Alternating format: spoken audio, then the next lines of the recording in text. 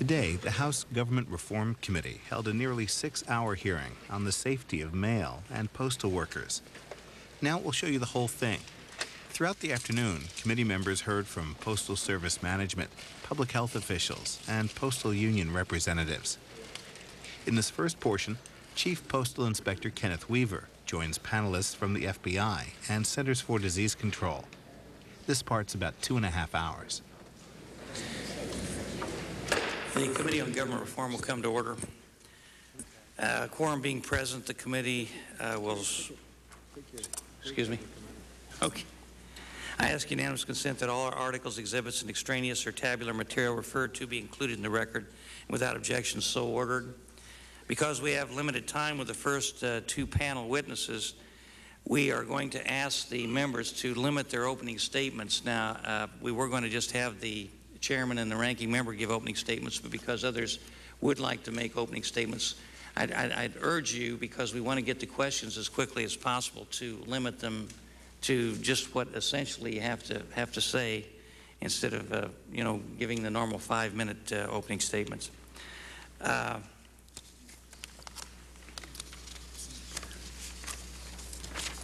Over the past two months, we've been struck by the terrorists not once but twice. They've attacked us with weapons developed from things we use in our everyday lives, commercial airplanes and the U.S. mail. Prime, Minister Netanyahu called the attacks on the World Trade Center a wake-up call from hell. It feels like we hardly woke up at all before we were hit with the anthrax-infected letters. Now we have three people dead and at least a dozen more are infected, and we heard this morning someone else is in critical condition. We have thousands of people up and down the coast, East Coast, taking antibiotics. Every day, traces of anthrax are found in more post offices, more mail rooms, and more office buildings. As a nation, we'll probably never be the same. The sense of security that we once felt has vanished. We now know that terrorists can strike at any time and any place. We have no other choice but to fight back. As we speak, the men and women of our armed services are fighting to bring Osama bin Laden to justice and to destroy his terrorist network. The President has rallied the American people and the world community to this cause. His leadership has given the American people a lot of confidence. But we can't stop with the Taliban or Al Qaeda. We have to strike back hard with those who would use biological or chemical or nuclear weapons. Eight years ago, terrorists tried to blow up the World Trade Center, eight years ago. Obviously, not enough was done by our intelligence agencies because we saw what happened on September 11th. This time it's anthrax. We shouldn't make the same mistake twice. We need to take action now. We should strike hard at any site that our intelligence agency shows is producing chemical, biological, or nuclear material for terrorists or terrorist nations anywhere in the world. And we need to do it very, very quickly. We need to do it now before they perfect those weapons. Remember, eight years ago we had a an attack on the World Trade Center and they didn't succeed. And eight years later, they did succeed. So we've had that wake up call and we have to act. We must not wait, even if the current anthrax, anthrax uh, attack is not from a foreign entity. Our enemies abroad are watching and preparing, and if we don't do anything, I think we'll regret, we'll regret it. Obviously, we also have to step up the security here at home. Following the disaster of September 11th, we've gone to great lengths to make our airports and airplanes more secure. After the last two weeks, we have to do the same things with our Postal Service. We have to do what's necessary to protect the American people from biological and chemical threats, and that's why we're holding this hearing today. We're going to look at how the Postal Service has handled the situation so far and what still needs to be done. And I want to thank our new Postmaster General uh, Jack Potter, who's going to be with us uh, later on this afternoon. I know it's a very stressful time for the Postal Service. The task ahead is monumental. The Postmaster is going to be here, I, say, I think, around 2 o'clock. He'll be accompanied by David Fineman, the Vice Chairman of the Postal Board of Governors, and I want to thank them all uh, in advance for being here. I also want to thank our other witnesses, Mr. Jarboe from, I hope I pronounced that correctly, Mr. Jarboe from the FBI, is that correct? Who came on very short notice, and I really appreciate that. The FBI is working very hard to try to meet these new threats. Their cooperation with this committee has always been very good and appreciated. Dr. Mitch Cohen from the CDC also came on very, very short notice. A new case of inhalation anthrax was reported in New York City last night, and I know that the CDC is doing everything they can to stay on top of the situation. So I want to thank you for coming on short notice. I want to also thank as well our Chief Inspector, Mr. Weaver from the Postal Service for being here. I also want to thank our witnesses from the four postal unions who are going to testify later today. I think it's fair to say that this situation hasn't been handled perfectly, but we're in uncharted territory. With the advantage of hindsight, it's easy for us to second guess. Given the little experience that we've had with anthrax in this country, it's not surprising that we've had some rough spots. I was told that the last time we had a case of anthrax was about 25 years ago. So we'll have some questions about decisions that were made and the way the situation was handled. We lost two employees from the Brentwood facility. Did we wait too long to start testing there? What lessons have we learned? I think the most important thing we could do at this point is to work together so we're better prepared for the next attack, and we understand that there probably will be more attacks. We have 800,000 people working in the Postal Service. Their safety comes first. We have millions of people and businesses across the country who rely on the Postal Service. They send and receive mail every day. We have to restore their confidence that the mail is safe. We want to hear from the postmaster about what steps they're taking, what's being done so we can open all open the mail again without fear. What type of technology is the Postal Service investing in? How effective is it? How long will it be before, before it's up and running? And how much will this equipment cost? The first figure we heard last week was $800 million, and before long it was up to almost $2.5 million, including infrastructure changes. Where does this money come from? This is an area where the Congress and the Postal Service needs to work together. If the Postal Service has to pass along all these costs to the ratepayers, the impact on their finances will be devastating. The Postal Service is already losing money, about $165 billion last year. And the combination of a sluggish economy and increased use of email could make this year's losses even greater. And that's not even considering the costs that's been a result of these terrorist attacks. The September 11th attacks cost the Postal Service over $60 million in damages alone. The economic slowdown that followed cost them another 300 to $400 million in lost revenue. The costs related to this anthrax attack will be many times that. In its current financial condition, the Postal Service cannot absorb these costs. The White House has already committed $175 million in emergency funds to help the Postal Service take the first steps. More is going to be required. I hope we can get a more exact idea on how much more today or in the very near future. I'm going to work with the White House and so will the committee and the postmaster and my colleagues on this committee will work as well to make sure the Postal Service has the resources it needs to face this challenge. I also want all of my colleagues to know that we're not going to give up on postal reform. It's more clear now than ever that we need to have a financially strong postal service. They need to have greater flexibility or they can't compete in today's environment. I know that John McHugh agrees with me, and so does Danny Daniels, who's uh, not here yet, but uh, they've been working very hard on the postal reform issue. John McHugh can't be here with us because of a family problem, but uh, he has a statement that we will insert into the record without objection. I just have a couple more remarks. This is probably the greatest challenge America has faced in decades. I can't remember the last time so many Americans were afraid to go about their daily lives. I can't remember the last time so many people felt insecure. Yet we're rising to that challenge, and it wouldn't be possible without the hard work of thousands and thousands of people. The men and women of the armed forces flying combat missions over Afghanistan, conducting commando raids in hostile territory, and all the people at the Defense Department who's supporting them. The Justice Department and the FBI have committed vast resources to investigating these crimes. They're working tirelessly to try to protect the public, and we appreciate that very much. At the CDC, they're working around the clock, and I really appreciate them being here today because I know how difficult it is right now to contain this outbreak of anthrax. The men and women of the Postal Service, they continue to keep the mail moving despite all of the uncertainties they face. The local firefighters and policemen who risk their lives to try to save others. And I'd like to correct one thing I said. I said 165 million. It's 1.65 billion dollars that the Postal Service was uh, uh, asking for. On behalf of everyone on this committee, I want to thank everyone who's doing his or her part. And with that, that concludes my opening statement. Mr. Waxman, you're recognized. Thank you very much, uh, Mr. Chairman. Thank you for holding this important hearing. There are two quest questions we need to focus on today. Is it safe for families, businesses, and government agencies to open their mail? And is it safe for postal workers to handle the mail? Ensuring the safety of the mail is a paramount federal responsibility.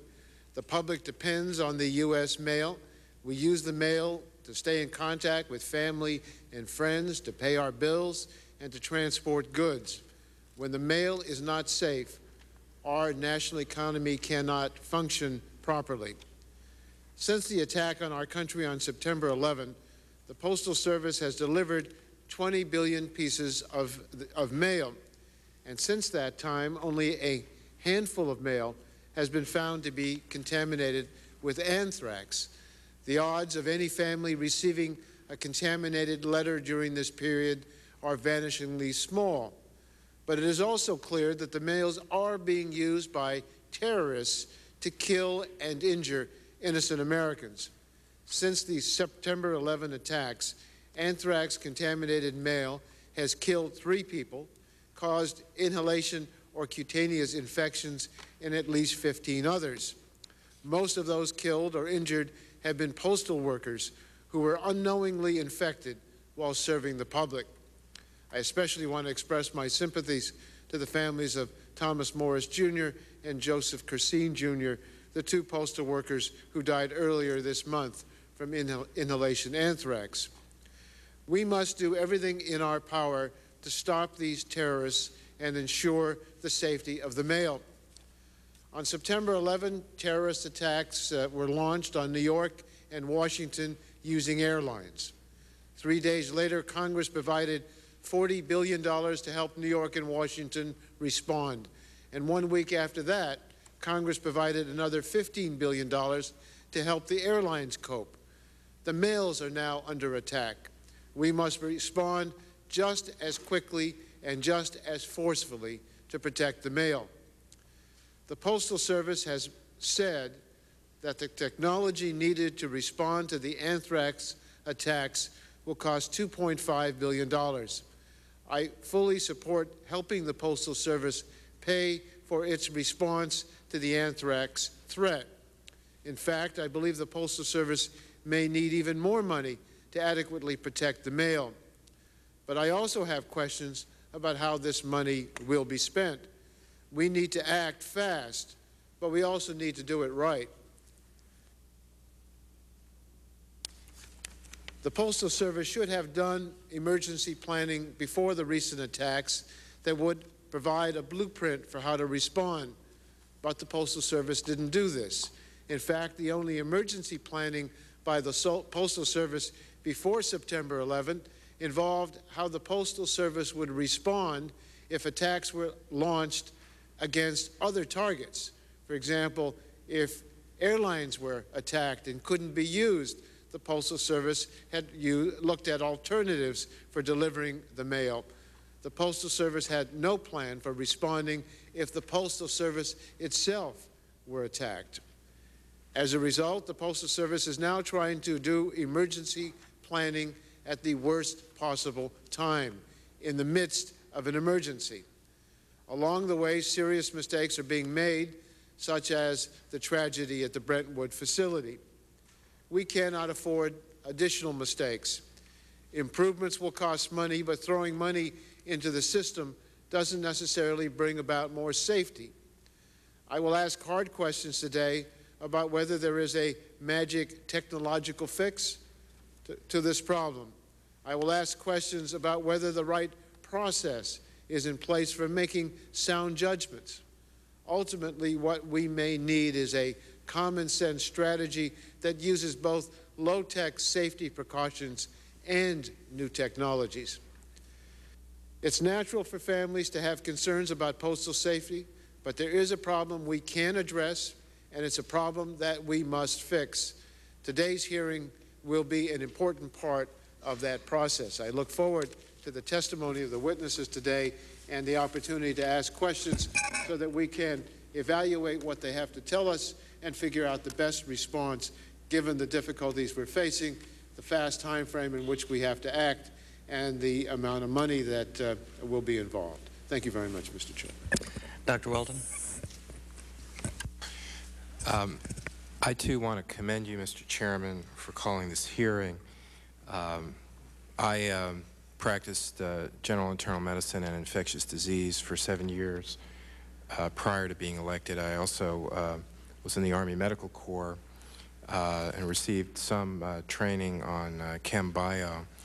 also, interestingly, my father, who's now deceased, was a retired postal worker and certainly uh, my condolences go out to the um, family members of those who have been stricken and all postal workers. Uh, and I certainly support efforts to uh, get our postal system fully up and running uh, and do everything that we can to reassure the, the American public uh, that the postal system is safe. And I commend you for the timeliness of this hearing, and I yield back. Thank you, Mr. Chairman. Thank you, Dr. Weldon. Uh, Mr. Lantos? Thank you very much, Mr. Chairman. I want to commend you and the ranking member for holding this hearing. First, Mr. Chairman, let me express on behalf of all the American people the sorrow and anguish we all feel for the postal employees who lost their lives. The postman or the postwoman on the beat are beloved fixtures on the American landscape. And to see this group of remarkably committed and decent and hardworking men and women under this threat pains every single American citizen. Mr. Chairman, I am as confident that we will win the war domestically as I am confident that we will win the war in Afghanistan. But while we can express our confidence in our long-term victory, it is important to put the minds of our loyal postal workers at ease. Their prime concern at the moment, obviously, is a health concern. And with the best health advice in the world, we will deal with that issue.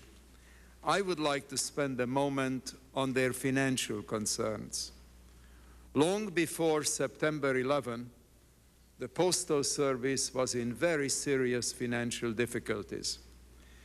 As a matter of fact, in the 30 years since 1970, the cumulative deficit of the Postal Service was about $5 billion.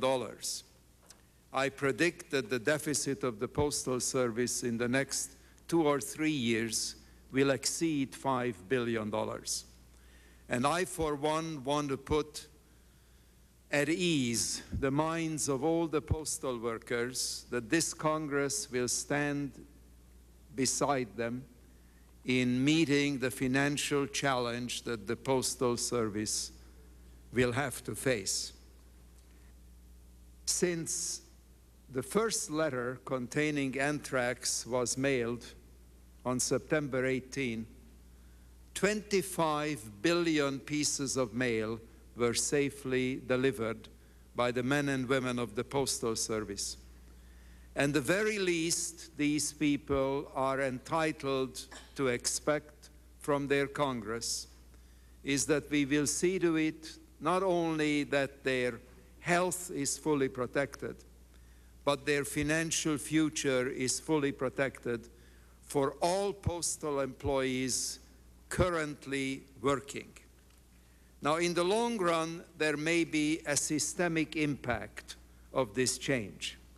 And that systemic impact may drastically reduce the use of the Postal Service. But I think it would be eminently unfair to impose a burden on men and women who have been devoting years of their lives to this important endeavor.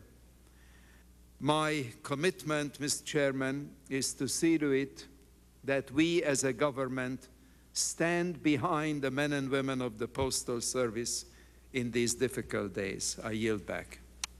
Thank you, Mr. Lantos. Uh, Mr. Shays. Thank you, Mr. Chairman. Thank you for having this hearing, and thank you, Mr. Waxman, for being so supportive of this hearing. I believe this is a hearing uh, in honor of Thomas Moore and Joseph Christine uh, and uh, all their fellow employees. Uh, that's what this hearing is about, to make sure that they are protected uh, in the future and to never forget the two who have lost their lives. Um, I'm going to submit my written statement. I just want to say these brief words. We are at war. We are at war. We are at war. We are at, in a race with the terrorist organizations to shut them down before they have a better delivery system for chemical and biological agents, before they get nuclear waste material they can put in a bomb and explode with all the toxicity that presents and before, heaven forbid, they get a nuclear weapon which they can blackmail us or detonate. That's what this is about. And um, Thomas More and Joseph Christine are victims uh, of casualties of this war. We're going to learn how to fight it better and better as we go along, and we're going to succeed. Uh, but um, the bottom line is uh, we have a tough task ahead of us. And I know there are going to be a lot of should haves. Uh, there isn't anyone in this room who can't look at themselves in the mirror and say, we should have or I should have. Uh, and that includes all of us. Uh, but obviously, we in government have the responsibility to take action, and we're going to. But I'm going to try real hard not to be part of the should haves because um, I know that list is endless. Um, and I know I'm part of that list. I yield back. Thank you, Mr. Shays. Uh, Ms. Maloney? Ms. Maloney? You have an opening statement. We're, we're, we're, and I, I, would urge everyone, because we're going to lose part of our panel, I think, okay. at 1.30. Just uh, very briefly, thank you, Mr. Chairman and, and Ranking Member. Uh, three people, including two postal workers, have died, and others have uh, been infected. We need to review and do everything possible to protect uh, their health in the future. This is a, a, an issue of, of, tremendous importance to me. Anthrax spores were found in four sorting machines at New York City's largest mail distribution center. The executive board of the city's largest postal workers union voted yesterday to file a lawsuit to have the facility closed for a thorough cleaning. Health officials, however, have told the workers that there is no danger for em employees and that they should continue working in the building. I must say that many postal workers have been calling my district office and calling me uh, saying, why will you not close the post office when you closed the congressional buildings when spores were found? And I think that's a legitimate question. On Wednesday night, the Postal Service began giving a 10-day supply of the antibiotic Cipro to 7,000 New York City postal employees as a precautionary measure. Uh, the Cipro is being made available to employees at Morgan Sorting Center, the James A. Farley uh, Mail Building, Ansonia Mail Station, Radio City Station, Rockefeller Center Station, and the Times Square Station. So uh, we are responding to their health. I, I must uh, mention that even before the September 11th tragedy, and the anthrax scares, the Postal Service was projected to lose 1.6 billion in 2001, and now it's going to be much worse. Uh, since September 11, uh, five magazines have gone out of business, many of them housed in the district that I represent. Mademoiselle, that I grew up with, is now out of business. And uh, one of the challenges that we face is, is uh, to make sure that we continue to have a competitive and universal mail service. You can't really blame anyone uh, for being concerned about the mail these days, but we have to keep things in perspective. 680 million pieces of mail move each and every day, and the risk to the general public is infinitesimal. And anthrax mailings have apparently been confined to a small number of organizations and elected officials, though I must uh, mention very disturbing news that a 61-year-old woman who worked in my district at, at, Manhattan Eye, Ear, and Nose and Throat Hospital had no contact uh, or didn't work with the mail, is, is deathly ill, and has uh, been exposed and infected. The mailing industry is tremendously important to our economy. It's actually 8% of our GNP, a $900 billion uh, industry, and uh, really uh, it's uh, tremendously important to our country. I certainly uh, support uh, the efforts by the Postal Service to purchase the sanitation machines and and the price tag alone for this is going to be in the neighborhood of two to three billion dollars, I'm told. And uh, many people have not focused on is that the mail volume has, has dropped since September 11th, which means that the USPS is, is losing more money every single day. And I have seen some estimates that put this reduction at 10 percent. I, I uh, applaud the administration for coming forward with a $175 million influx of funding to assist and support uh, the United States Mail Ser Service. And I applaud uh, the efforts of my colleagues, Danny Davis and Congressman McHugh. Uh, Danny Davis has come forward with a, a, a stirring uh, resolution honoring the postal workers, their loss of life, the bravery. They're in the, they're soldiers every day going to work and, and getting the mail out to people. And I applaud the work of the task force that uh, McHugh and Davis have put forward to look at uh, postal reform. This may be the time that we should move forward, uh, not only with the influx of the, the dollars uh, for the new machines, the new protections, uh, but the reform that has so long been debated. Thank you very much. Uh, Mr. Schrock, I, I guess you don't have an opening statement. Thank you, Mr. Schrock. Ms. Davis? Thank you, Mr. Chairman. I'd just like to say thank you for holding this very important hearing at a time when our postal workers have been put at high risk and the possibility still remains that there will be even more risk. And I look forward to um, hearing the comments from the distinguished panel. Thank you. Ms. Norton? Thank you, Mr. Chairman. Um, uh, thank you especially for your rapid response in holding this hearing.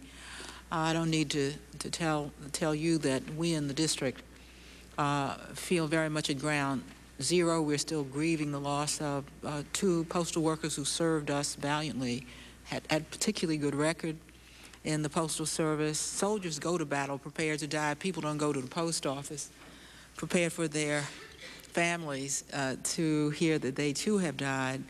I believe, uh, because I've worked closely with the post office and with the CDC, that our federal officials are working very hard every day, very long hours, trying to come to grips with this uh, matter. I agree with uh, my good friend, Mr. Shays, who says the finger pointing won't do us uh, any good now. Uh, I am a problem solver, not a finger pointer. I do think it is important uh, to assure the country that the District of Columbia experience will not be repeated elsewhere and that we will get control of the experience in this city very soon, not only because the Congress is here or the President is here, but because 600,000 people live here.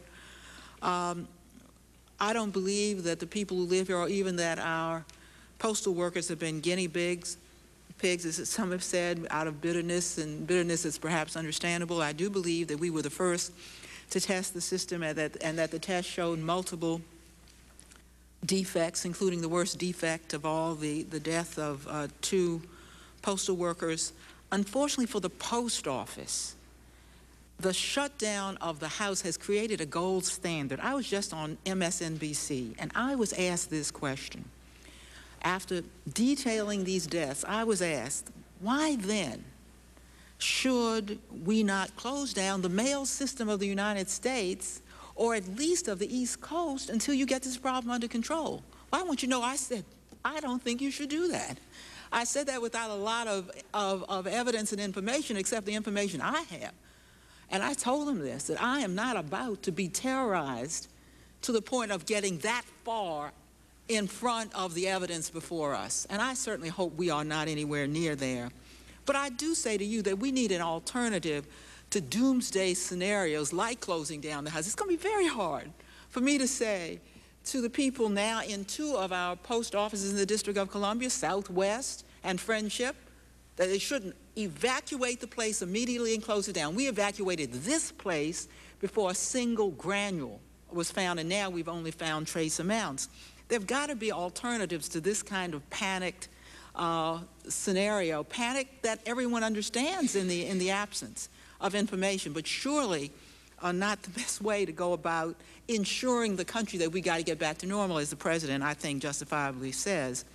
Uh, if we can terrorize a nation on the cheap this way by putting, you know, an envelope or two in the mail, then all that our administration is doing to close off the money supply becomes quite irrelevant because it doesn't take a lot of money to do what you have to do to terrorize a nation. We've got to quickly find a way to meet the major challenge of lumbering bureaucracies that are being called upon to somehow be a finely honed machine that can take on a crisis and solve it quickly. I suggest that small task-oriented groups with all the major actors working at the same time at the same table may be necessary if you have an unprecedented crisis. For example, postal facilities were not the logical place to start given the science that you knew. But the science that you knew didn't turn out to be uh, definitive because you had so little science, so little experience with anthrax, uh, and it was so old. I think we need new hypotheses uh, in order to reach beyond the science. Uh, I'm very concerned that the two neighborhood facilities where there have, has been some anthrax will send yet another perhaps false message to the public. Hey, it's coming downstream and it's finally going to get in your mail. We got to stop. We got to have enough information to, to make people cautious without panicking them to the point of believing that now one of the great institutions of the United States, without which we cannot do, ought to be solved, uh, shut down until we can somehow, quote, solve this problem. Uh, as you get closer to the general public, that is going to be your challenge. I'm sure you can meet it. I'll be very pleased to hear what you have to say today. Thank the gentlelady. Uh, Mr. Kucinich. Thank you, Mr. Chairman. Because we all want to see our mail service continue, and because we must provide for the health of postal workers and for the security of our mail, those entities handling anthrax incidents need to abide by at least three principles. First, affected individuals must be given detailed information and receive consistent updates as to the potential contamination, levels of confirmed contamination, the health risks posed, steps that can be taken to prevent infection, symptoms to watch out for, and treatment options. Unfortunately, this has not occurred. Numerous postal employees have complained to me about the lack of information from postal and health authorities.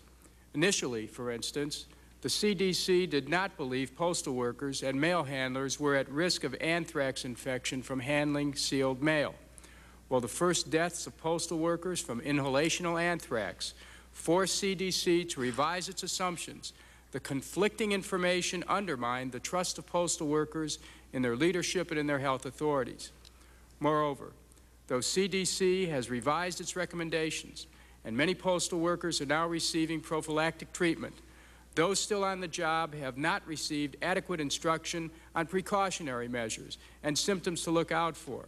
Many postal employees have received gloves, but it appears few have been told how to use them and dispose of them properly so that potential contaminants are not spread.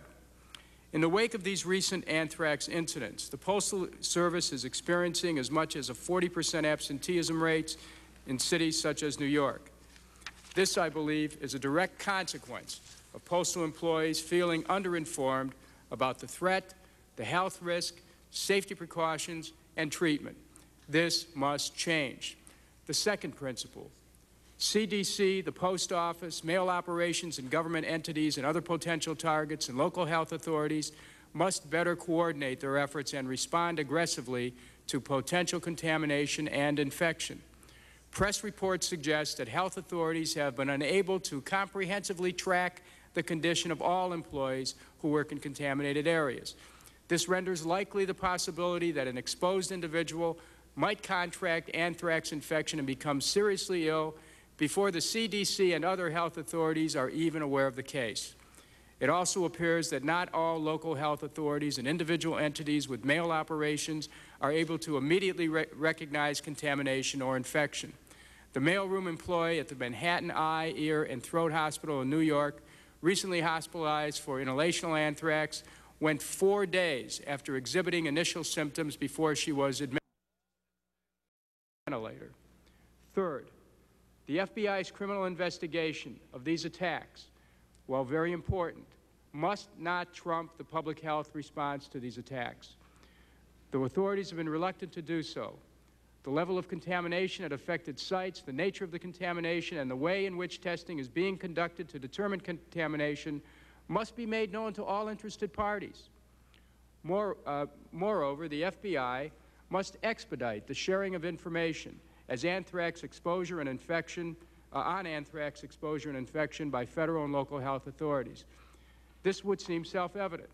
However, we must make sure that the interim guidelines for reporting of anthrax by the CDC, which re requires the FBI receive notice first, are not interpreted to mean that information in a criminal investigation takes priority over emergent public health concerns. In the weeks since the September 11th attacks, many officials here in Washington have invoked the following principle that a government's number one responsibility is the protection of its citizens. Let us proceed with this hearing in that spirit. I thank you. Thank you, Mr. Kucinich. Mr. Cummings? Thank you very much, Mr. Chairman. I will be brief. Um, Mr. Chairman, uh, just a few days ago, uh, my colleague uh, Ben Cardin and I went to the um, uh, Baltimore main post office in downtown Baltimore and um, had an opportunity to go through the post office. And um, after seeing the many people there hard at work with their masks on, many of them with gloves, and having a chance to talk to them, it's interesting, Mr. Chairman, that not one of them said we should slow down. But what they did say, Mr. Chairman, was that, Congressman, we want you all to look out for us. We want you all to make sure that we are protected. We want you to do every single thing in your power to make sure that there is not another death. And, Mr. Chairman, that's why this hearing is so timely. There were 20 men when we got to the end of the tour after about an hour who were sitting in a, a lunchroom. And I'll never forget the questions that they asked. Like, well, um, one of them said he had been at Brentwood and should he not be getting tested? Should he be getting Cipro? Another one asked, well, you know, will it make a difference whether uh, we wear gloves? It seems like this, these particles are so minute that it won't make too much difference. So does the mask make a difference? And Ben Cardin and I stood there as the union people and the administrators tried to answer their questions. And on my way here today, one of them said to me, I ran into him on the street, he said, I heard they're having a, a hearing on, on us today. And he said, don't forget what we said. Look out for us. Don't forget us. We're the ones that make sure the mail goes through. And so, Mr. Chairman, uh, a lot of people don't realize it, but you, Mr. Ch to your credit, was addressing the issue of anthrax a long time ago, far uh, earlier than September the 11th, because I remember sitting in the hearings. And so we've, we've got a major situation here, but I, I, I, I too agree with Congressman Shays. I, you know, we, we've got to be careful that we make sure that the mail goes through, but we've got to also do everything in our power to protect these men and women who are very, very brave and, and, and, and do a job that many Americans probably wouldn't even want to be bothered with.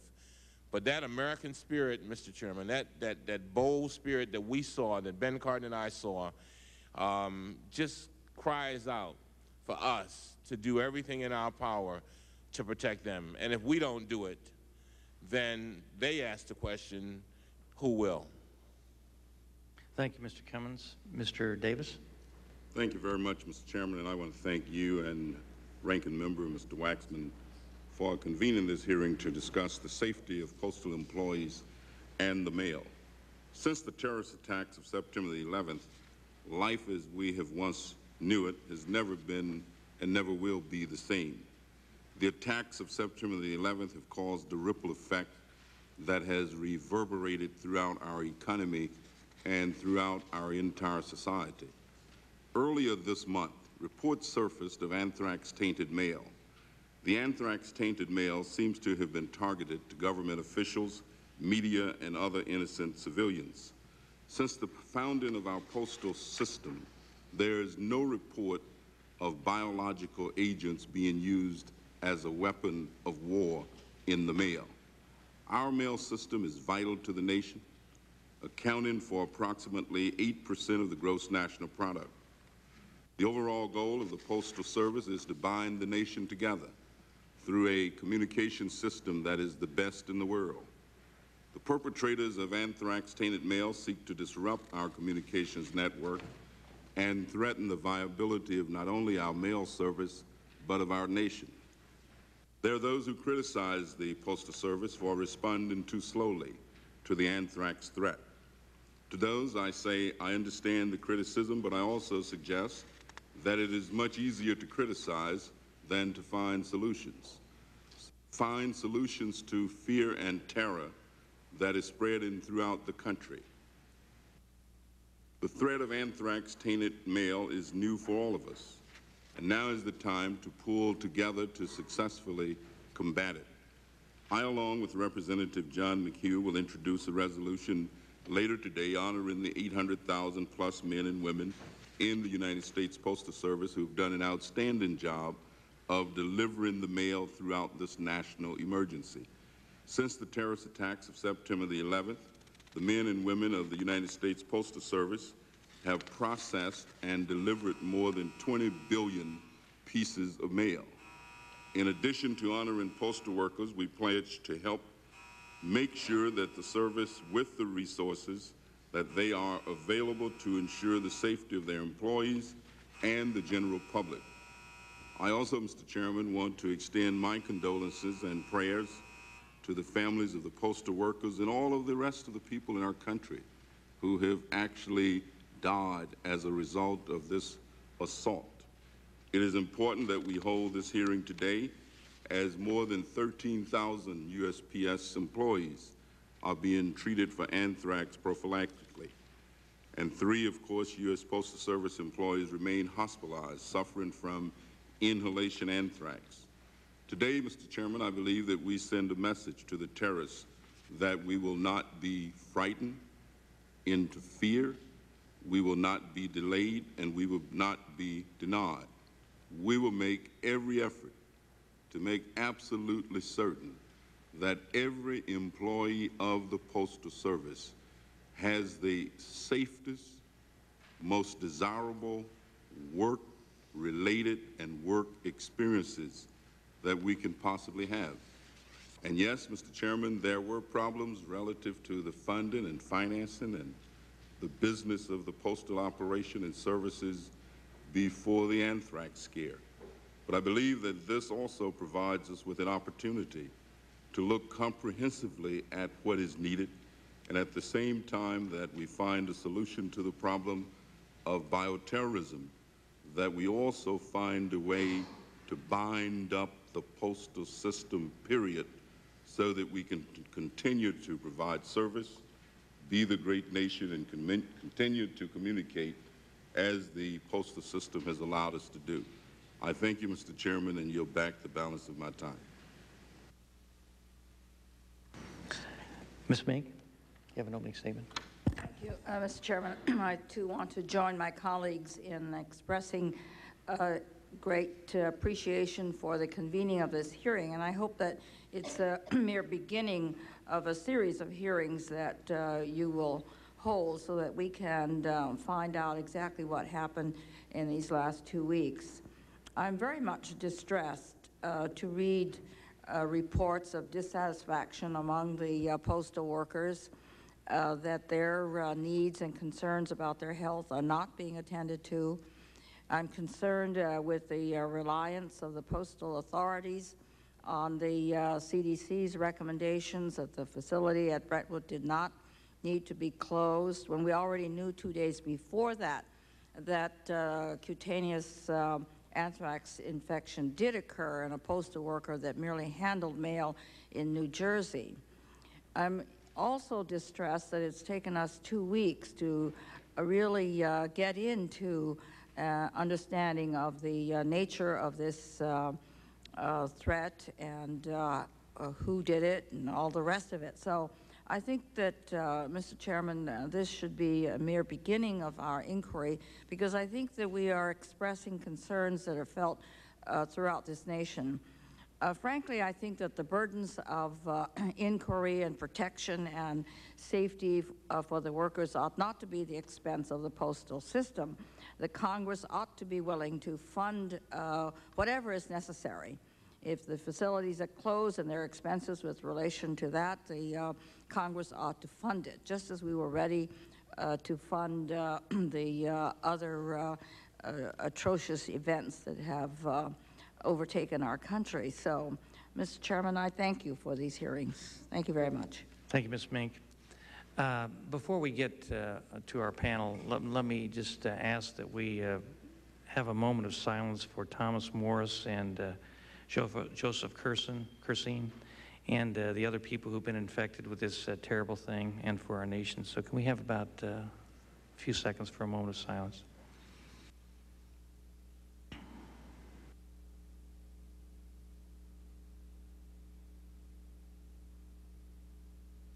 Thank you.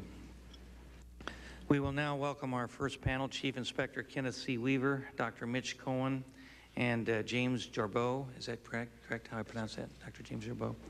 Uh, would you please rise and raise your right hand? Do you swear to tell the whole truth and nothing but the truth, so help you God? I do. Be seated. Do any of you have an opening statement you'd like to make, or do you want to get right to questions? I do, Mr. Chairman, if you Mr. Weaver? permit. Uh, Good afternoon, Mr. Chairman, members of the committee. I appreciate very much the opportunity to update you today on the activities of the Inspection Service as they relate to the terrorist acts of September 11th and the anthrax mailings. I'm pleased to participate on a panel with our law enforcement partners in this war on terrorism, the Federal Bureau of Investigation. We are in the midst of an unprecedented attack on our nation's mail system. Never in our history has the mail been used to deliver biological terror as we have experienced this month. Postal employees have been placed directly in harm's way during this attack. And sadly, we have lost two of our own in this new war. The entire postal community mourns these two fine, dedicated employees who died in the line of duty. Since September 11th, the Postal Inspection Service, the law enforcement and security arm of the Postal Service, has been on high alert, as all law enforcement agencies across our country have been. Our mission of protecting the United States Postal Service, its employees and customers from criminal attack, and protecting the nation's mail system from criminal misuse has never been more challenging since September 11th. I have directed all 1,900 postal inspectors and 1,400 uniformed police officers that their highest priority is the investigative and security work in support of the terrorist and anthrax investigations. Unless these personnel are involved in the investigation of crimes of violence, such as assaults of postal employees, robberies of post offices, or mail bombs, they are now on the front lines in this war on terrorism. As you may know, the FBI has been designated by the Department of Justice as the lead agency on all terrorist investigations. In matters involving the Postal Service or the U.S. Mail, and where our investigative or forensic expertise can be beneficial to the overall investigation, the Postal Inspection Service commits resources to terrorist investigations. Postal inspectors are members of the Joint Terrorism Task Forces and the Attorney General's anti-terrorism task forces in all parts of the country and are integral contributors to the September 11th terrorist investigation. Inspectors are assigned to the FBI's Strategic Information Operations Center and FBI agents are assigned to Inspection Service headquarters where they partner with postal inspectors to coordinate our national efforts. The Deputy Director of the FBI and my Deputy Chief for Investigations are in regular contact to ensure our respective organizations are working together. Postal inspectors are assigned to FEMA, and we are also coordinating our efforts with the new Office of Homeland Security. we have assigned some of our forensic experts to assist in the examination of the anthrax letters and other evidence. On October 18, the United States Postal Inspection Service, in partnership with the FBI, offered a reward of $1 million for information leading to the arrest and conviction of those who are responsible for the anthrax mailings. An additional unique partnership has been established with America's Most Wanted to handle the phone calls. To date, we have received over 165 investigative leads from these calls and are following up on them. The safety of postal employees remains the top priority of our service. We are working with postal management to provide security updates and educating employees about the critical need to make security everyone's business. Security of the mail also continues to be a top priority. Inspection service personnel are posted at selected postal mail processing facilities to screen mail. The Postal Service has established a mail security task force comprised of, comprised of representatives of the labor unions, management associations, postal operations, and the mailing industry. The Postmaster General has put me in charge of this effort. Safety of the American public is also paramount to our mission. We have produced an inf informational video on mailroom security, a poster on suspicious packages and letters, and a postcard that was delivered to every address in the nation, advising them of precautions to take in handling the mail. Regular messaging continues via our websites, and inspectors are making presentations to businesses, community groups, and law enforcement organizations on safe mail handling procedures. We are coordinating our efforts with state and local governments. For example, we've discussed mail handling procedures with the adjutant generals of all 50 states' National Guards. And we have reached out with the same message to over 500 congressional district offices via telecons. Our joint investigative and security efforts are resource intensive, but will continue until the mails are safe and the criminals who are committing these crimes are behind bars. The strict devotion of resources is strained, strained by the need to respond and investigate anthrax hoaxes, threats, and suspicious letters and packages. Over 7,000 incidents have been reported to the Inspection Service in the past few weeks an average of almost 600 per day. Almost 300 postal facilities have had periods of evacuation as a result of these threats and hoaxes. But we have a message for those who use this time to contribute to the unrest and terror. If we find you, we are going to prosecute you and send you to jail. So far, we have arrested 18 people and have an additional 14 cases pending prosecution.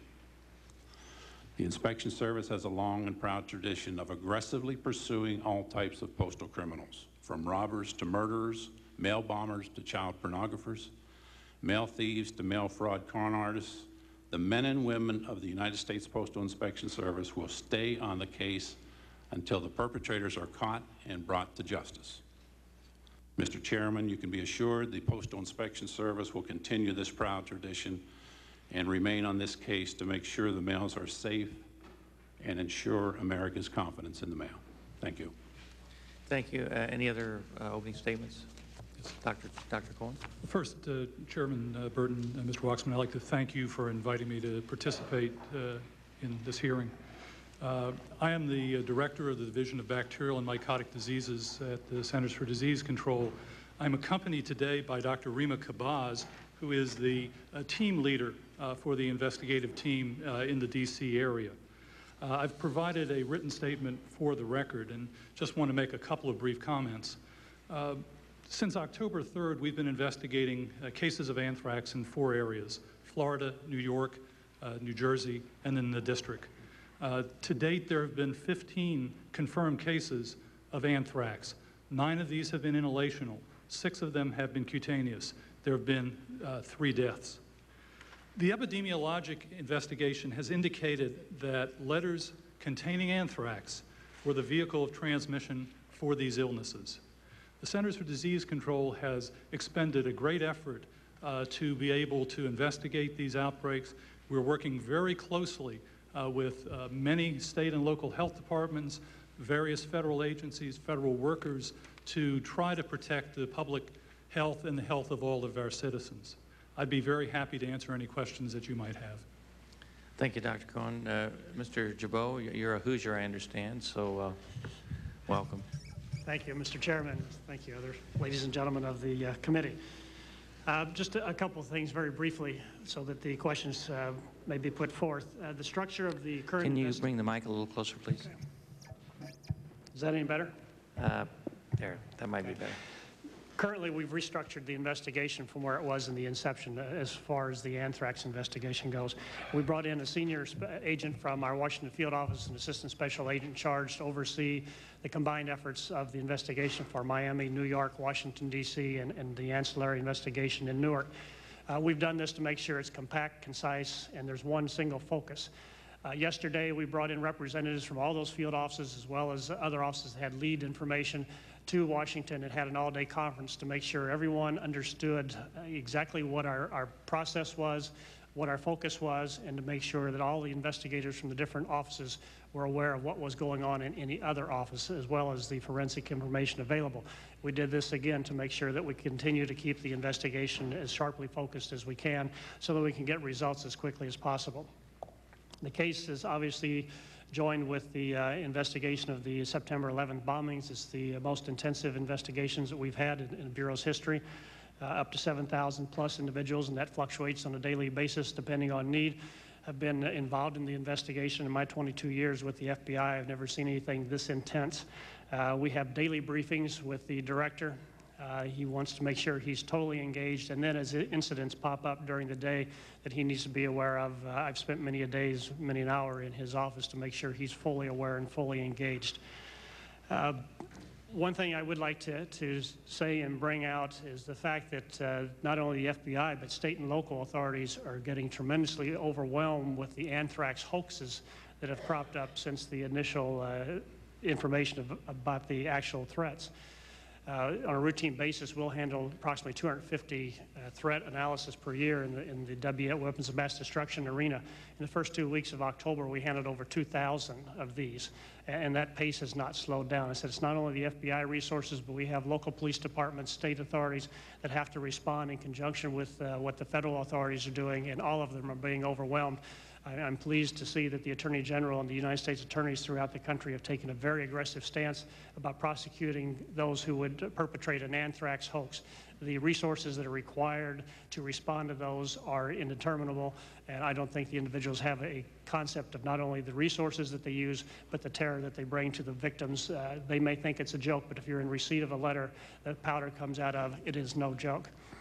Uh, I would like to say that there's been very, very close coordination with the uh, Postal Service and with CDC. Dr. Cohen, from the inception of the investigation in Miami, has been literally living in my space at FBI headquarters. He's there on a daily basis, and uh, he has been an absolute tremendous asset to us to make sure that the FBI keeps focused on the health issues.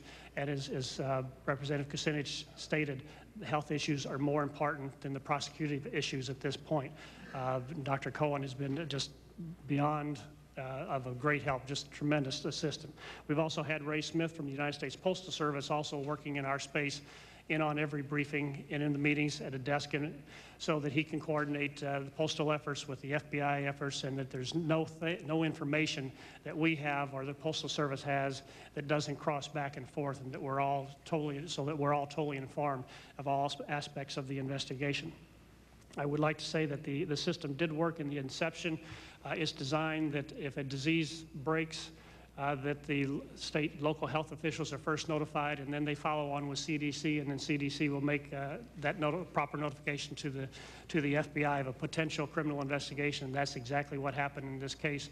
Uh, in the initial steps, we were there to support CDC uh, as an assist to their efforts to determine uh, the epidemiological problems that they had in Florida, and it gradually rolled into a criminal investigation.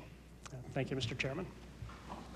Thank you very much. Uh, let me just start the questioning off uh, by uh, asking, what are the penalties for mail that is a hoax, where they put powder in it? Those penalties can range up to the, the same penalties for mailing the agent itself. And some U.S. attorneys I've heard uh, are charging people with the same seriousness of the crime as if they had mailed So, so the penalty could be, what, five, 10 Could be life, could be up to life in prison. I think that that that's a message that I hope everybody in the country hears. If you start sending something like that out as a joke, that you could end up in jail for a substantial period of time. It really isn't funny. Uh, yesterday, the Attorney General, and I'll ask this to Mr. Jarboe, uh, the Attorney General issued an alert uh, warning of the possible terrorist attack uh, this next week. Let me just ask a, a couple of questions regarding that, and you can answer them at one time. What can the American people expect, if you can tell us that? What kind of information was this alert based upon, if you can tell us that? And I understand there's uh, classified material there. Is there any intelligence about specific targets, or is this uh, more of a general threat?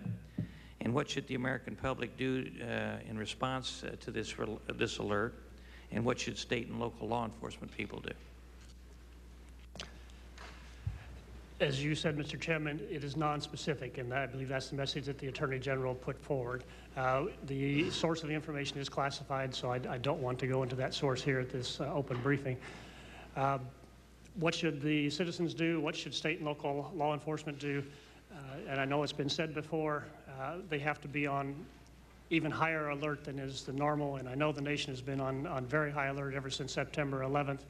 Uh, If we had specific information about a specific target at a specific time, that information certainly would be made known so that we could protect those targets. Uh, One of the reasons we set forth, or put forth the, uh, the warning is to make sure that everything maintains an elevation at the highest, highest peak of preparedness. If we can do that, then hopefully we can disrupt any plans that are in, in process. Uh, And unfortunately, we do not have specific information about what the targets may be. Does uh, it appear that the anthrax that were in the three letters to Tom Brokaw, Brokaw, uh, Senator Daschle, and uh, the New York Post, uh, did they come from the same source? The information that we had was that the anthrax in the letter to Senator Daschle was finely milled, a very uh, high grade, if you want to call it that, and uh, the uh, uh, the letter to Tom Brokaw was a more uh, unrefined kind of anthrax spore. Uh, do you believe these came from the same source or these different sources? Your description of the two separate packages is correct. As of right now, the information we have is that the anthrax that we, samples that we do have are indistinguishable from one another on a DNA analysis. There's continuing analysis being done uh, to bring the- them down to the rudimentary elements and see exactly what we have. But again, as of this point, we have, the information shows that they are indistinguishable. Well, why would they send a more refined form in one letter to Senator Daschle and, and not have the more refined uh, form into uh, Brokaw's office? That's a question that we do not have the answer yet, and part of the investigation will be to focus on that and why the two separate types. I see. I presume you're probably checking to see if different cells had different mechanisms for delivery and refinement. We're checking everything that we can think of, yes, sir. With respect, uh, this goes to Dr. Cohen, with respect to the contamination in the Brentwood facility here in Washington, I believe the original theory was that the anthrax escaped from the Daschle letter and contaminated other mail. Is that correct? Uh, That's certainly one possible explanation. Well, there's more and more mailrooms in the federal office building are having positive tests. Does that lead you to believe that uh, uh, those mailrooms were infected with the same letter? Well, there are other alternatives. Uh, The possibility would be that there are additional letters. Uh, The uh, cases of disease, uh, particularly inhalation disease, suggest that individuals were uh, exposed to an aerosol, and uh, that potential uh, possibility would uh, suggest that there may be more than one letter that had passed through the facilities. I presume that the FBI, I know there's a huge volume of mail that's over there being stored. Are they going through that to see if there's any other letters that are containing anthrax spores? Uh, Yes, sir, we are. We- We're making plans to go through that uh, piece by piece. Uh, Let me ask one question of uh, uh, Mr. Inspector Weaver and Mr. Jarboe. Uh, A large volume of mail has been collected and sent to Ohio and other destinations to be sanitized using irradiation technology. Some mail is also being held for investigation purposes. Are these pieces of mail being checked for anthrax? And do you believe that there may be one or more letters out there containing anthrax that haven't been detected? You're correct. We are sending that mail to, uh, to be sanitized.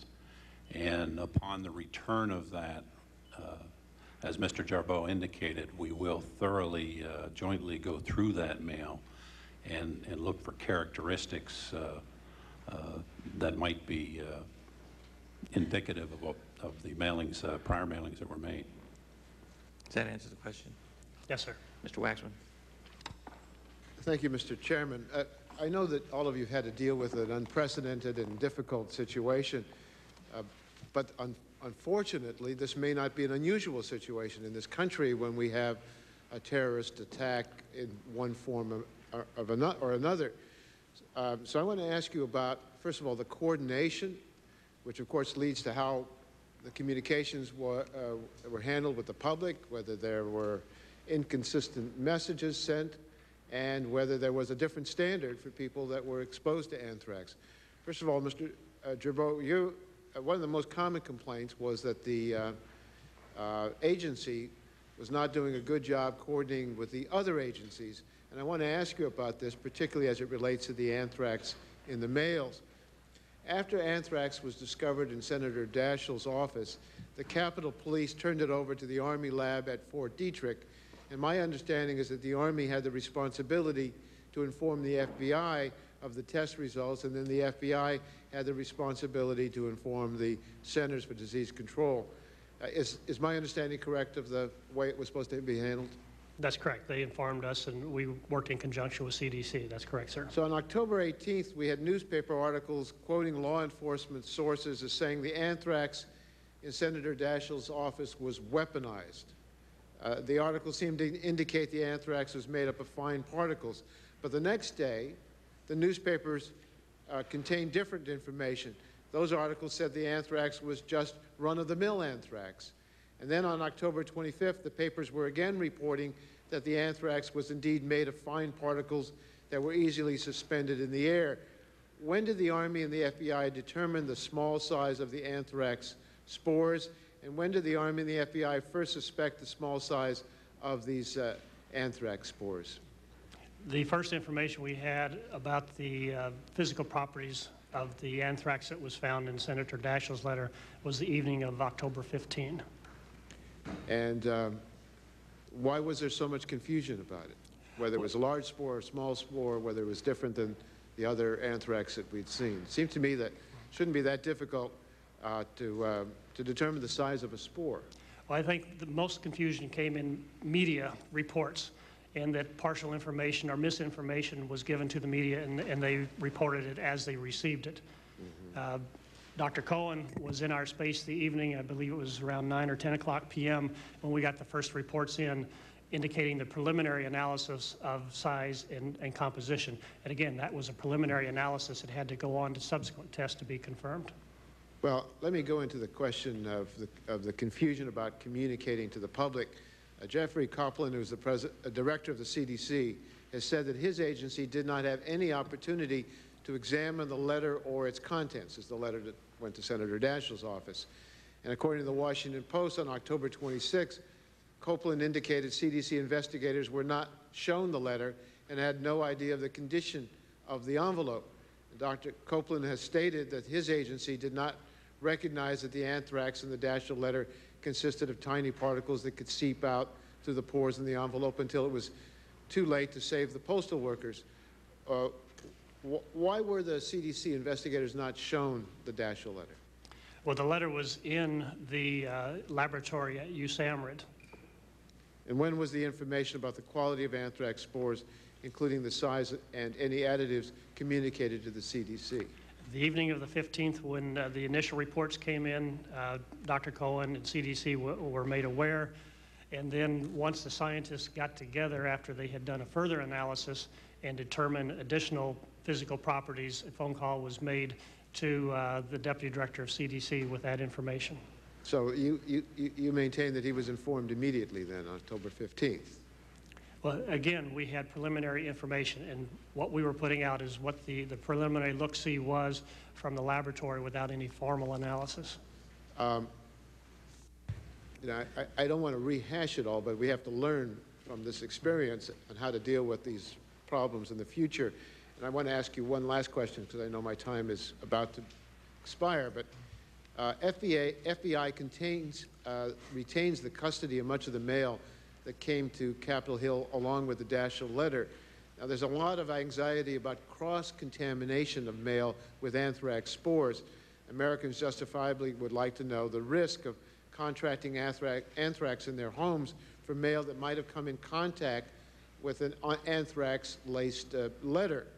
Uh, one way to assess the risk of such cross-contamination would be to test some of the mail that the FBI has in its custody. These letters were part of the same batches as the Daschle letter or subsequent batches. Has the FBI tested the outside of these other envelopes for anthrax spores? Has the FBI tested whether anthrax spores stuck to these envelopes have the capacity to re uh, aerosolize? And would the FBI consider conducting such tests if you haven't done so already? Right, they have not been conducted at this point. We have all the mail, and we, we have recently located uh, a physical location where we can go through the mail. And again, we're going to go through it piece by piece to see if we can find any additional letters that may have gone through the system and just not have been delivered at the same time that Senator Daschle received his letter and conduct any appropriate laboratory analysis from that point. How, how has it taken so long to, to see whether there's a cross-contamination with other letters because these other letters could be delivering the anthrax from exposure to the letter from Senator Daschle. Why is it taking so long, and why is it taking so long? Well, it's been going through on a, a very slow, I shouldn't say slow, that's the wrong word, a very specific procedural basis so that we can make sure that we have it. A, we have to have a place to do it. We, we had trouble getting a physical location to go through. This is a, a large volume of, of letters that we're talking about and then we have to get the procedures in place to go through it to make sure that those who are re reviewing it are not contaminated and that we can make sure that when we, if we have something there that is properly preserved, we can identify exactly what we do have. Thank you. Thank you, Mr. Chairman. Real, real quickly, was that mail sent out to Ohio to be decontaminated so you can examine it? Uh, no, I don't believe, perhaps you can answer that, Mr. Weaver. Well, it's my understanding that was the process, that we Well, were if going it to was send sent it out out and get it sanitized and bring it back. Has it been brought back for checking? Uh, We've just begun Well- that process as far as, uh, I think the first trailer is coming back now, and Well, we're my, looking co- for... my, my colleague, he, he, he makes a very salient point here. If it takes a long time for that, a lot of these people who may have been touching some mail that was in close proximity to the Daschle letter, they could become infected and have Uh, uh, inhalation anthrax and, and, and be, have a death sentence because of the time delay. Well, bear in mind, we're capturing all that mail. None of it's going to be delivered that, for that particular See, So location. none of that mail was Right. delivered. You're- That's you're- You're sure of that? Yes. And none of the mail that was in close proximity to the Daschle letter was delivered? That's the mail that we have captured that we want to send to Ohio, get sanitized, and bring it back, and then go through a methodical examination of that with the FBI. Dr. Weldon? Uh, Dr. Cohen, could you comment on the number of spores that an individual might have to inhale to become sick with an inhalation anthrax? Yes, the, uh, the various studies that were done suggest that uh, one would need to inhale anywhere between 8,000 to 50,000 spores to get inhalational disease. And what about a quantity of spores that would have to get on your skin uh, to get the cutaneous form of anthrax? That's not as well known. Uh, my understanding is that uh, it requires a break in the skin for the anthrax spores to cause infection. Uh, is there any evidence that intact skin can be infected by anthrax? Well, historically, most of the cases of cutaneous anthrax were in people who had had injuries, who had exposure to animal sources which were contaminated with spores. Uh, we are seeing patients now who do not report having areas of skin that were damaged prior to developing a lesion. So there may be something that is different about this in our past experience, suggesting that disease could occur under those circumstances. The question of the level of exposure is a question I'm getting asked uh, a great deal. Uh, we have a situation in the Longworth building here on Capitol Hill. Um, in the case of uh, one of the offices, uh, it was a surveillance wipe that came up positive, and the method that's used, as I understand, they take something resembling a 4x4 gauze pad and rub it on a series of desks, and then they uh, put it in a, a, vial with some buffer solution, spin it down, um, extract a sample of fluid out, and plate that. Uh, now, as I understand it, in these offices, they got very little growth. They got a few colonies on a plate. Um, it, it is my opinion, my medical opinion, that a, a level of anthrax like that poses no threat for inhalation anthrax, uh, and it only poses a threat for cutaneous anthrax if you had an open skin lesion and you happen to get the anthrax into that area. Would you concur with that? Uh, generally, yes, I would agree. I think that you're talking about fairly low levels of, uh, of presence of spores. And in addition, there were studies that were done in the 1950s that showed that these types of particles that fell out of an initial aerosol were generally heavier and were difficult to re-aerosolize, so that they would be, in fact, even less of a risk uh, for inhalation disease. I think the, uh, the risk, as you suggest, perhaps would be to cutaneous. Uh, again, we have this unknown as to whether or not there may be some factor that might make normal skin susceptible, but I would agree with you know, your assessment. Now, based on um, the fact that we have um, surveillance tests coming up positive on a lot of postal equipment, but we do not have uh, reports of a letter with powder in it, uh, it has been uh, presumed that a lot of this is cross-contamination, and it's been reported that the um, uh, particles in the letter to Senator Daschle's office was uh, very, very fine and had the ability to get through an envelope. Um, is it safe to say that um, some of this that is coming up positive, the anthrax, does not likely pose a threat of inhaled anthrax for the postal workers in those areas, but more a cutaneous threat? Again, I think uh, that it would in part relate to how it got there. For example, if a letter was torn and some of the powder spilled out, if someone generated an aerosol with that by, say, using a high pressure hose or something, then you could potentially get particles into the air that, that could be a risk. Uh, if these were particles now that is what happened at Brentwood, is believed. They were uh, using an air, uh, compressed air gun to clean out sorting machines. Again, that's one of the hypotheses as to you know how an aerosol could have been created. I'm out of time. Could I just ask you a follow-up question, though?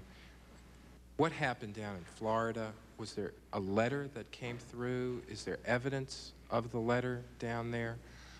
And have the postal facilities down there in Florida where the mail that went to that publishing company, have they all been screened with surveillance cultures down in Florida? Uh, yes, uh, there has been a, an extensive evaluation. Uh, it is assumed that there was uh, at least one letter that was received uh, by the company. Uh, none of them had been uh, identified in part because of the interval from when it would have been received and when the investigation was actually begun. Uh, it's, yes. Was an attempt to go through their garbage processing facilities made at all to determine if a letter came through that had yes. Perhaps F FBI would like to answer. Yes, sir. Uh, unfortunately, the uh, material is, is, waste material that goes from the company AMI in Florida is incinerated. So we didn't have an opportunity to go through it and dig up any uh, letters to find out where it came from. Okay. I think my time has expired. We need to oil that thing. Ms. uh, Norton?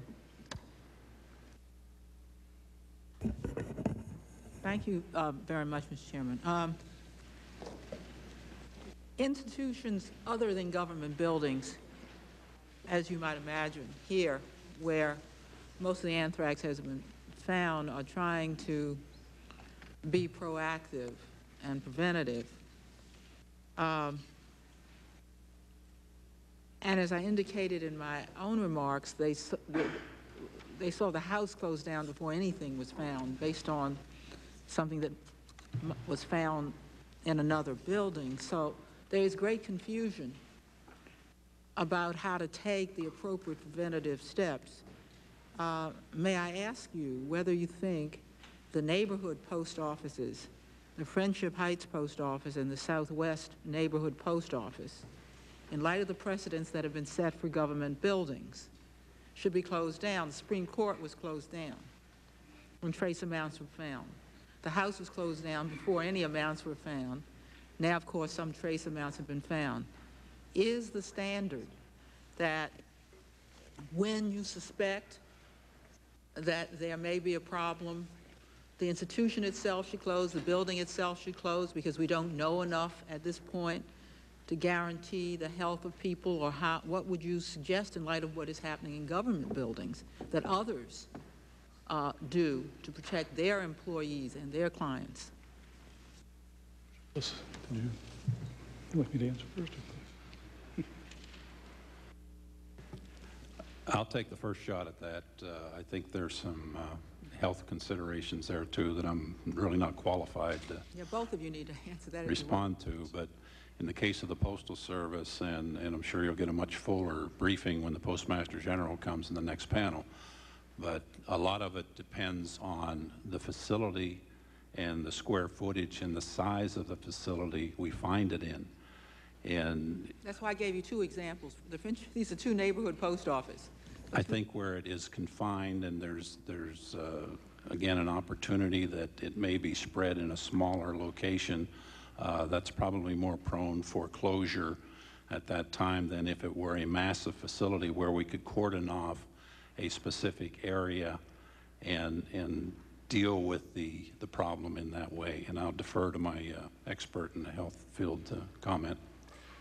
I think it would it, it would have to be done really on a case by case basis because some of the the variables that you're hearing uh, come to play, uh, the size, whether or not there was illness there, uh, which might suggest uh, the difference in risk that people would have. Uh, I think that all of those things have to be looked at and a decision made on the level of contamination, disease, and a variety of factors. Well, I have to assume that there's not a great level of contamination in both of these neighborhood post offices because, as I understand, they are not closed down. Is that correct? these two neighborhood post offices are not closed down? No, they are not. As, as far as I know, they are not, no. The criteria, the, the case-by-case notion is one that, that, that I, I understand generically. Uh, some of the factors you've named might be important for people to understand the difference. There is, there is terrible suspicion, most of it unfounded.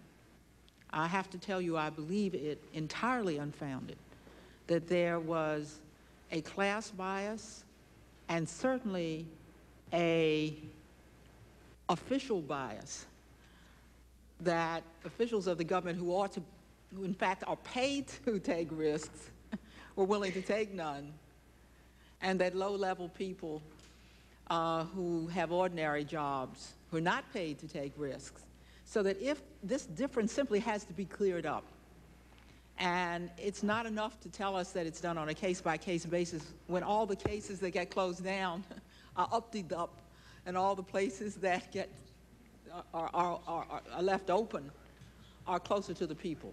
We, so we need, uh, we need you to spell out uh, as soon as you can to the general public how, the, what, you know, what size means.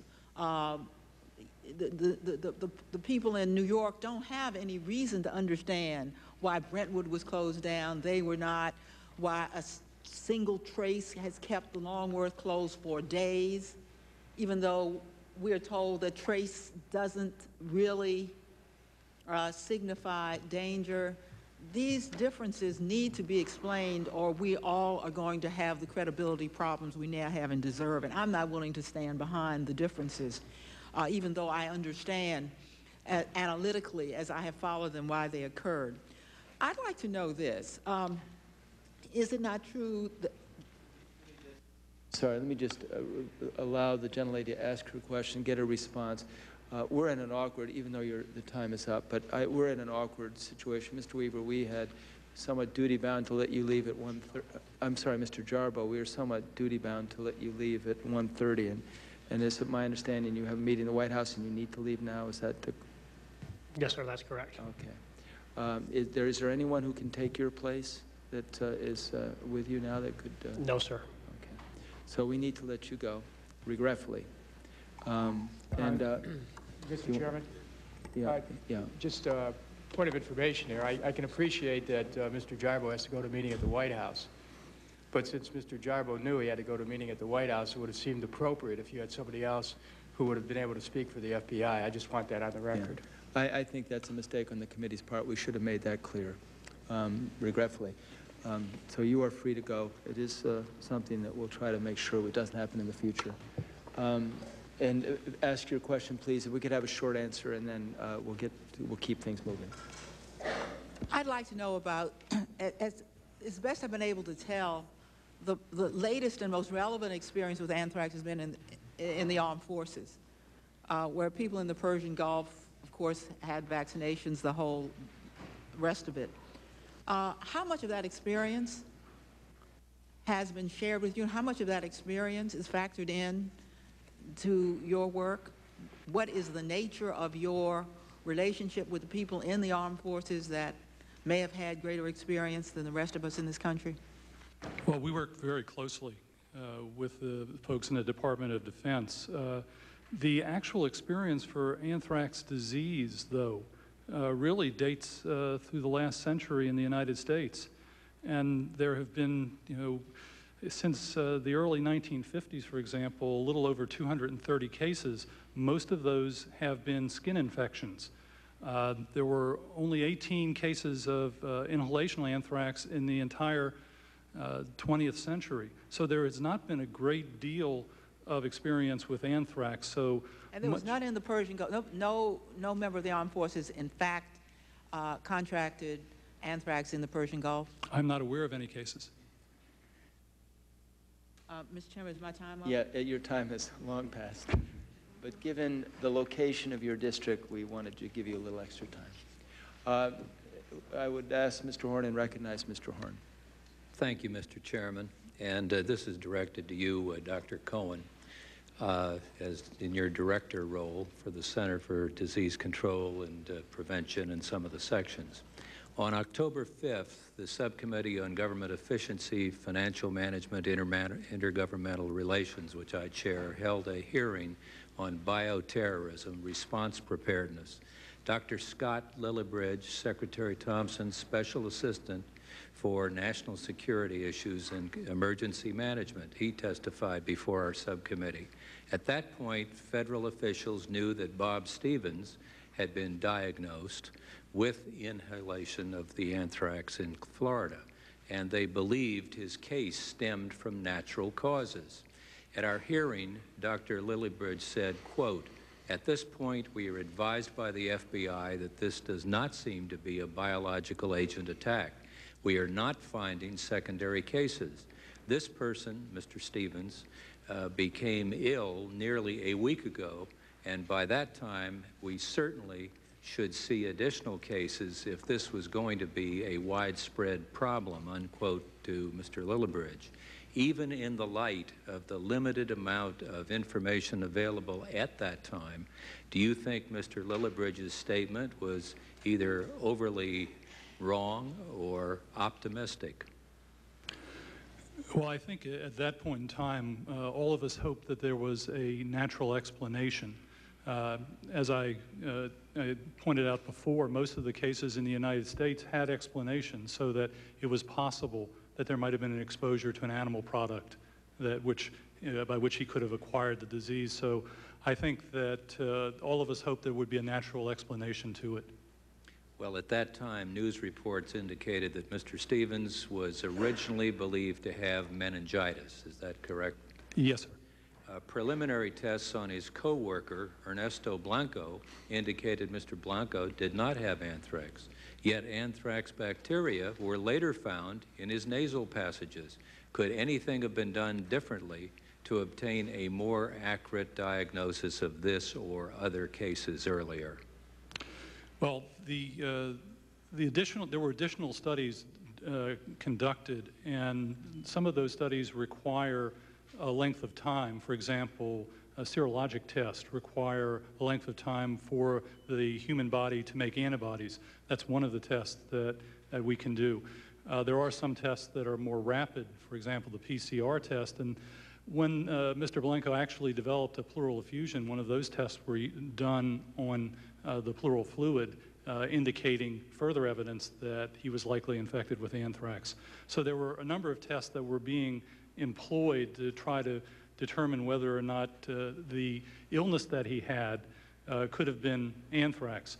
His initial presentation uh, was not classical uh, for anthrax. And I think as we've seen in several of the other patients, uh, there are some differences in uh, the way you know, they are presenting that hospitals in contrast to what we have expected to see with inhalation anthrax. In uh, light of that situation you just talked about, the number of anthrax cases have appeared since October 5th, a number of them. What lessons has the public health community learned from this disease? How is it contracted? And uh, how can it be contained and treated? And to what degree is the Center for Disease Control and Prevention sending guidance to the hospitals of America and the doctors? Well, one of the most critical things that we can do is uh, educate uh, healthcare providers that uh, these are the symptoms and signs of these diseases and to report them. And in fact, uh, with uh, Mr. Stevens, I think this was an example of that where a, a, physician recognized that this was something unusual and quickly notified the health department, which convinced, uh, then commenced the investigation. Uh, we have done a variety of, of other additional activities. We've been uh, trying to educate healthcare providers through satellite conferences, other kinds of informational material. Surveillance is critical uh, because there is no guarantee that this or any other disease would be announced. And so the people who will recognize it are the healthcare providers. In uh, New York, I believe, the doctor uh, really didn't know what was before him, but he put the right uh, Cipro the right uh, medicine to uh, help him. And when they finally discovered it, he was way ahead of everybody else. Yes, it was, it was a good diagnostic choice. Yeah. Any, uh, anything uh, that you've done and uh, or is, are going to do uh, in terms of hospitals and doctors? Have you got some method that you can do it across all the people in the United States? Well, we're looking uh, at uh, as many opportunities as possible to try to educate physicians and other healthcare providers to make them aware about this and other diseases. Uh, as I said, we've uh, worked with uh, various groups, American Medical Association, through satellite conferences, the Infectious Disease Society of America. Uh, there are many efforts to try to do this. Thank you. Um, Thank you. I'm going to be a little more strict on the five-minute rule, and because we need to get to the postmaster eventually. And Ms. Maloney, you have five minutes. Thank you very much, and I'd, I'd, like to thank both of you for your hard work uh, here for the nation and, and, and, really in particular for New York. Uh, New York uh, faces yet another crisis uh, in my district at the Manhattan Eye, Ear, and Throat Hospital. A woman has come down with anthrax. She's in serious condition in, in the hospital. I'd like to know if you know anything about her condition and her case. And secondly, I'd like to go back to the inconsistent responses. Um, I uh, represent many postal workers, and, and many of them are not going to work. They're concerned about uh, their health. And, and their question to me is, why is our uh, large uh, sorting center open where anthrax spores have been found, yet here in Washington, buildings were closed even before, buildings were closed that, that they just reviewed and they didn't even find anthrax. In fact, there have been at least four buildings and several mail facilities in D.C. are closed. And in New York uh, and in New Jersey, several postal facilities are closed. But in New York, uh, facilities known to be infected and contaminated with anthrax remain open. And uh, this is a tremendous concern, and I, I request uh, permission to put into the record a letter that I've written to the Postmaster General uh, asking for clear guidance on, on this particular item. Also, there are questions uh, on, on uh, the treatment. Um, of, some people have been told to take Cipro, some people have been told to take uh, doxycycline, and does this mean that Cipro and doxycycline are equally effective? And if you were exposed to anthrax, what medication would you take? Okay. Well, let me start off. Uh, yes, uh, Cipro and Doxy are equally effective uh, in treating uh, anthrax. So that uh, the strategy has been since initially one did not know what the uh, which antibiotics to which the bacteria was susceptible that the, the most conservative choice was to use Cipro. But once uh, that information was available, doxycycline is a very effective drug. Uh, there are some issues about side effects, and so that both drugs have a role and both drugs can be equally used. Um, the patient, I did not have an update from this morning, uh, but my understanding was that the, uh, the patient was quite ill and was on a respirator, but I do not know any further information. Um, with respect to the, uh, the closing of facilities, uh, in each instance, we've tried to uh, work with the various uh, groups that are responsible for making those decisions and providing recommendations.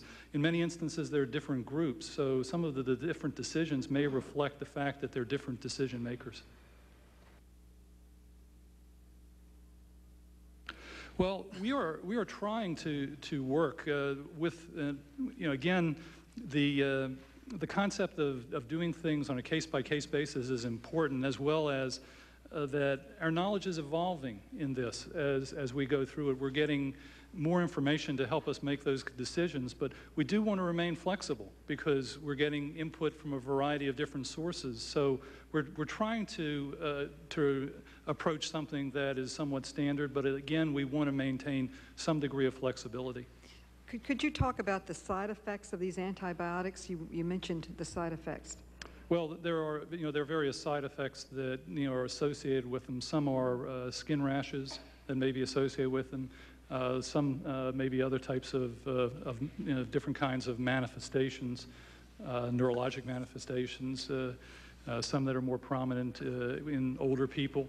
I think the important point is that there's a, there's a delicate balance uh, in uh, trying to make a decision about who you prophylax and who you don't prophylax yeah. because there are side effects that can occur. Yes. Can, can, you explain uh, the reasons why some postal workers were given a, a nasal swab test and others were not? Yes. The, the, nasal swab is not diagnostic. We're not trying to determine that that person has uh, an exposure to anthrax. It's helpful in the epidemiologic investigation. And in fact, we're more concerned that people would have a false sense of security because they would have a negative nasal swab. So it's important that you know, we, uh, we identify who is at risk for the exposure. Now, the nasal swab can help us identify the areas where that's occurring, but not all the people who are in fact exposed and need treatment. Well, is there, if, if, if a nasal swab can't determine, is there uh, research taking place now so that we can determine? Tests that we can determine? We've been considering, uh, well, at, at, this point, one of the, the areas that we've uh, begin to think about is uh, are there rapid tests that we could use in people who present to the hospital that might be able to differentiate uh, between uh, anthrax and other diseases. So we've begun considering the possibility of, of those types of tests. My time is up. Ms. Davis. Mr. Chairman, I would be happy to yield to you for a short question. Okay, this will be a real short question. You know, we had hearings on uh, the anthrax uh, issue and the military and the vaccines, and we understand there's about 28 different strains of uh, anthrax. Uh, the, the, first thing that I'd like, or the only thing I'd like to ask you is, uh, because the anthrax was a threat to the military, why didn't CDC and the Postal Service and the other agencies of our government think about the possibility that there might be an attack on the population of the United States in addition to the military? And why wasn't something done about that beforehand? I'm not Yes. trying to blame anybody. I just wonder why they didn't think about that. Well, there, there has been uh, a number of activities uh, that have been interdepartmental where folks have tried to get together and discuss the types of uh, activities that needed to be done to prepare for any kind of an event like this. From CDC's perspective, one of the, the critical elements was trying to build and rebuild the public health infrastructure so that we could really better detect these kind of phenomena. And that's both epidemiologic and laboratory, to developing a network of laboratories where one could get a good confirmation fairly rapidly. So there are a number of activities that have, that have gone on to try to uh, detect. In addition, there have been efforts to stockpile various antimicrobial agents that would be necessary for the treatment of this and other diseases. Thank you, Ms. Davis. Thank you, Mr. Chairman. Um, I think I'm glad to hear that the traces of uh, anthrax found in Longworth is probably not threatening, and hopefully that means we can get back in our offices soon because my staff would like to get back together. Uh, the question I have, I'm not sure who it would be for, but it, it involves the Brentwood Postal Facility. Uh, several of my constituents in my district are nonprofit organizations, and for the last 10 days, they've not received the business reply mail. And when they've called to get answers as to why they're not getting it, they are getting other mail, but not that. The organization depends on that, and they're getting to the point they're going to have to start laying off some employees, possibly. Can anyone give me an answer as to what the status of that type of mail is? I can't give you a quick answer on it. We can certainly check on that and find out, but uh, if that mail was entered into the system, they should be receiving it. But we can, we can follow up on that, ma'am, and find out. If you could follow up and let me know, I'd certainly Sure. appreciate it. Thank you, Mr. Chairman. You, you- you have no other questions? No, sir, I just needed to get that one in for my constituents. Gentleladies uh, yields back her time. Um, Who's next on our, on the side? Mr. Kucinich?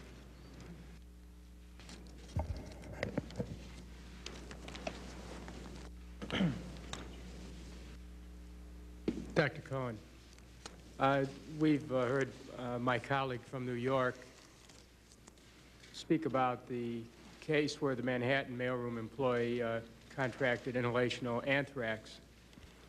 Now, uh, it's my understanding that this individual experienced preliminary symptoms four days before she was admitted.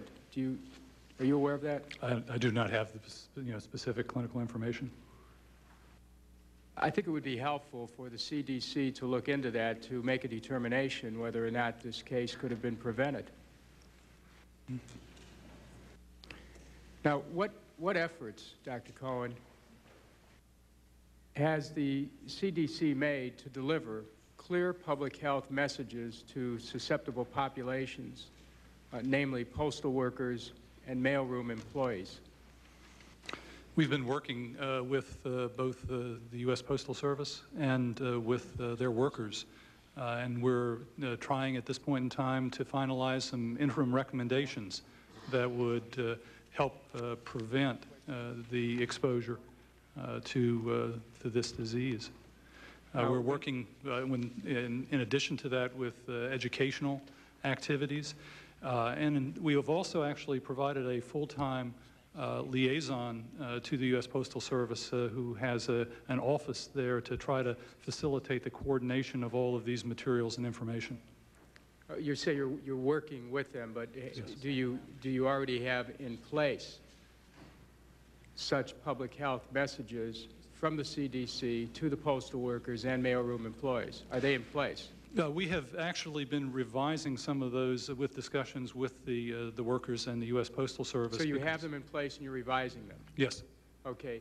Now, can you comment on uh, if and how the CDC is keeping track of postal employees who worked in contaminated areas? Is there some sort of uh, comprehensive system? Or is the CDC only aware of employees who have actually sought out treatment or have checked in to, uh, to receive uh, testing or antibiotics?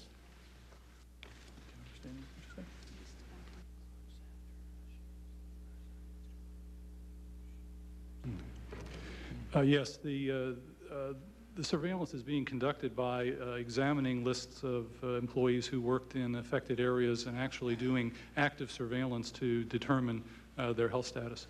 So you're saying you're making sure that uh, no postal employee would be uh, experiencing preliminary symptoms of infection without ever having been in contact with the CDC or other health officials? Uh, We can't guarantee every single person, but those who are in, who have worked in those areas that are identified as high risk are certainly under intense surveillance. I hadn't heard that. Uh, Do you feel it's the CDC's responsibility to facilitate preemptive action and early intervention during a public health crisis? Well, we've traditionally tried to develop the, you know, the best recommendations uh, available based on the assessment of the scientific data and provide those to the people who need to make those decisions. And do you feel that uh, America's public health infrastructure has the capacity to deal with uh, uh, this anthrax crisis? I think it's been recognized for a number of years that there have been weaknesses in U.S. public health infrastructure. It's part of the reason why there's been an effort to try to rebuild that public health infrastructure, and I think we need to continue to do that going forward. Has the CDC uh, issued any statements with respect to uh, public health uh, s- structures having surge capacity, uh, being able to uh, effectively treat any influx of cases that may arise as a result of our current situation? I believe part of the planning has been involving uh, the issue of, uh, of making sure that treatment is potentially available through the stockpile and through other mechanisms. And what are you doing with respect to uh, communicating with the nation's physicians with respect to information about detection and treatment protocols for anthrax? Uh, we've used a, a number of, uh, of educational approaches, including satellite conferences. Uh, our uh, weekly publication, the Morbidity and Mortality Weekly Report, is uh, a source for many physicians on uh, information about current problems and treatment choices. And what's the communication between the uh, FBI and the CDC with respect to the release of information to the public? Uh, we have uh, we've been working very closely together, as uh, Mr. Jarboe pointed out, that I am the liaison uh, between CDC and FBI, and I've been there since uh, the 8th of October, uh, trying to provide uh, both a liaison function and perspective on uh, the clinical and microbiologic aspects with respect to their investigation. Are you aware of any instances where uh, the FBI held on to information for the purposes of a criminal investigation and that delayed by even a day the communication of that information to public health uh, authorities? I was in the, as Mr. Jarboe pointed out, I was in the meeting uh, in the night of uh, October 15th uh, when we had the preliminary description of the material uh, that uh, was being examined at Fort Detrick. And uh, those, that information was rapidly uh, transferred to CDC by a conference call within one to two hours and shared at that point. Within the next day or so, I was shown copies, detailed photomicrographs of the various envelopes and materials uh, for you know, further information. Thank, Mr. Ki- Thank you very much, Mr. Chairman. Thank you, Mr. Kucinich. Uh, Mr. Shays? Thank you, Mr. Chairman. Um, Mr. Weaver, thank you for being here, and Dr. Cohen, uh, both of you being here. M- Mr. Weaver, it's my um, understanding that the, the oldest law enforcement agency in the country happens to be your agency. It- it- That's correct. Yeah. And you, you all have a, a fine tradition and, and a- uh, obviously a very long history.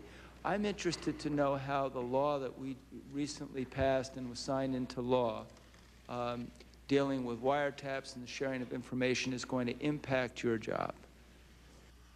Well, it certainly, uh, I think, gives law enforcement a little more flexibility to do their job.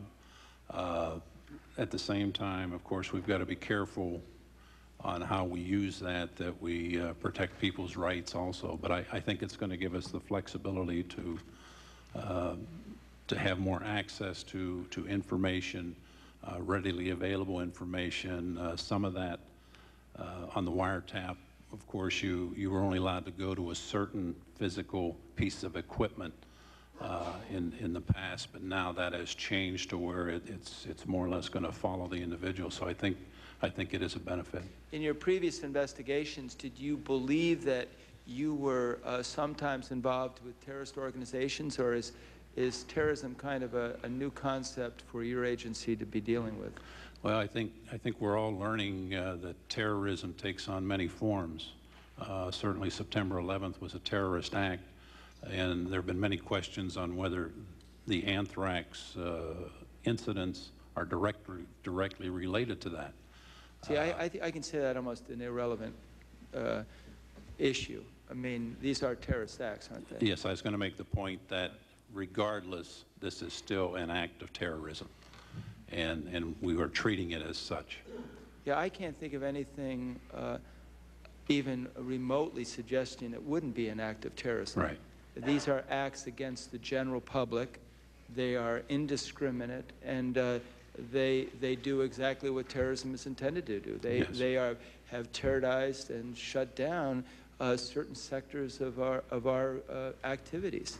So I'm, you don't have any doubt in your mind that you're fighting terrorism, whether or not it comes from Bin Laden or any other group. Not at all. Okay. Not at all. And the question I, I want to know, though, is I'd like to have a more concrete a kind of example of how you will be able to utilize this law that can make me feel safer that because you have this law, you're going to be able to solve the crime more quickly.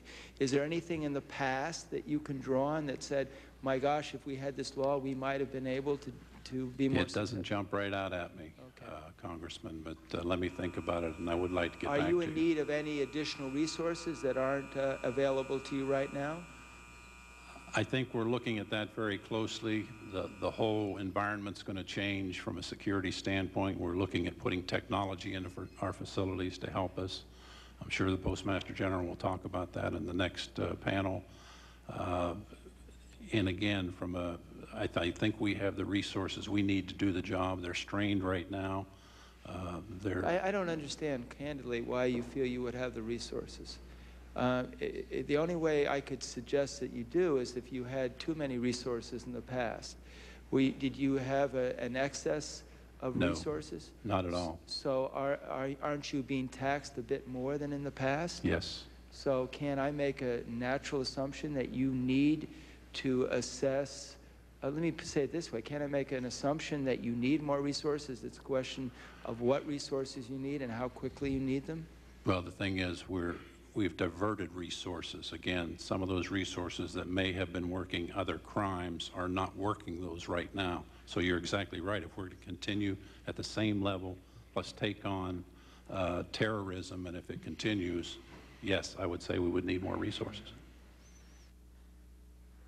Yeah, I, I'll just say my concern will be that, that sometimes we in the legislative side don't do what we should do, but if you don't ask for them, then we're not going to be as aware of them. And I would think that, that you will need to come forward with a tremendous amount of, of thoughtful requests. And I realize this is all new, but I, I hope that you're having time besides coming to testify where you can, can do that. Dr. Cohen, um, should I get, uh, I, I, I, I failed to understand why we get in this debate if it's weaponized or not, if in fact it, whatever we're dealing with in anthrax is a weapon. So um, is some of this debate, you know what, my time is over, and I, I know we need to move forward, so I'm going to withdraw the question. Thank you, Mr. Shays. Uh, Mr. Cummings, uh, let me just announce that the postmaster has arrived. Uh, he's going to be with us till around 4 o'clock, so uh, we, we, we need to get him down here as quickly as possible. I don't want to cut anybody off, though, so, Mr. Cummings? Thank you very much, Mr. Chairman. Um, Mr. Cohen, um, I want to just go back to something the chairman was asking about um, with regard to these anthrax vaccines. Uh, when we had testimony before uh, this committee several months ago, um, one of the things that was very interesting and that just kind of got a little, got some of us, I think, a bit alarmed was that there were so many people who came before the committee who had an adverse reaction to the vaccine. Um, what's the status of that with regard to uh, vaccines for anthrax? Well, we're actually currently, uh, under a congressional mandate, examining uh, the side effects and new regimens for administering uh, the current anthrax vaccine Plus, there is research uh, going on in a variety of institutions, including National Institutes of Health, uh, that are attempting to develop new and more hopefully effective vaccines. When I uh, visited the post office, the main post office in Baltimore, it was very interesting to see. I mean, this is a big post office. I mean, it's a lot of machinery uh, going, and um, I think two or three floors of machinery uh, going. And you know, I, I keep going back to the question Ms. Norton was asking about how do you determine when to close a facility. Um, it's my understanding you give advice to the postal to the post office as to when they should close a facility. Well, we try to, whoever the partner is that's responsible for. Well, right now I'm that talking about the postal system. You, do, are you the key person, one of the key people from a health standpoint to give advice to them? Actually, the, the individuals who are in the, the particular geographic area who are part of the team would be the key people because they have developed all the specific data. And so they would work with them. Plus, we, as I said, have a liaison now uh, who is uh, working directly with uh, the U.S. Postal Service uh, and with uh, U.S. postal workers so that, you know, that's a combination then of the people in the field as well as the liaison providing the, the technologic and scientific support.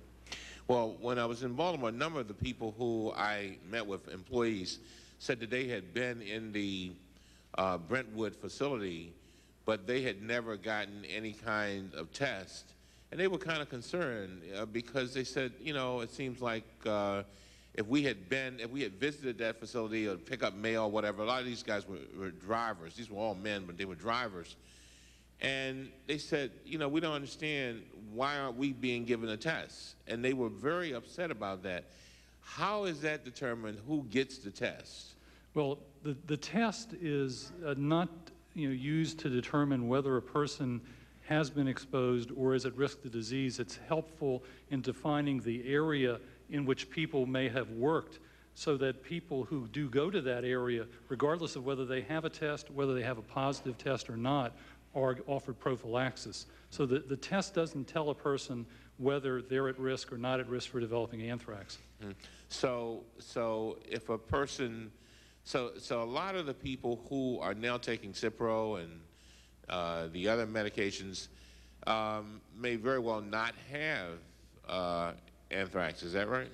Uh, yes, that's correct, although they were potentially in an area of exposure and therefore would be indicated to receive prophylaxis. One of the things that was also interesting in the Baltimore post office is that you had a number of people who had gloves. Some had gloves and masks. Others uh, had gloves. Others just had masks. And I was wondering, what is the, and perhaps you, Mr. Wagner, might want to address that, what is the advice that you're giving them and what good does do the gloves or the masks do? Well, we have made gloves and masks available to all employees, and and again, uh, it's been highly recommended that if they are in an area where they're handling mail or around machinery, uh, that they wear that that equipment. One thing I'd also like to mention on a prior comment you made, uh, for those employees that visited the Brentwood facility on the workroom floor or in the back dock area, either dropping off mail or, or picking up mail, uh, we have put the alert out that they should report and, and get the medication. Okay, well, maybe that's happened since I, I met with them, but that's that's good. I'm glad to know that. The um, and what I want to go back to the gloves and the mask. What did you base? What advice did you base that on? And in other words, the distribution of the gloves and the mask. Are you, are you following me? Yes, I, you know, early on, even even when we got indications from Boca Raton that mail may be involved in the anthrax situation, the Postmaster General went out and and made gloves and and masks available. Initially, there was some concern that well, we can't wear gloves with the mechanization and it might present a problem, but they have since resolved that, and and I know we've spent a lot of uh, a lot of money getting the proper equipment, the proper types of masks uh, to lower the risk that uh, employees might contract. This. Thank you very much, Mr. Chairman. Thank you, Mr. Cummings. Mr. Otter? Thank you very much, Mr. Chairman. Gentlemen, thank you very much for being here with us today. Uh, last night, uh, we had another report of an anthrax by inhalation. In fact, the first one in uh, New York City. Uh, that is the first one, isn't it? Uh, I believe so, yes. Uh, and, and it was also reported that this uh, lady did not work uh, directly in the mailroom and handling the mail and that sort of thing. Is there any speculation, or maybe that's a dangerous word right now, but would you have any idea how she would have contacted that? I think that that would be one of the major thrusts of the investigation to try to determine if there's potential exposures. Also, uh, in the mail, uh, in my mail last night at home, not here, uh, I received a very informative card. Uh, and it told me, uh, as it did, I'm sure, all patrons, uh, what to do if they receive some suspicious mail and what to look for and how to handle it and what to do to protect themselves. I think that's very informative. and I'm wondering, sort of out loud now, would there, there would be a different treatment for anthrax as opposed to, say, some kind of a chemical agent, uh, wouldn't there? Uh, yes, there would be. Uh, would the post office uh, or would the CDC uh, advise the post office to uh, sort of get ahead of the game and, and say, and this, you know, if a chemical agent is being transferred via the mail, uh, this is the action that you ought to take, and this is what you ought to look for. Perhaps Mr. Weaver would be better. Yes, uh, Congressman. And, and again, I think the advice we give out is uh, many times very generic. number one, if you, if you receive something in the mail that you don't expect, uh, everybody kind of knows what kind of mail you receive at home. You look through it and you say, yeah, I know what that is and that is. If you're not expecting it, if it doesn't have a return address on it, if the return address on it uh, is fictitious or uh, if it has uh, markings on the mail uh, that are unfamiliar to you, if there appears to be something bulky in the piece of mail, if there's certainly if there's something emitting from it, whether it be a chemical or whether it be a, a powder, those, uh, so they're very similar, the types of messages that we send out. Uh, but we, every time we run into a situation like this, certainly we need to adjust. Thank you very much. Thank you, Mr. Chairman. Uh, Mr. Davis? Thank you, Mr. Chairman. Uh, Dr. Cohen, it's my understanding that, that both the CDC and private companies are doing testing for, for, for the presence of anthrax. Is that that correct? Yes, that's correct. Um,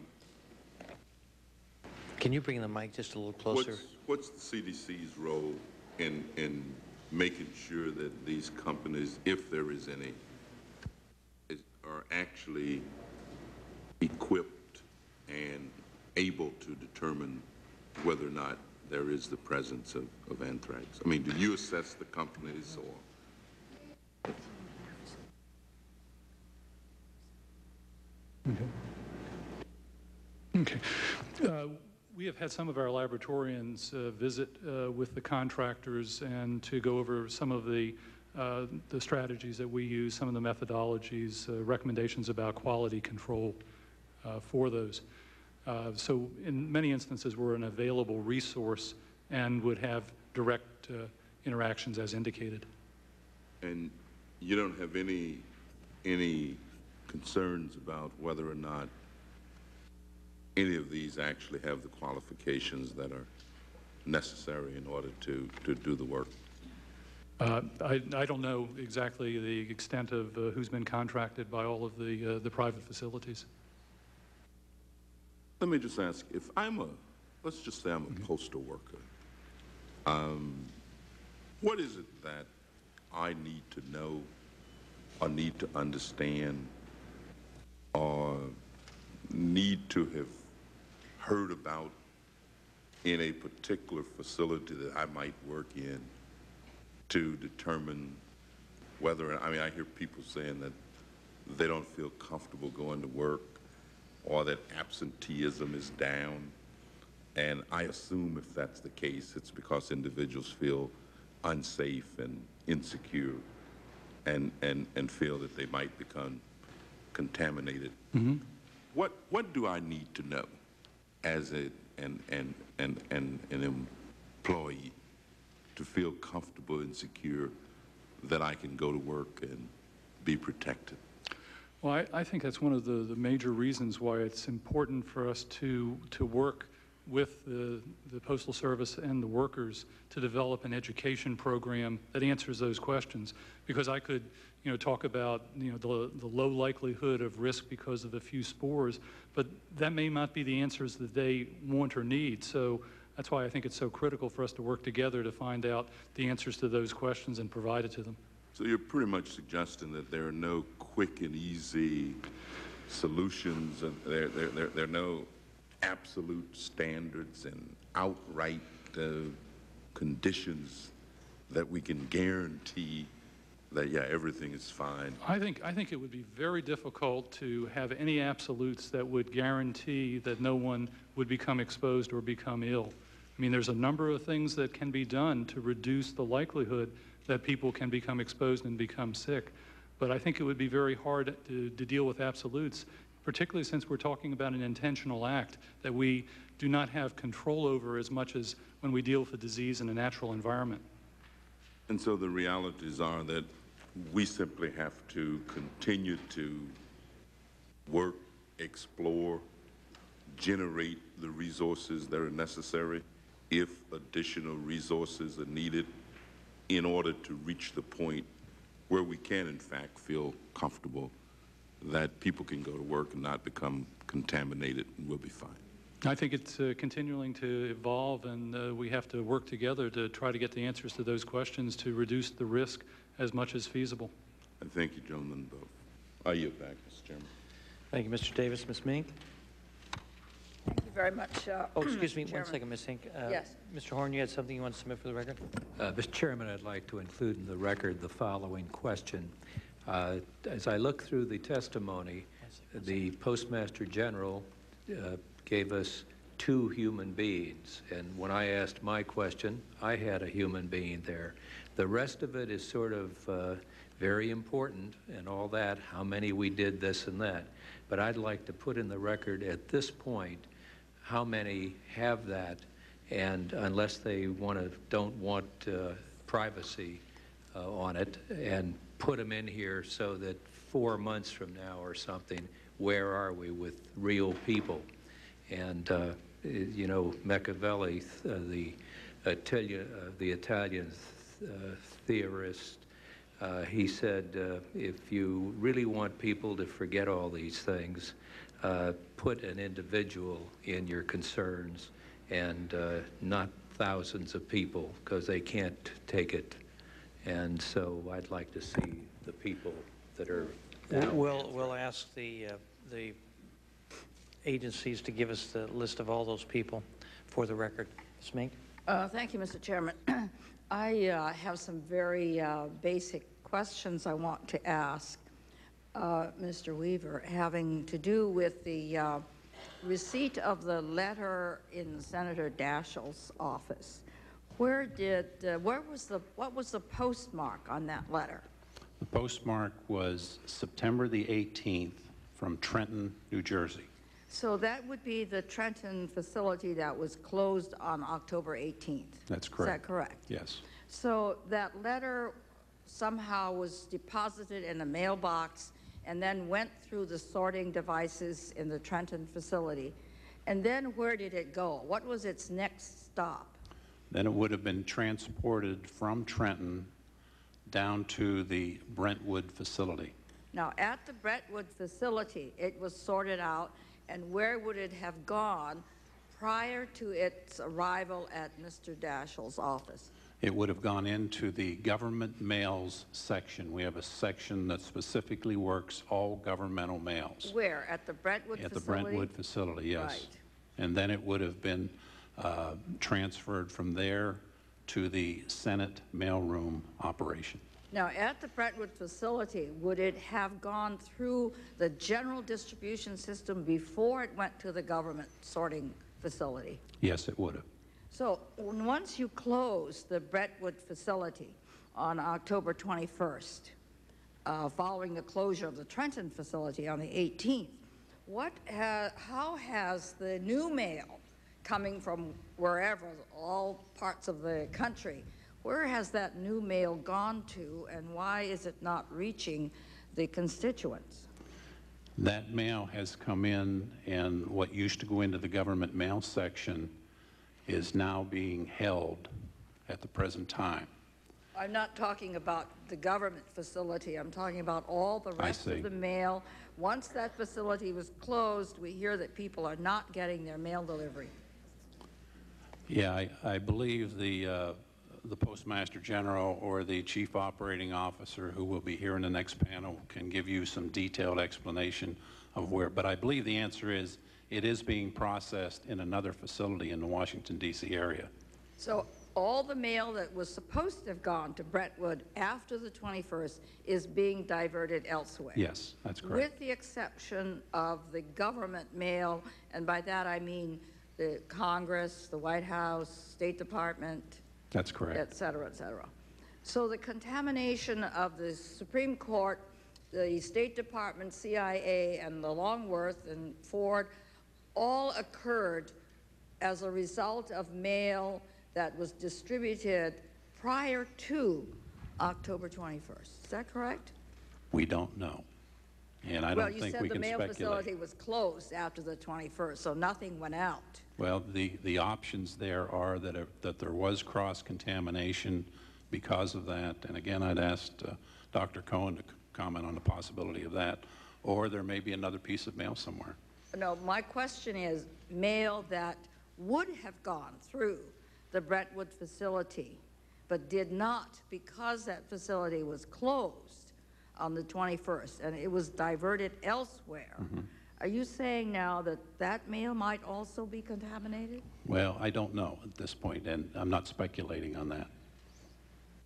I don't know if I'm missing something here. Well, I just wanted to know what's happening to the mail that would have gone to Brentwood, uh, but did not because it's now closed.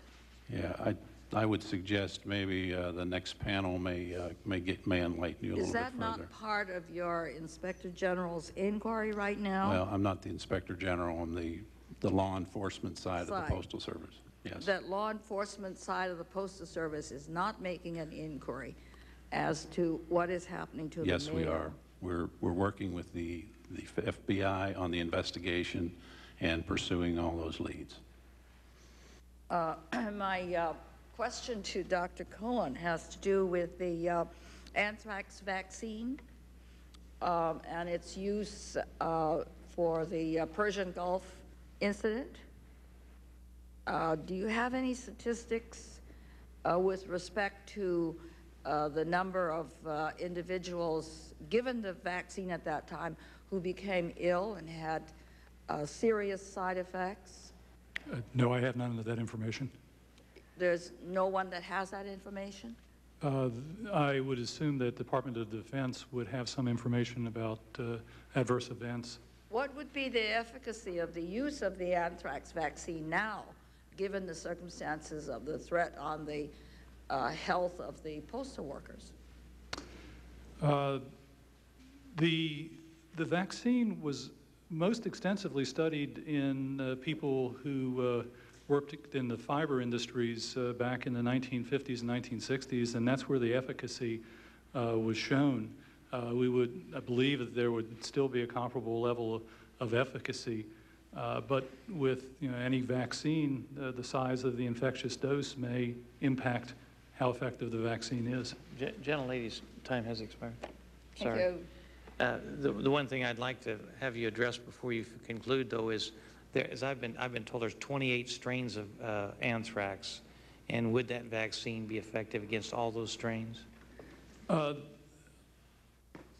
I don't, I don't know to what extent uh, there have been studies uh, examining each of the strains. The vaccine is prepared to uh, protect against a particular antigen that's present uh, in these strains. So all the strains that cause disease that have this antigen would be protected against. And I would assume that would be most of those that you describe. Ms. Watson? Do you have any questions?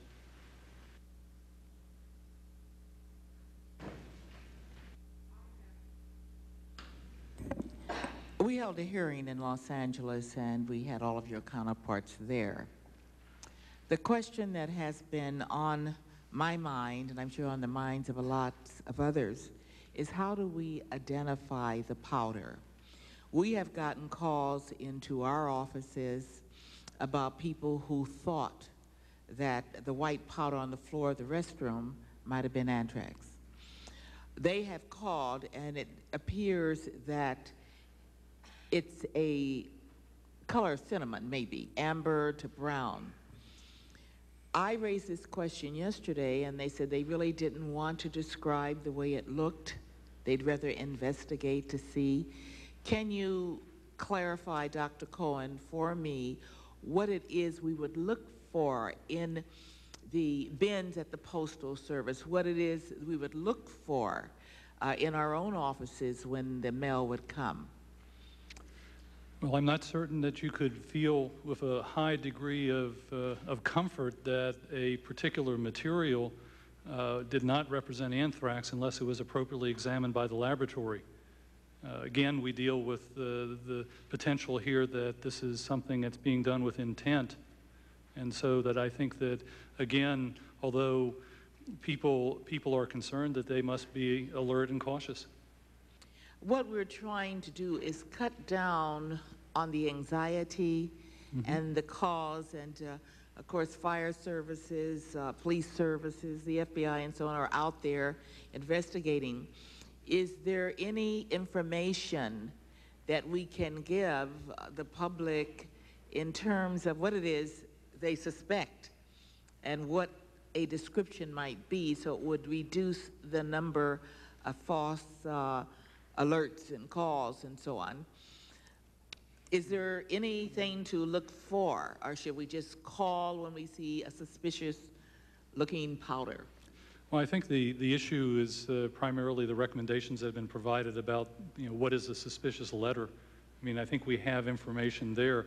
When you, I think they've gotten that down pretty well. Okay. When you, when you talk about a powder, I think it's very, it's very hard to provide, you know, any information that, that would be that helpful. Uh, the, the various law enforcement uh, groups have ways of responding to the, the different calls. So they should continue to call the police? I think that would be most prudent. Thank you. Ms. Uh, Schakowsky? Thank you, Mr. Chairman.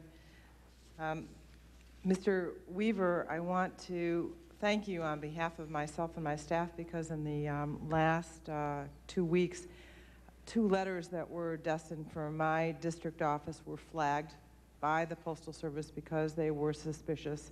And in each case, the Postal Service called my office to make us aware of the situation and confirmed whether or not we were expecting the uh, correspondence and then took extra steps to guarantee the safety of uh, those parcels and, and, our, and ourselves. But what it made me think was both of those letters were um, came from overseas. Mm -hmm. um, if we track the mail from its origin to wherever it finally ends up, some of that is on airplanes. And I'm wondering if any of the mail thus far that was contaminated or if other mail um, has spearheaded any kind of investigation then of those spaces where the, the mail may be, if we're going back further. We're not ruling anything out, but uh, bear in mind we've got three pieces of mail right now.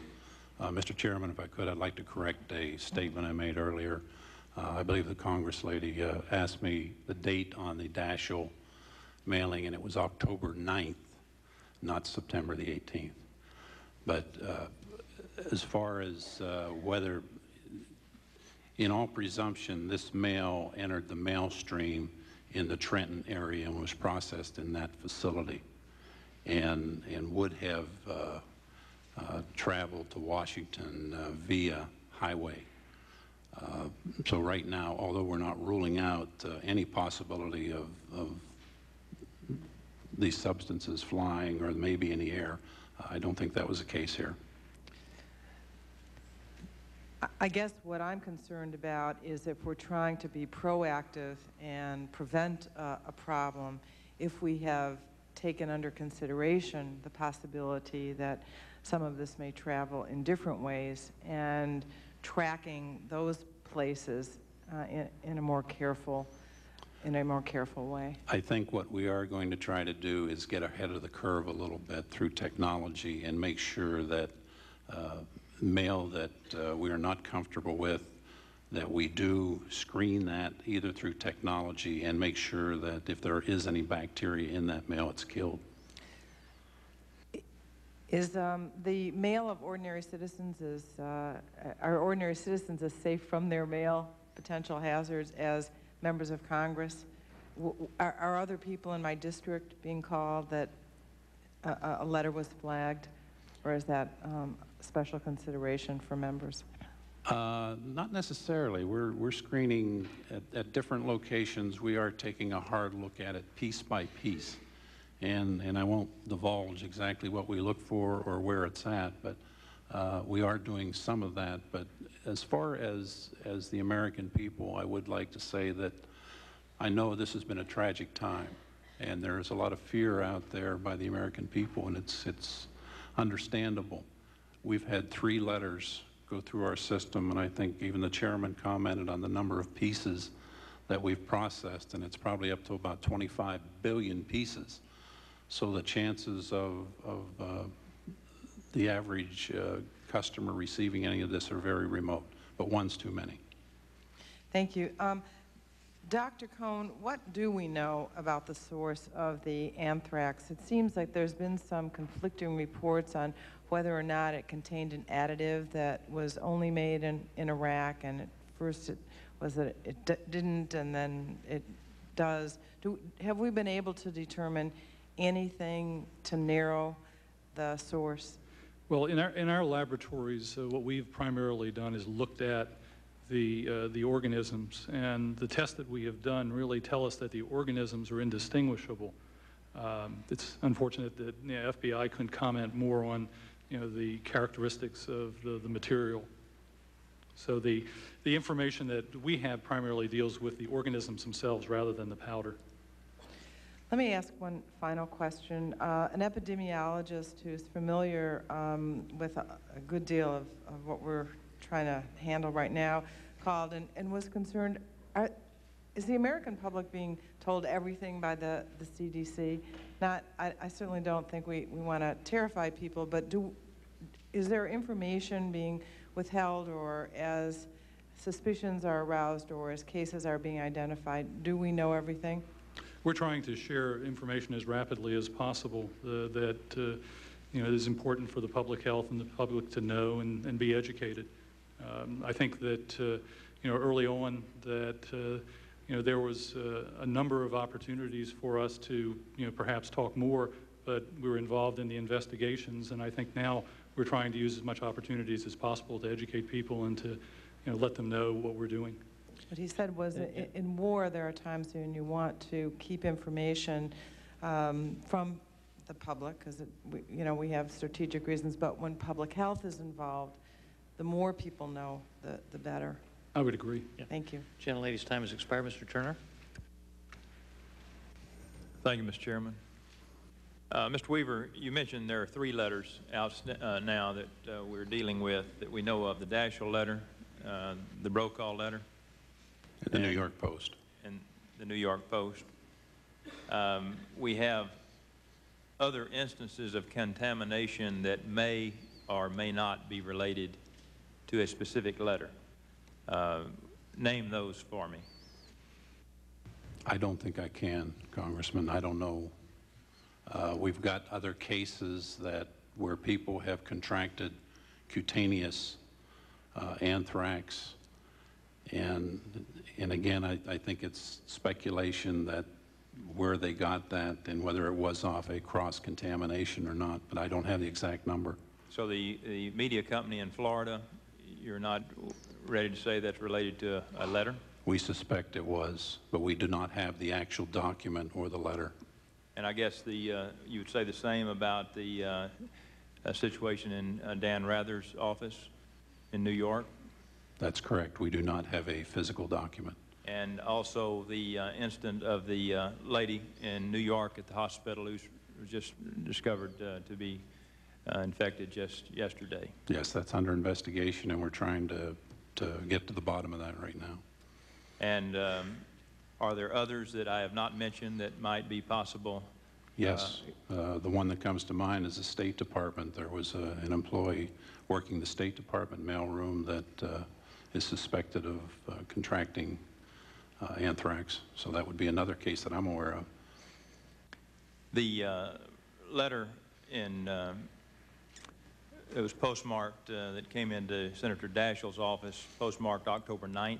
That's correct. Uh, What was the postmark on the other letters that we're aware of? They were both September the 18th. September the 18th. Um, I want to ask Dr. Cohen, I, I- I want us to gain a little bit of fundamental education here while we have the opportunity about this disease. Uh, For example, the Daschle letter postmarked October 9th um, came through the Brentwood Post Office, and we find a postal worker contracted inhalation anthrax uh, and was hospitalized on October 21st.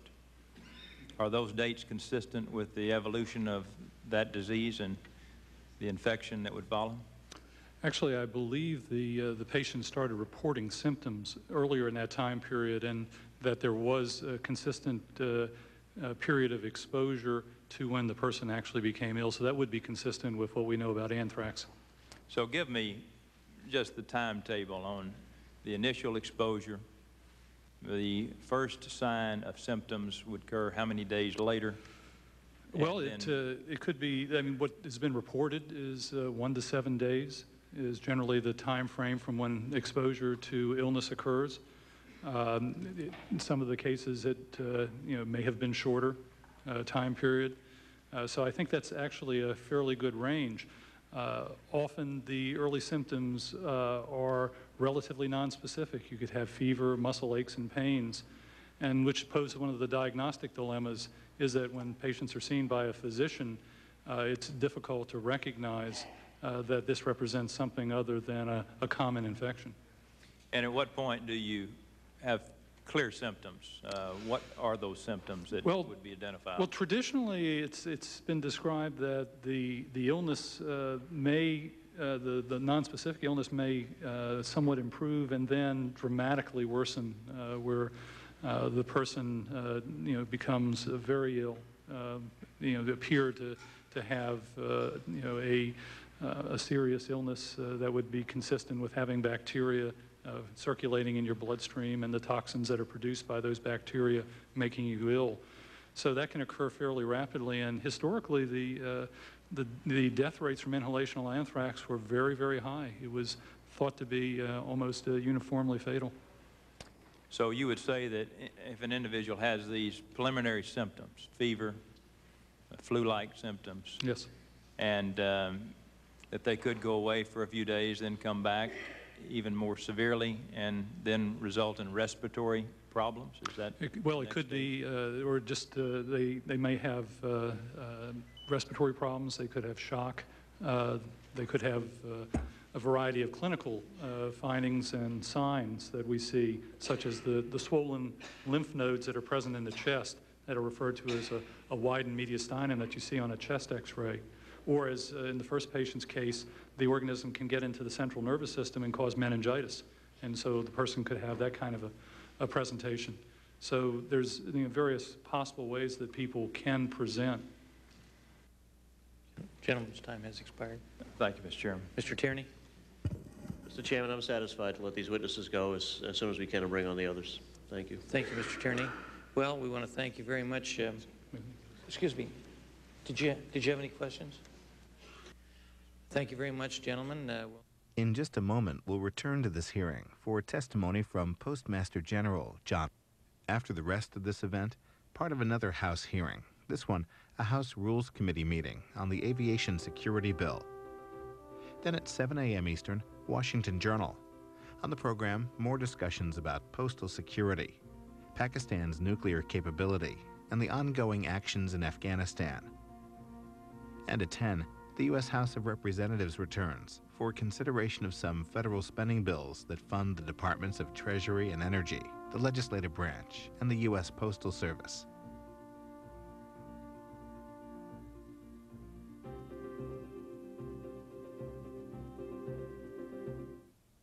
Tomorrow evening here on C-SPAN, the new Black Panther Party and Muslims for Truth and Justice co-host a town hall meeting on the U.S. war on terrorism. Our live coverage begins at 7 p.m. Eastern.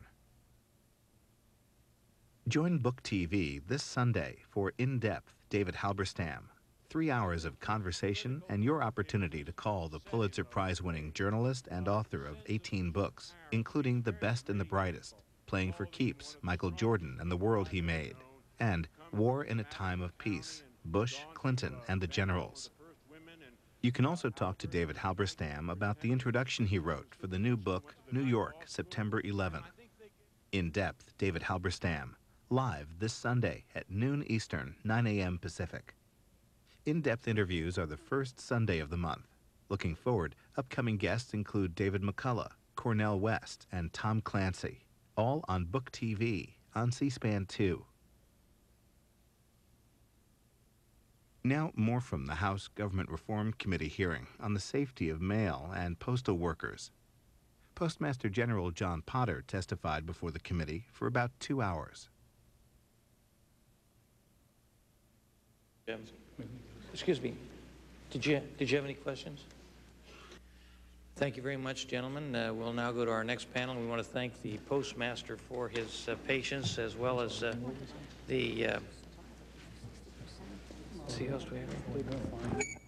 As well as uh, David Fineman, the vice chairman of the U.S. Postal Service Board of Governors, and Thomas Day, the vice president of engineering for the U.S. Postal Service, and the chief operating officer, uh, Pat Donahoe. And uh, I know you've had a busy day, gentlemen, because you've been over at the Senate side, so uh, we appreciate your being here.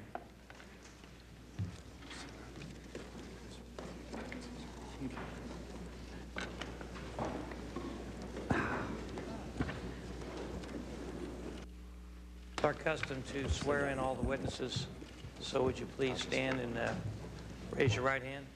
Do you swear to tell the whole truth and nothing but the truth, so help you God? I do. Thank you. Be seated. Mr. Postmaster, uh, have to play cards here. they have to change cards here? Sorting. Okay. You can take those home as souvenirs.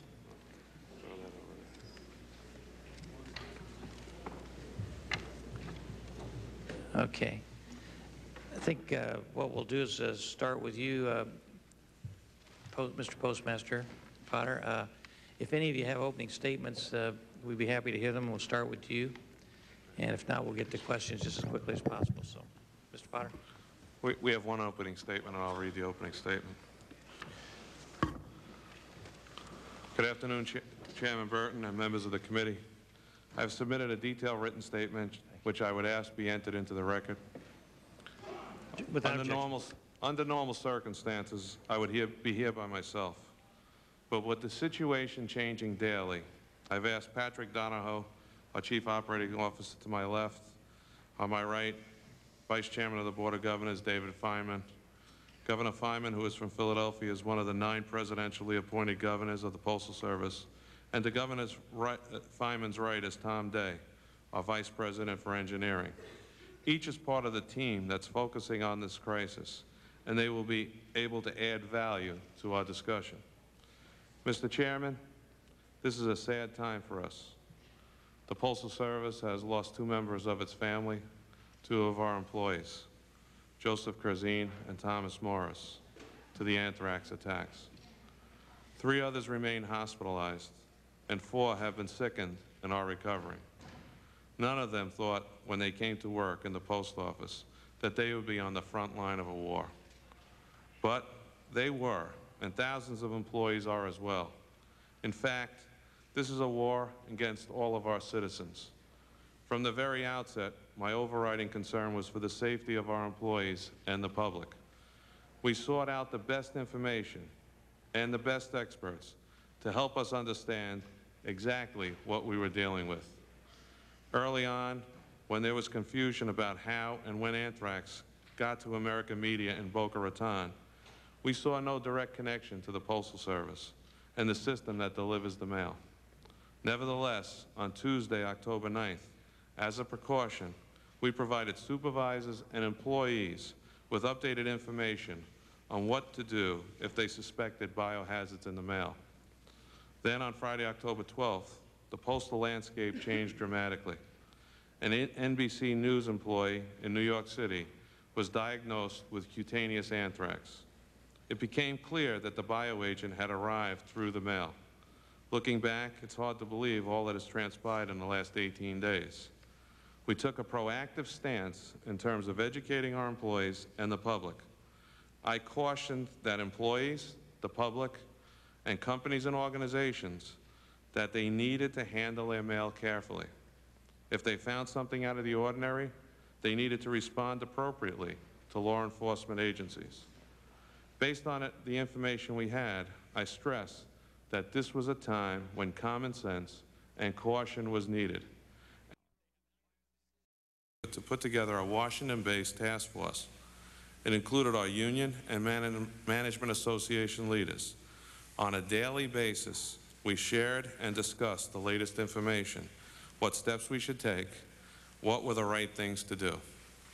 Our labor leaders' comments were valuable and carried equal weight with everyone else around that table. But the facts were sketchy. To that point, the only confirmed anthrax had been in Florida and at NBC New York. On that day, Monday the 15th, employees in Senator Daschle's office opened a letter that had been laced with anthrax. Then things began to accelerate almost by the hour. It was clear that the Daschle letter went through our Brentwood facility in Washington. On Wednesday, testing of 28 Capitol Hill employees came back positive. We were consulting and seeking the best experts we could find.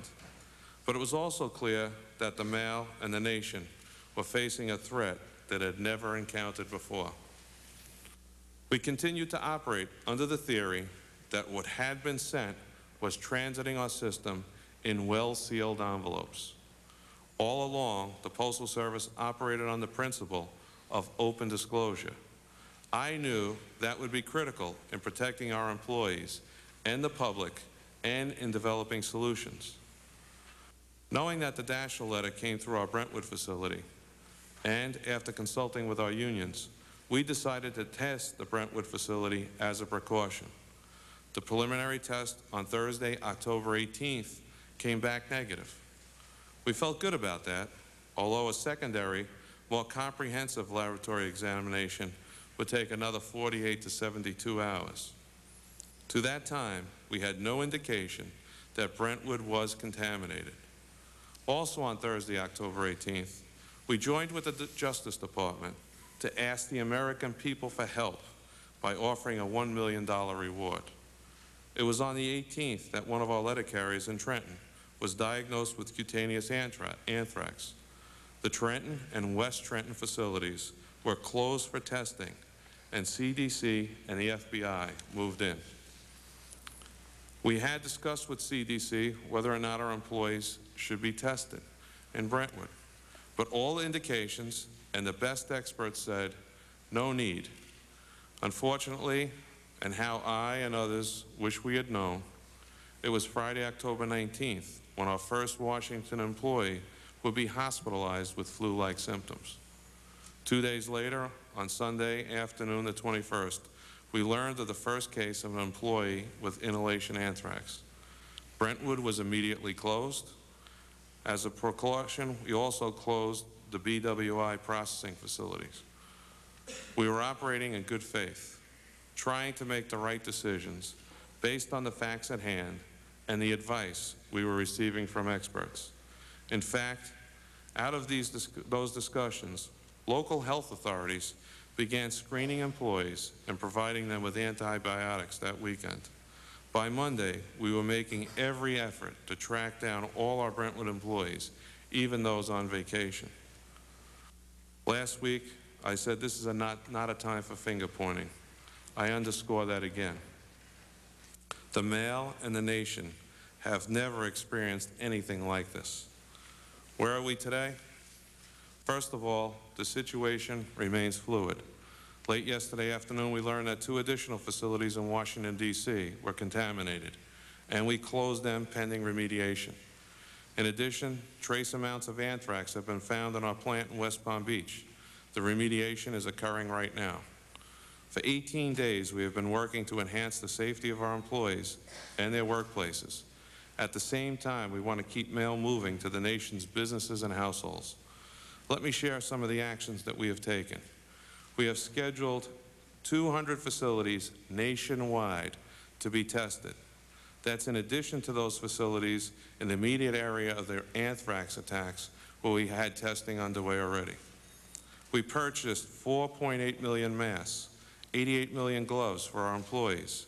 We changed opera operational maintenance practices to reduce the chance of bioagents being blown around the workplace. We are using new cleaning products that kill anthrax bacteria. We have redoubled efforts to communicate to employees through stand-up talks, videos, and postcards directed to their homes to reinforce their awareness of our message. We, have, we also had medical doctors speak to our employees at the worksite on the precautions they need to take concerning anthrax and offered employees nationwide counseling services. During the last week, we mobilized every resource to get employees screened, tested, and antibiotics distributed. We are purchasing machines and technology to sanitize mail. Unfortunately, we cannot deploy all the machines tomorrow. In the interim, we are using existing machines and private sector companies to sanitize targeted mail. The anthrax attacks were targeted, and we are responding in a targeted way. We are increasing our education efforts with the public. Postcards alerting every address in America were delivered last week. In all our dealings with our customers, we stress the need for vigilance. We modified our website to provide the latest information on anthrax. In sum, we are focused on getting the message out. I might also add that the cooperation and coordination between and among the federal agencies involved has gotten increasingly stronger as each day goes by. Governor Ridge has been instrumental in building bridges and making things happen. He also has been working to assure that all federal agencies work in a focused way to ensure that the equipment and technology we plan to use is effective. These attacks on our employees, the nation, and the mail are unprecedented.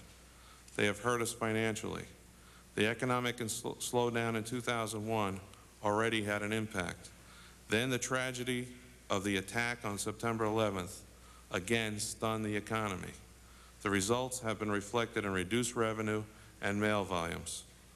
Although we are still assessing the economic impact of the anthrax attack, I can tell you it is sizable. We will provide information to the committee when we have it tallied. As I am sure you will agree, protecting America's freedom by ensuring the safety and integrity of the mail is at the core of the Postal Service's mission.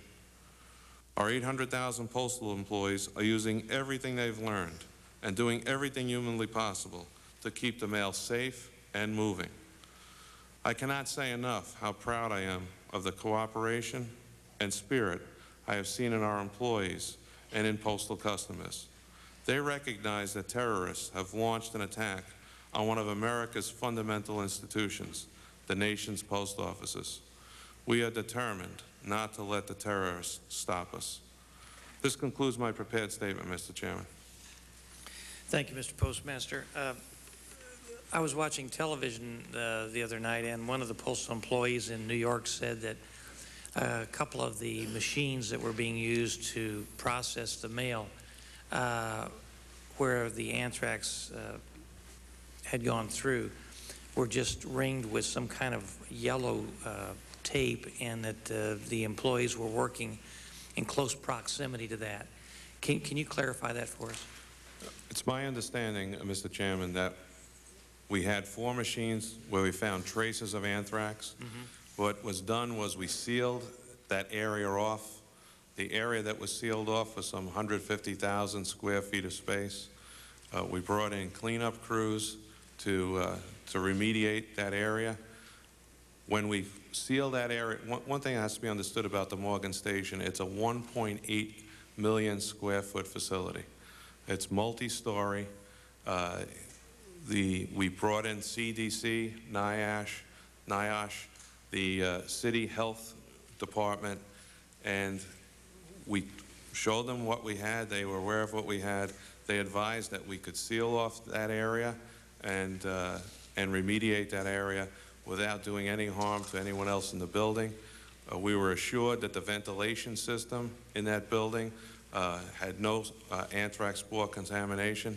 So the decision was made to uh, seal off an area and remediate that area, again, working closely with, with uh, the medical authorities uh, to determine a, a safe and proper procedure for handling the contamination in that building. So you're pretty confident that that's a safe working area right now? As confident as one can be, you know, getting advice from all the experts, yes. Uh, The Comptroller General six months ago uh, told us that the uh, Postal Service was operating in a very, it it was one of the financial crisis areas. And I've talked to you and met with the Board of Governors on a number of occasions. I think Mr. Waxman has as well. Uh, You're up against your $15 billion ceiling, and uh, uh, you're going, you were going to run, I think, somewhere around a two to $3 billion shortfall this year before all this stuff started to happen, these tragedies. Uh, Can you give us a rough idea, and you said you would get us the figures as quickly as possible, but can you give us a rough idea of what needs to be done uh, to uh, help the post office through this crisis without them going bankrupt?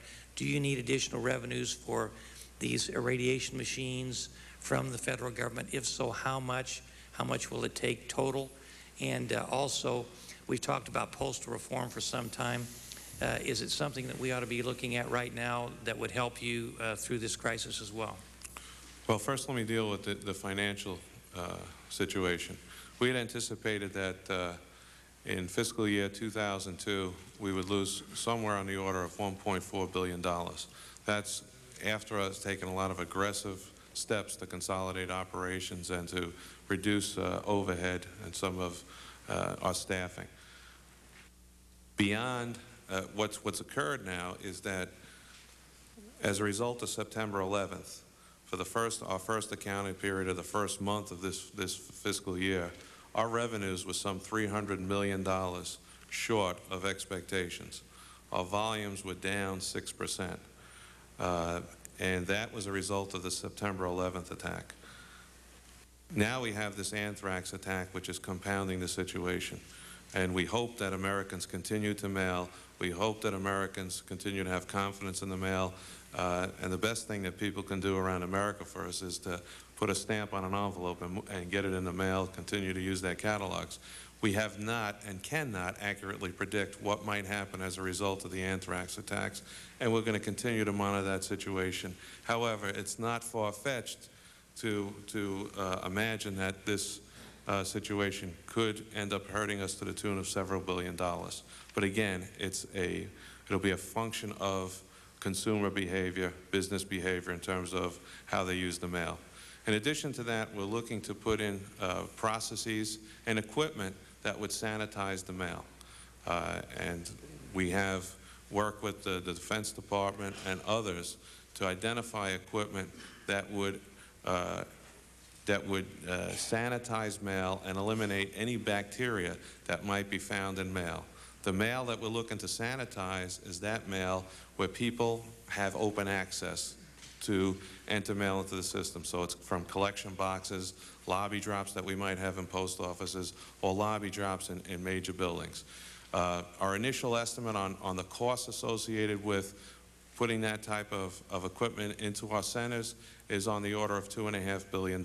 So there we have several, several billion dollars in costs. In addition to that, we have costs that we didn't anticipate for masks, gloves, and we're going to change our operational procedures such that, uh, uh, you know, we protect our employees.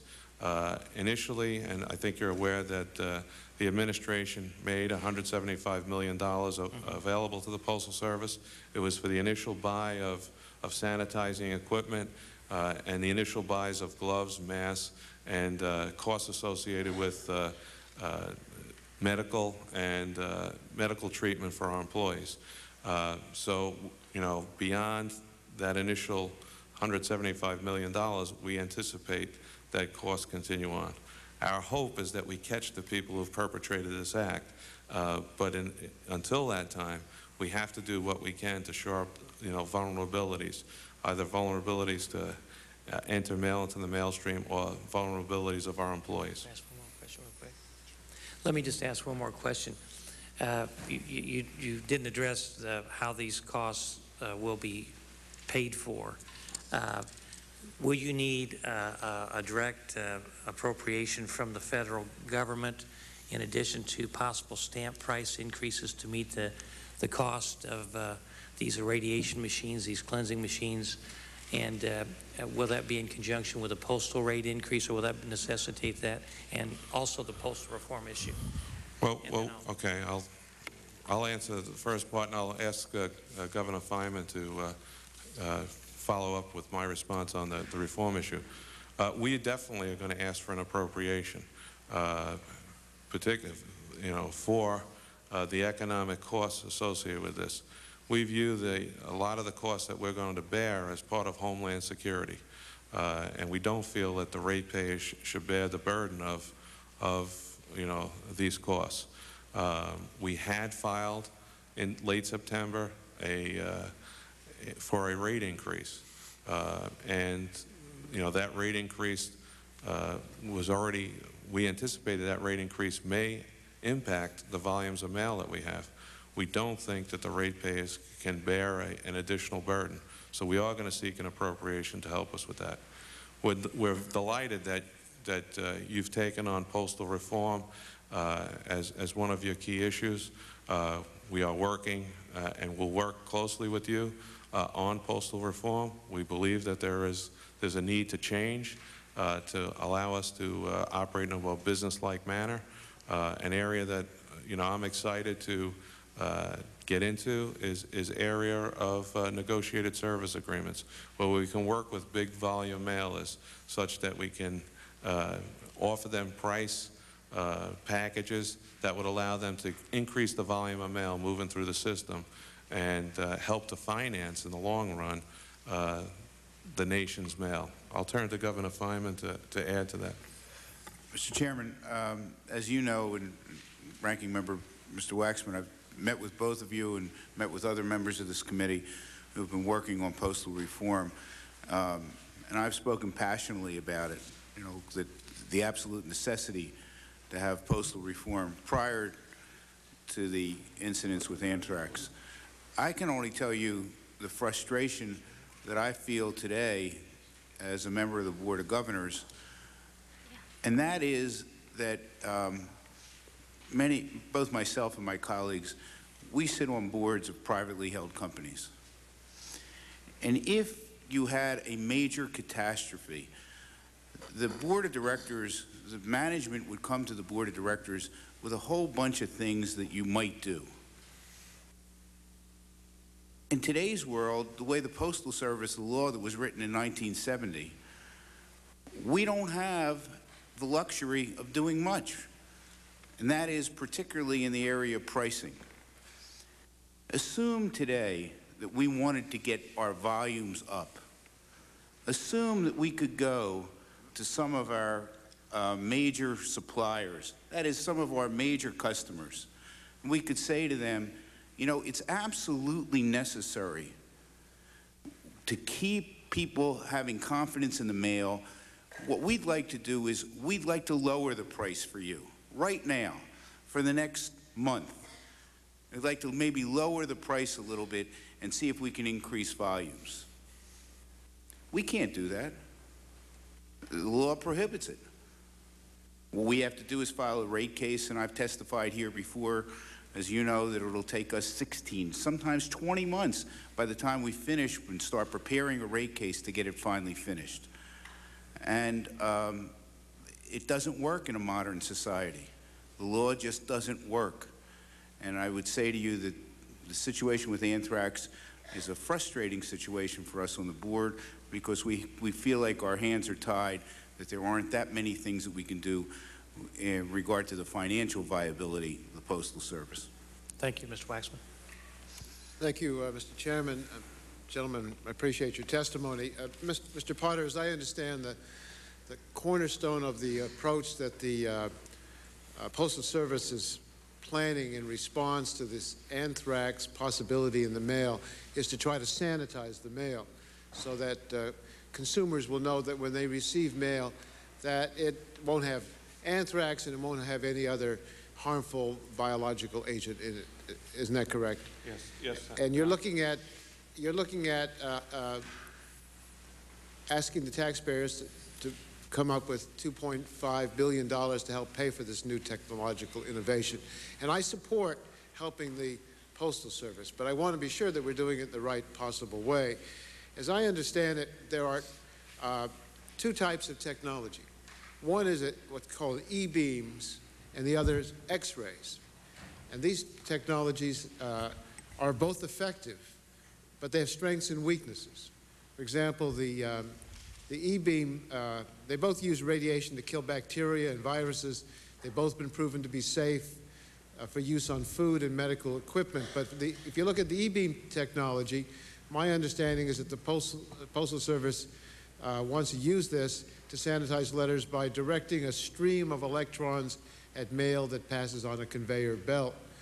Uh, my staff contacted private sector experts in e-beam technology, and we're told that e-beam has promise in sanitizing large amounts of mail.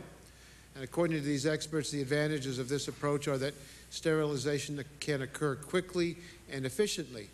But they also told us that using e-beam technology to sanitize the mail poses large engineering uh, problems because e-beam technology has been used for really homogeneous kinds of, uh, of uh, uh products, uh, uh, like sterilizing medical syringes or whatever. They're basically the same thing, and therefore the engineers can adjust the technology to ensure that the right dose is administered. But in the mail, it's very different. We have different size packages.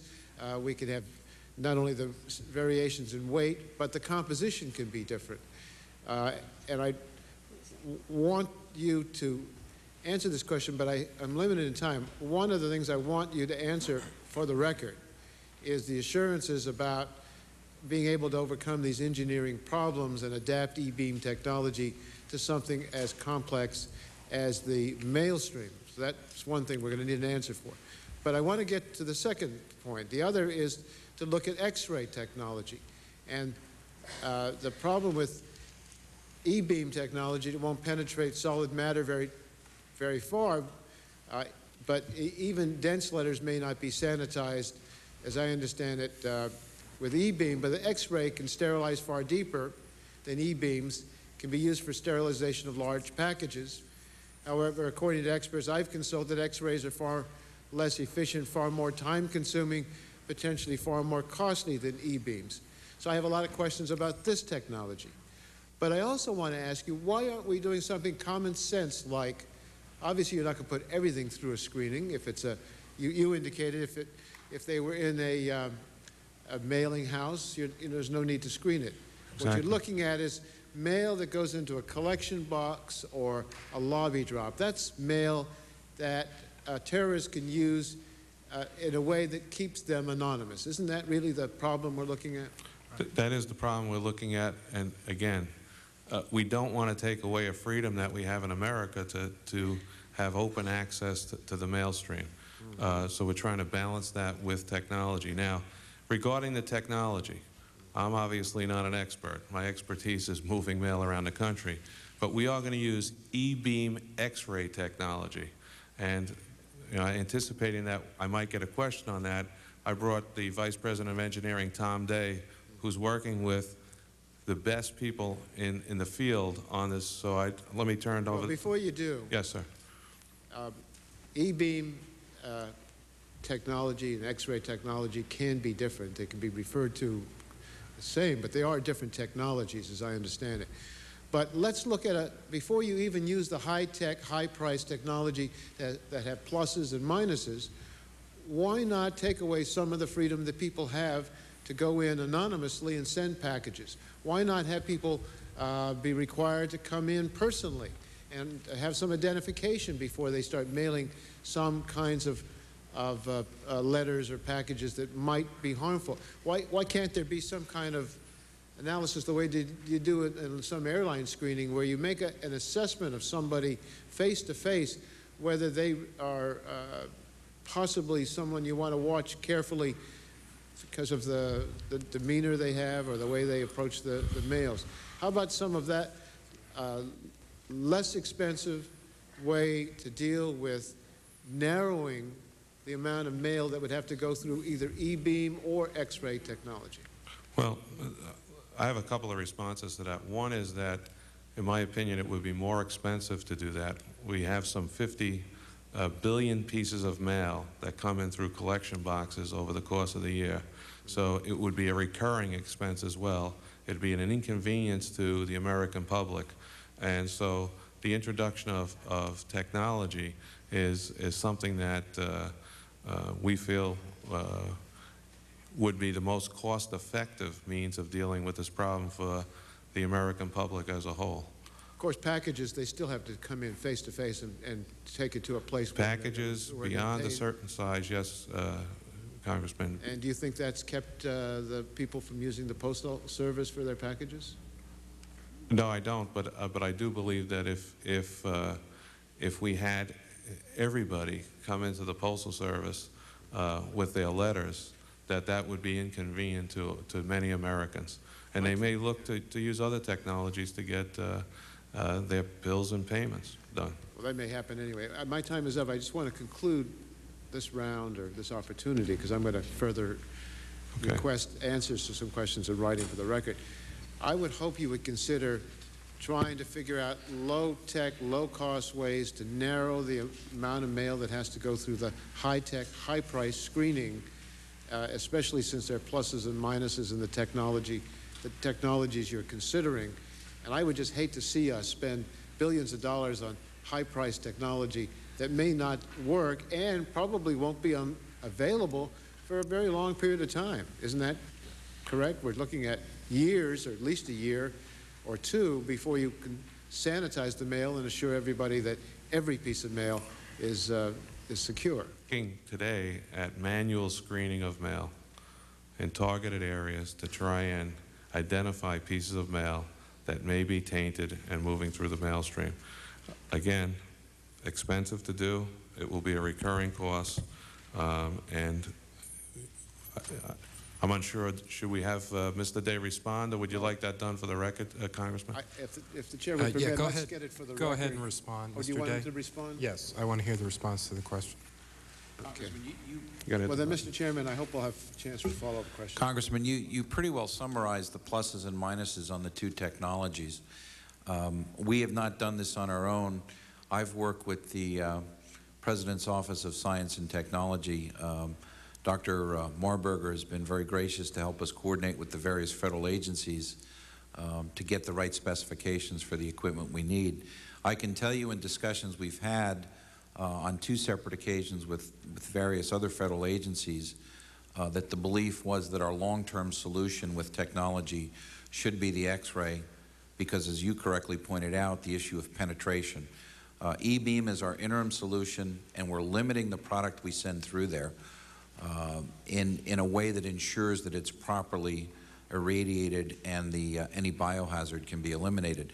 That, that took a bit of discussion amongst the agencies, um, and it's interesting because no one ever thought of this technology for the mail, uh, but it involved both the FDA as well as some work by the Department of Defense uh, to come up with some agreement about what, in the term used, is dosing levels to ensure that you've achieved the kill rate on the uh, biohazard. And we've set it exceptionally high uh, with very stringent quality controls to make sure that it works. But you're correct, the long term, to ensure you've got penetration, is the X-ray solution. Um, the Excuse me, one, uh, might- go ahead. uh, Just so we understand, if that's the direction you're taking, we, we're going to need to know uh, the cost of X-raying a single piece of mail, how long it'll take to sterilize a typical, typical package with X-ray, how much energy we're going to have to use uh, for these X-rays to sanitize the mail, and uh, how much radiation needs to be used to kill a collection of anthrax spores.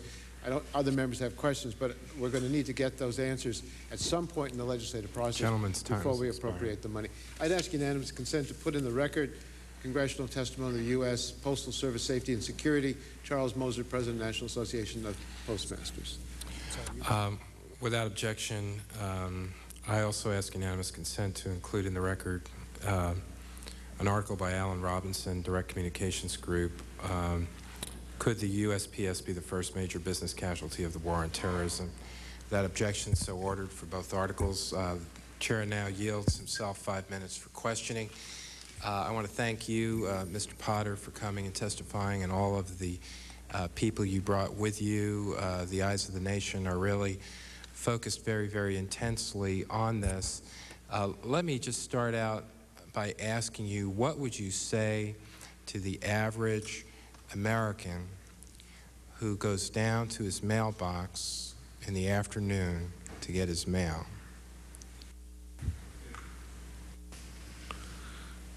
My message to the average American is that the mail is safe, that they need to take the proper precautions and have awareness about what's in their mailbox to assure that it's safe. We, I would suggest to them that they read the postcard that we sent them that would make them aware of things that might be out of the ordinary in their mailbox and, uh, and advise them on what to do in the event that they come across something that's out of the ordinary. But we deliver to 137 million addresses every day. And we've had a handful of letters that have moved through the system and have caused, obviously, death and uh, have caused uh, disease. And, uh, but in terms of the average mailbox, the knowledge that people have of what's in their mailbox, greeting cards or packages that they might have ordered from a catalog, or their bills, uh, or letters from loved ones, that mail is safe. And would you say that those items you were just mentioning, catalogs and um, mail, say from a utility company, say a bill, those items are to be viewed as safe, um, that it's other pieces of mail that perhaps meet the description as has been outlined in the press that is more of a concern? Yes, Congressman. Okay. Now, this may be a question for Mr. Day. I just want to follow up a little bit on um, the line of questioning the ranking member was pursuing. Uh, there are very few companies that make this irradiation equipment. So even if we gave you an appropriation, it's going to take, I understand, months to years to get all this equipment in place. Is that correct? Congressman, I, in general sense, you're correct. One of the things we've quickly realized is that it is a very limited industry. Previous uses were generally food processing as well as uh, medical equipment sterilization, a few industrial uses as well. So a very limited industry. We've already begun discussions. One of the things quickly uh, determined is that the industry uh, depends upon a couple of key suppliers for key components to make the system. We've already begun the discussion to see what it would take to ramp up those key suppliers, as well as uh, try to get some of the bigger uh, companies that we deal with for postal technology potentially to help with the manufacturing, uh, to ramp up the manufacturing of this product as well. Uh, you're correct, it is a very limited source currently, but we have begun the discussion to see what it would take to speed up the uh, production of the equipment. Now, I've heard the discussion of how you will uh, make some sort of distinction between high risk and low risk mail.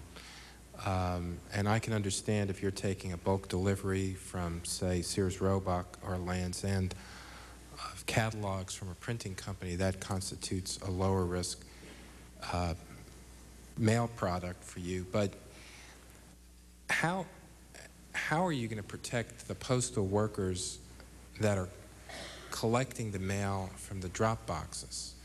Um, it's fine if you have an irradiation machine and you're taking it to the irradiation machine and it gets irradiated and then it comes to my house and I know it's been sanitized and I'm safe. But what about the postal worker who's going to those drop boxes and collecting the mail? We have a, a separate group from the engineering group working on the process, the collection box process, to assure that those employees that might remove mail from a collection box are, are not put in harm's way. Today, they're doing that via mask and, and gloves, but we believe that there are processes that we can put in place to, uh, to prevent them from uh, coming into harmful contact with that mail. and we're working on those as we speak. Is there any discussion of vaccinating the workforce for anthrax and or other biological agents? The, uh, the Surgeon General did make that statement, and we're going to rely on, on the medical community to, uh, to, to give us that advice. Uh, we're, we're not medical experts.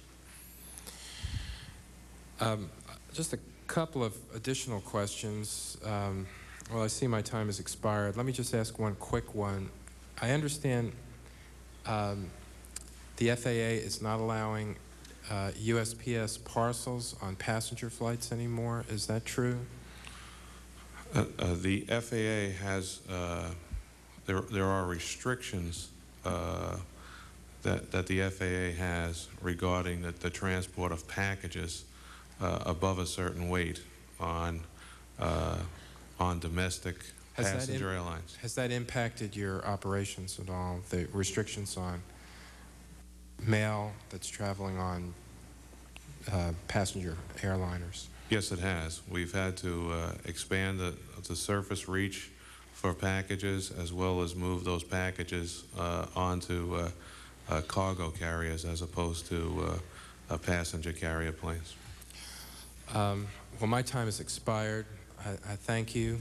Um, and the chair now yields to uh, the gentlelady from the District of Columbia, Ms. Norton, for uh, five minutes.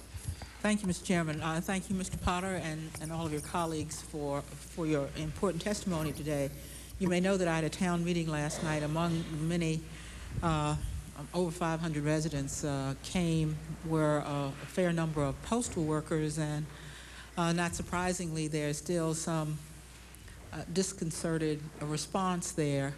Uh, many of them are still dislocated because you're decontaminating the Brentwood facility. You had a something of a labor relations problem before anthrax. Obviously, you're going to have a, a problem afterwards. This is a tough workplace. It was a tough workplace without disease. It's become uh, a much tougher one. But uh, frankly, I'm not interested in recrimination. I am interested in whether or not the post office is prepared, the, is prepared to, the postal service is prepared to save lives uh, and to give the appropriate assurances going forward. Uh, apparently, the only contingency plan the postal service had uh, was one that would allow the mail to be delivered in the case of interruptions such as the uh, as, pl- as planes not going up and the rest, but nothing related to hazardous substances. I'd like to ask a question about Brentwood in particular. These workers have been out of the workplace at Brentwood now, I don't know, what is it, a week? Some contamination job must really be going on. They've been out for a long time. Um,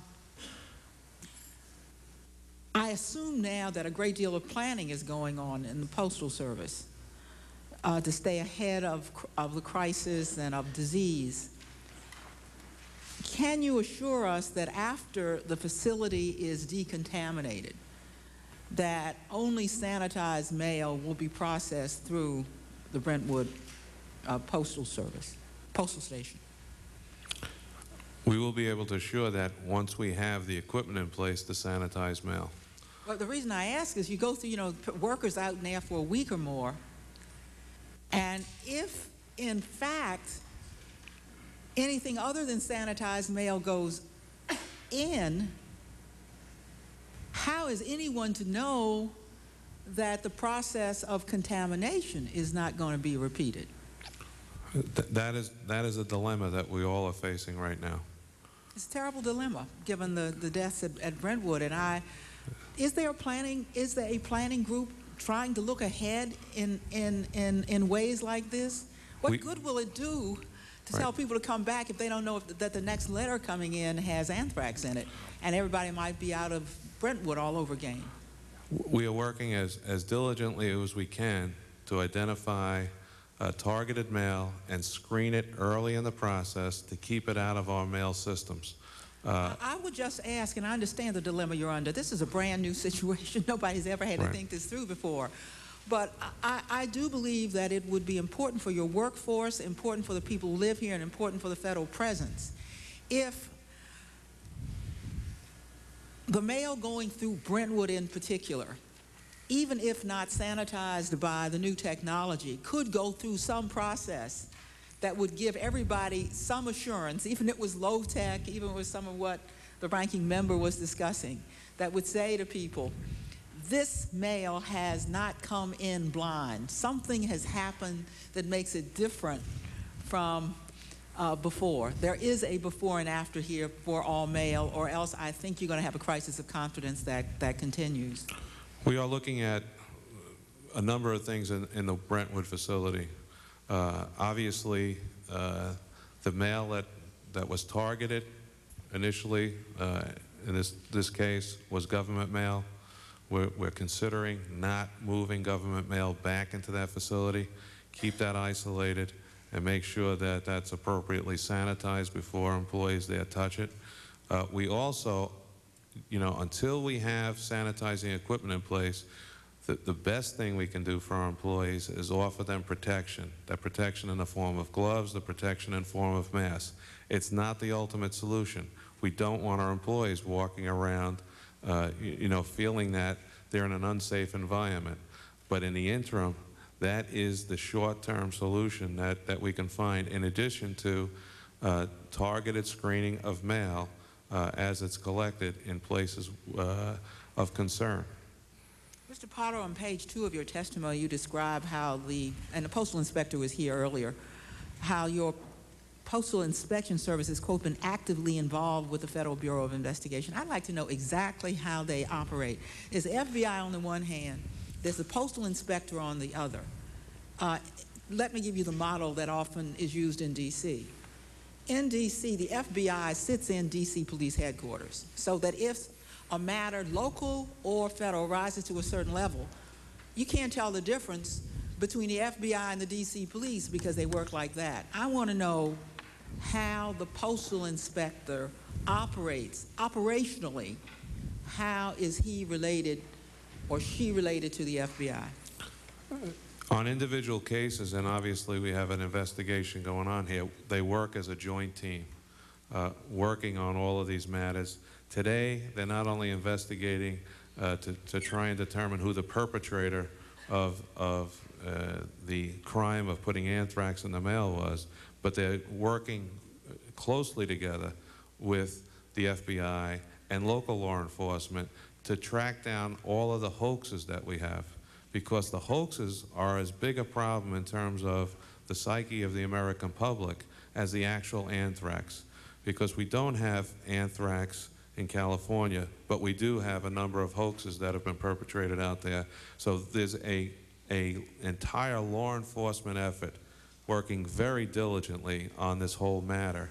Uh, and uh, in, in each of these cases, it's a, it's a matter of a team working together. I think it's transparent, as you described in D.C., as to who's who. It's just a matter of working as a team, putting our resources against it, and following up to find the terrorists, because this is a terrorist who's putting anthrax in the mail, and to get after those folks that are committing hoaxes. And we're happy that there have been 18 arrests around the country uh, from a ho regarding hoaxes, and we anticipate more. Gentlelady's time has expired. Uh, Chair now recognizes the gentleman from California, Mr. Horn, for five minutes. Thank you, Mr. Chairman. Uh, I was uh, very interested in some of the dialogue and the policies on this, and I want to say, Mr. Postmaster General, in my town and in this building, I've never seen a clerk that did not have a smile on its face, and I've never seen a letter carriers in Long Beach, California, that I've uh, seen anything but uh, something uh, on their face. They are out in the sun, and uh, it's a tough job. And I took uh, one time a, a, big cake with the seal of the post office to each of the 10 post offices, one person broke down. He said, You're the person that's ever thanked me. And uh, it's a tough job. But uh, I've got some concerns about your predecessors, uh, Mr. Runyon in particular, if he put this policy in. One day I had a hundred individuals, federal workers, that were eligible for federal worker compensation.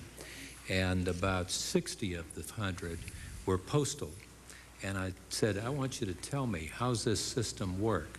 And one said, well, you know, the vice president in the region and the manager, uh, they wouldn't even let him uh, give me the form. Now, that's a real problem, and I realize when you're at the top of the heap, you uh, can't be everywhere. But I would hope now that you're in office that you could turn some of those attitudes around because there's a real feeling out there. And uh, I have read several hundred uh, of these before they've gone to the Department of Labor, and I've got real bones with them. They aren't doing much, and uh, they aren't treating people as human beings. And I said earlier, before you came here, you put two human beings in your speech, and I put one in my uh, question, and uh, nobody else really went for it.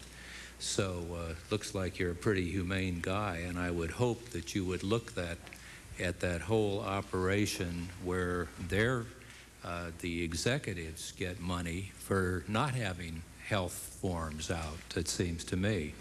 And, and that bothers me.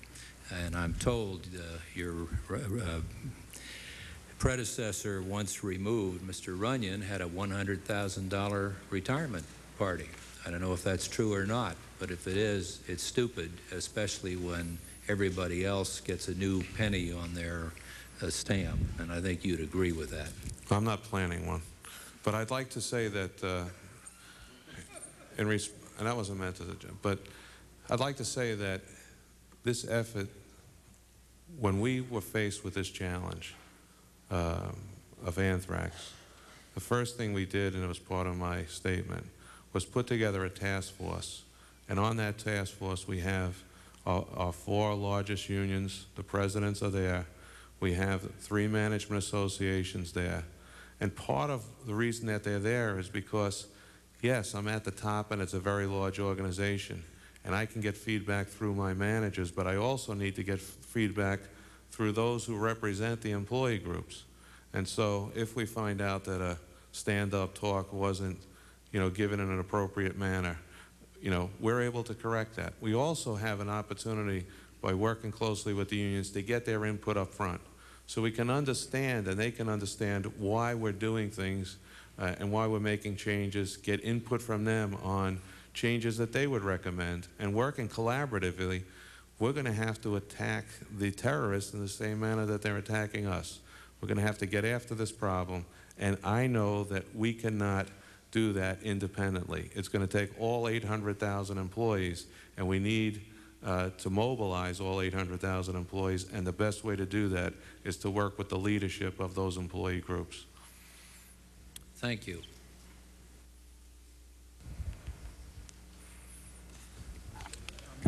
Gentleman yields back. The chair now recognizes uh, the gentlelady from New York, uh, Ms. Maloney.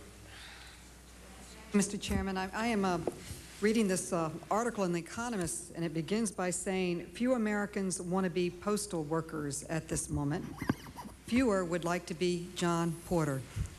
And I'd just like to say, and it goes on and it describes all the challenges that you confront and the dangers in the post office. And I, when you come forward with your list of concerns, I certainly want to be part of the team uh, working to help uh, the postal workers in the post office. The, the last thing that we want to do during this uh, economic downturn is to put these costs on the backs of postal customers. Uh, high mailing costs uh, have contributed to the demise of several high, pro, high profile magazines in the district that I represent recently, and uh, five have closed in my district, Mademoiselle, Mode, Brill, and uh, Industry Standard, to name a few. And we can't just keep passing along uh, costs to customers because then they can't compete and then they go out of business. I, I am uh, really supportive that the administration has already come forward with $173 million to help the, the Postal Service, and I, I know that I'll be one supporting other efforts to help the Postal Service. But don't you think the Postal Service should likewise help the mailing community out as well during this very tough economic time? And shouldn't you or the Postal Office delay implementation of any rate increase until January 2003 or even later. uh, magazines tell me that the rate increases that they confront are over 24% in the past two years, and, and I'd like to know where you stand on rate increases. Well, Will they be put off as other things have been put off? The decision about uh, what we do with the rate increase will, will certainly be uh, uh, um, determined by what, ha what transpires in, in, in the next several months. Um, the, uh, we entered into a, a rates process uh, in September uh, that would take 10 months, normally take 10 months. We're very grateful that the Rate Commission has decided to try to expedite that case, not expedite the, the rate increase, but just expedite the whole process uh, to, to negotiate uh, rates. Uh, we will be better postured, and we've told our, our mailers that we will be better postured to make a decision about when we could implement rates or when we should implement rates uh, next summer. And it's still our intent to, to do that. We, like you, agree that, uh, that mailers should not bear the full burden of these terrorist attacks. This is a homeland security issue. This is a, uh, a service that's provided by the federal government, that's paid for by the ratepayers, but we have a very, very unusual circumstance here, and that's why we would move ahead to, to seek appropriation to avoid the type of uh, economic impact on, on our uh, magazine publishers and others who use the mail. Would you like to I- add I- to that? I, I uh, represent uh, New York uh, City, and I've received uh, numerous phone calls from postal workers who uh, cannot understand why New York's Morgan uh, Station facility is, is opened while uh, New Jersey, the postal areas in, in Washington were closed along with four congressional office buildings, uh, some of whom, some of the office buildings closed for Congress did not even uh, find anthrax. There wasn't even, it was just a suspicion. So I'd, I'd like to know who is making the decisions to close or keep open postal facilities? Who makes that decision? Does a different person make the decision in different areas or in different states? Well, the decision is, is made initially on a local level On a local with input from the medical officials that we have on board, the CDC, in the case of New York City, CDC, NIOSH, and, and NIOSH, and the city health department were in New York, in Morgan. They analyzed the data that they had, uh, and they made a decision that we could seal off the area on that workroom floor, and that we could uh, successfully remediate the area. Again, it was traces of anthrax found on four machines. Now, Bill Burrus, who's in the front row, uh, who's uh, the president-elect of the American Postal Workers Union, he and I met at a funeral on Friday. Uh, he expressed concerns, uh, and we, we discussed what options we had. What we did in the case of Morgan, in response to the concerns of, of the employees there, was we had those medical officials go in and give talks to all the employees to explain to them exactly what it was that was found, explain to them how we were remediating it, explain to them what threat, if any, there was to them, and we gave those employees the option of staying in that facility or moving to another location right across the street in our general post office. Uh, so we took the advice of the, the local medical officials. However, throughout this process, people have the ability to raise their concerns. And that's one of the, one of the benefits of having this task force. The employees raised the concerns through the American Postal Workers Union. We were able to get together, discuss the issue, and come up with, with options that we believe were fair to the employees, or I believe were fair to the employees. I don't want to speak for Bill, but Do you, do you think these decisions should be centralized? Now they're basically local decisions and different people making decisions, as I understand it, at different facilities. So it appears to me that possibly it should be centralized with centralized uh, standards and criteria uh, to determine uh, so that there is a consistent, clear method that all of us can understand and all the workers can understand.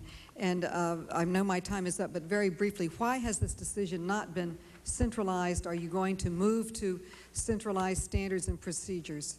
Well, let me ask you, say briefly that um, all these situations have individual circumstances. Uh, you know, we, we're finding different things in Florida than we found in New York, than we found in Brentwood, than we're finding in Trenton, New Jersey. And we are working to establish a consistent protocol. However, we're not getting consistent advice in, in each of these locations. Um, it, it's kind of comparable to what medications is somebody on. Uh, at one point it's Cipro, the next point it's doxycycline. So we're in a very fluid situation and we respond to the people uh, locally and we do seek the advice of people at a national level beyond the Postal Service, the CDC and others. So it, it's an evolving situation and we are looking to develop a clear set of protocols but again, the, the mm -hmm. situation is so dynamic and so fluid we haven't been able to get to that yet. Well, thank you very much, and I, I, sent you a letter earlier on just what we've been talking about, clear standards and protocols, and thank you very much. Thank you. Gentlemen, your time luck. has expired. Thank you. Mr. LaTourette.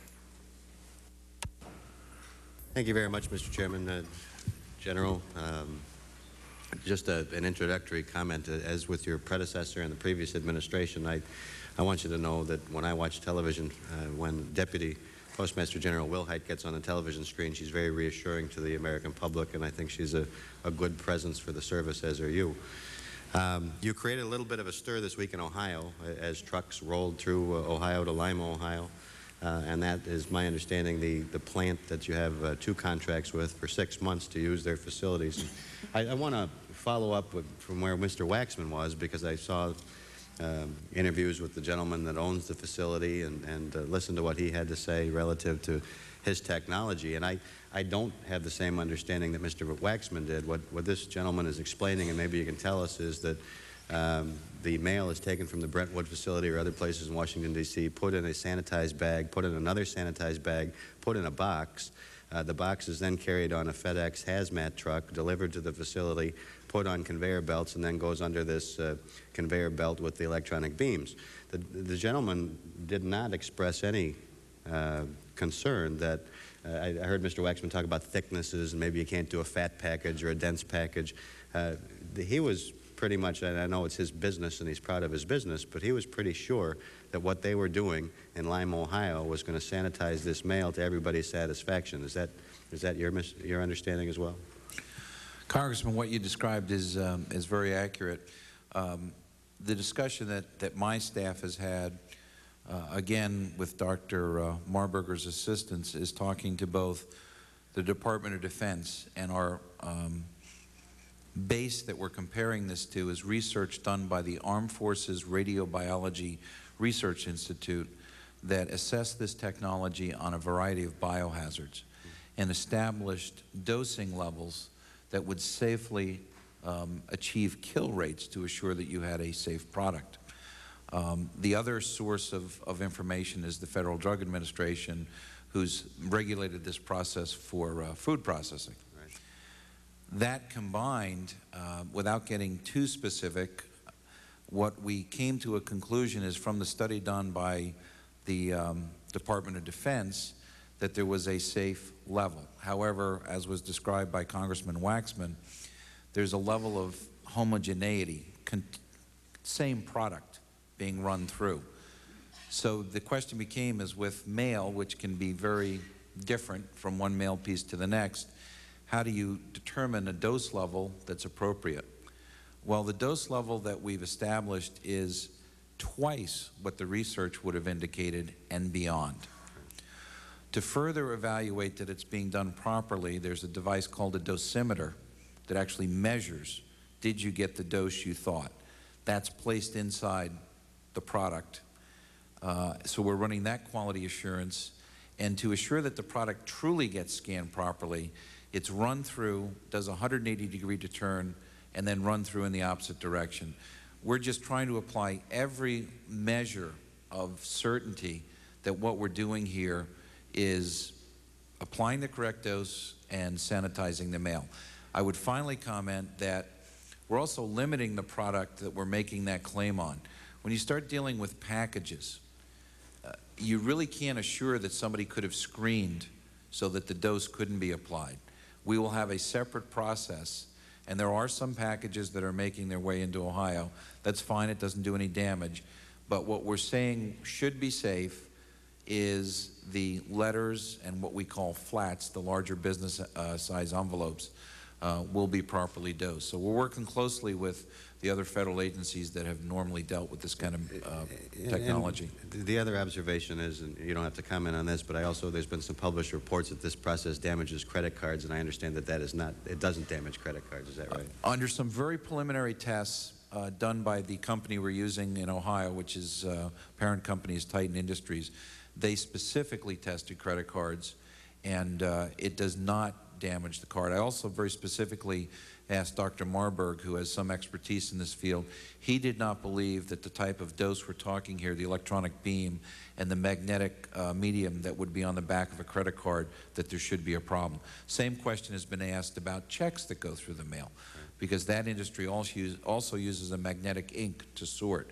Uh, we also believe that there will be no harm to that uh, product as well. Thank you. And uh, General, just before my time expires, uh, there's been some observations made, and you've talked about them, the, the governor's talked about them, uh, about postal reform, negotiated settlement agreements, and so forth and so on. Just, just speaking as, as one member of this panel who has worked with, on postal reform in the past, I, I think most of us recognize that a disaster struck the Postal Service on September 11th. It's continued to strike with the anthrax scare but to tie in some issues that have been rather contentious relative to negotiated service agreements in an attempt to solve the anthrax problem would be, in my opinion, uh, a serious mistake, and I hope we don't use the, the events that have occurred as a result of terrorist activity uh, to put newspapers, magazines, and other mailers out of business.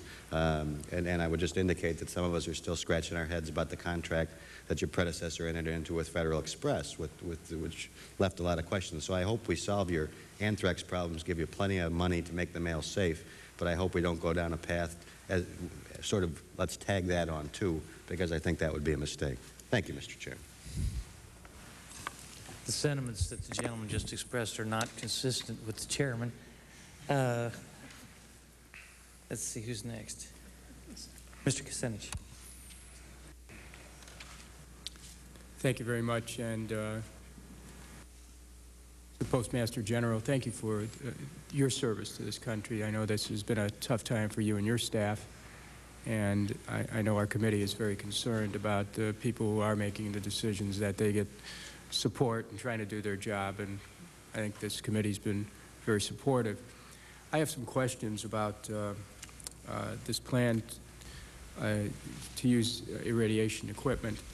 Have, uh, have there been any studies done on the impact that could have on the workers who are using the equipment to make sure we're not creating more of a problem here? Again, I'll defer to uh, Thomas Day. Congressman, uh, this is a proven technology, again, that has been used in uh, food processing. Um, Has it some- ever been used for mail before? It has not been used for mail.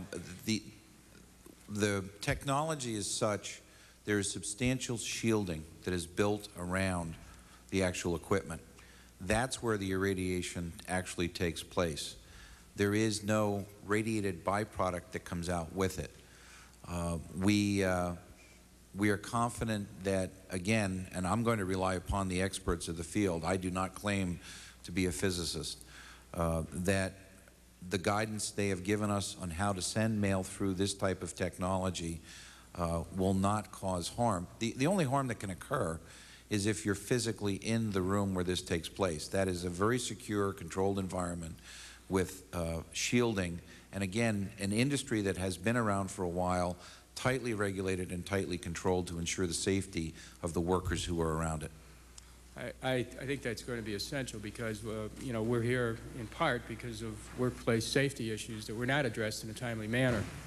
And uh, I think that uh, the American people want to make sure that anyone using this equipment is not going to be adversely affected because if the equipment is powerful enough to kill anthrax spores, uh, I would imagine at the doses that are being uh, recommended for this process, there might be some question about it posing any hazard to other, uh, to humans and other living organisms. Now, I, I wanted to uh, uh, ask Mr. Potter, uh, how many how many letters, communication to the the government, you know, all these letters that you have that are being boxed up and shipped out to Lima, Ohio. Uh, about how many pieces of mail are there? Um, we're- Congressman, uh, right now, we're, we're looking, it's probably around a million pieces of mail. And, and that's uh, for, That's for the uh, up to federal... what date? I'm sorry? What are the dates involved? Uh, Some of that mail goes back to whenever the, uh, the House and the Senate shut down their post offices, back when the original Daschle letter came through. Members of Congress understand that the ability of our constituents to communicate with us through the mail is an essential part of our job. Yes. I mean, the, the phrase, you know, write your congressman or congresswoman has a, a- an entire lore about it in terms of its importance to government, that we can keep this government of the people functioning. So, um, how long would you say it might be before we'll be able to get this information, these letters, back into Back into your Back- hands. back into Okay. our Let me tell you exactly what we've done. On uh, Friday of last week, we, we asked all of the government mail managers, all the offices, what the, the Congress, uh, the, through the White House, all the agencies came in. Uh, Tom Day and a number of people went through a number of safety procedures around what to look for with our inspection service. Tom explained the irradiation. We also provided these managers uh, some, some of the tips that we were using in, internal to the Postal Service as well as masks and gloves. Really tried to bring up to speed exactly uh, what a, each of the government agencies, agencies should be doing in their mailroom. Um, we have started delivering mail. On Monday, we began delivering mail. We will continue this process as we get the irradiated mail back uh, from Ohio. It has started to come back, and by Thursday, some of the personal correspondence will, will be back in your system. So people will be able to communicate with their representatives through the mail now? Do you have a system set up so it, it's not going through this equipment, it's coming, but it is coming into the House and the Senate? It will come, but it's still going to go through the equipment. It'll be a little bit slower, but we, we're looking again for safety first. It, there will be some, some delays at this point. And the mail that's being irradiated, uh, if, let's say we're in the Longworth building, which isn't open yet, is that mail then going to be set aside and then given to us when the Longworth building is open? Like, what are you, what are you doing in the Senate We- with the Hart building? Right. We, we deliver all of the mail to the, to, say, the, the House, House Post Office. They would sort and then hold mail for any buildings that would be closed. We, we, we deliver all of the And mail the for. individual, then the individuals would, uh, Right. would have a chance to go get their own mail? I mean, well, how do you do this? Well, maybe, let me back up a second. We deliver the mail to the Congress in bulk. The Congress hires folks who work the mailroom. And so we're going to continue to deliver it to wherever you tell us, and your contractor will sort the mail and make it available to you. So, so you'll be delivering, Uh, it- you're saying that the irradiated mail, all of it will be back Yes. in Washington by, It's, it's, a, it's an ongoing process. As you heard Mr. Day explain, we're taking the mail out, uh, it, it, it gets irradiated, comes back, is sorted in our government mail facility, and then we distribute it to the government offices, including the Congress. okay, Mr. Chairman, I, I think it'd be, uh, I think all of us would like to know, and I think our constituents would want to know, how much more the, the letters they're sending us are going to be delayed, and if we have an, another internal step here that we have to look at, I think it'd be interesting for uh, the, the chair and the ranking member to uh, inquire about it. Thank. Congress, Congressman, we just began this process, so we're, we are learning as we speak in terms of the throughput and the capability of this facility. We're also looking to uh, move mail into other uh, private facilities, and we are quickly moving ahead with, and we signed a contract last Friday to uh, purchase our own uh, electron beam technology, and we anticipate the deployment of that shortly. So we, we will provide that for the record. Gen- Gentleman's time has expired. Uh, Let me just uh, say that uh, I'm sure that the Postmaster General will keep the Congress informed on all of this so that we can disseminate it to all the members of Congress as quickly as possible. In the interim, I'll tell you, one thing that we have done is that any correspondence we're sending out to constituents, we say that if you send a letter and you haven't had a response yet, write us again because it may or may not uh, get to us for a while. So, Mr. Souder.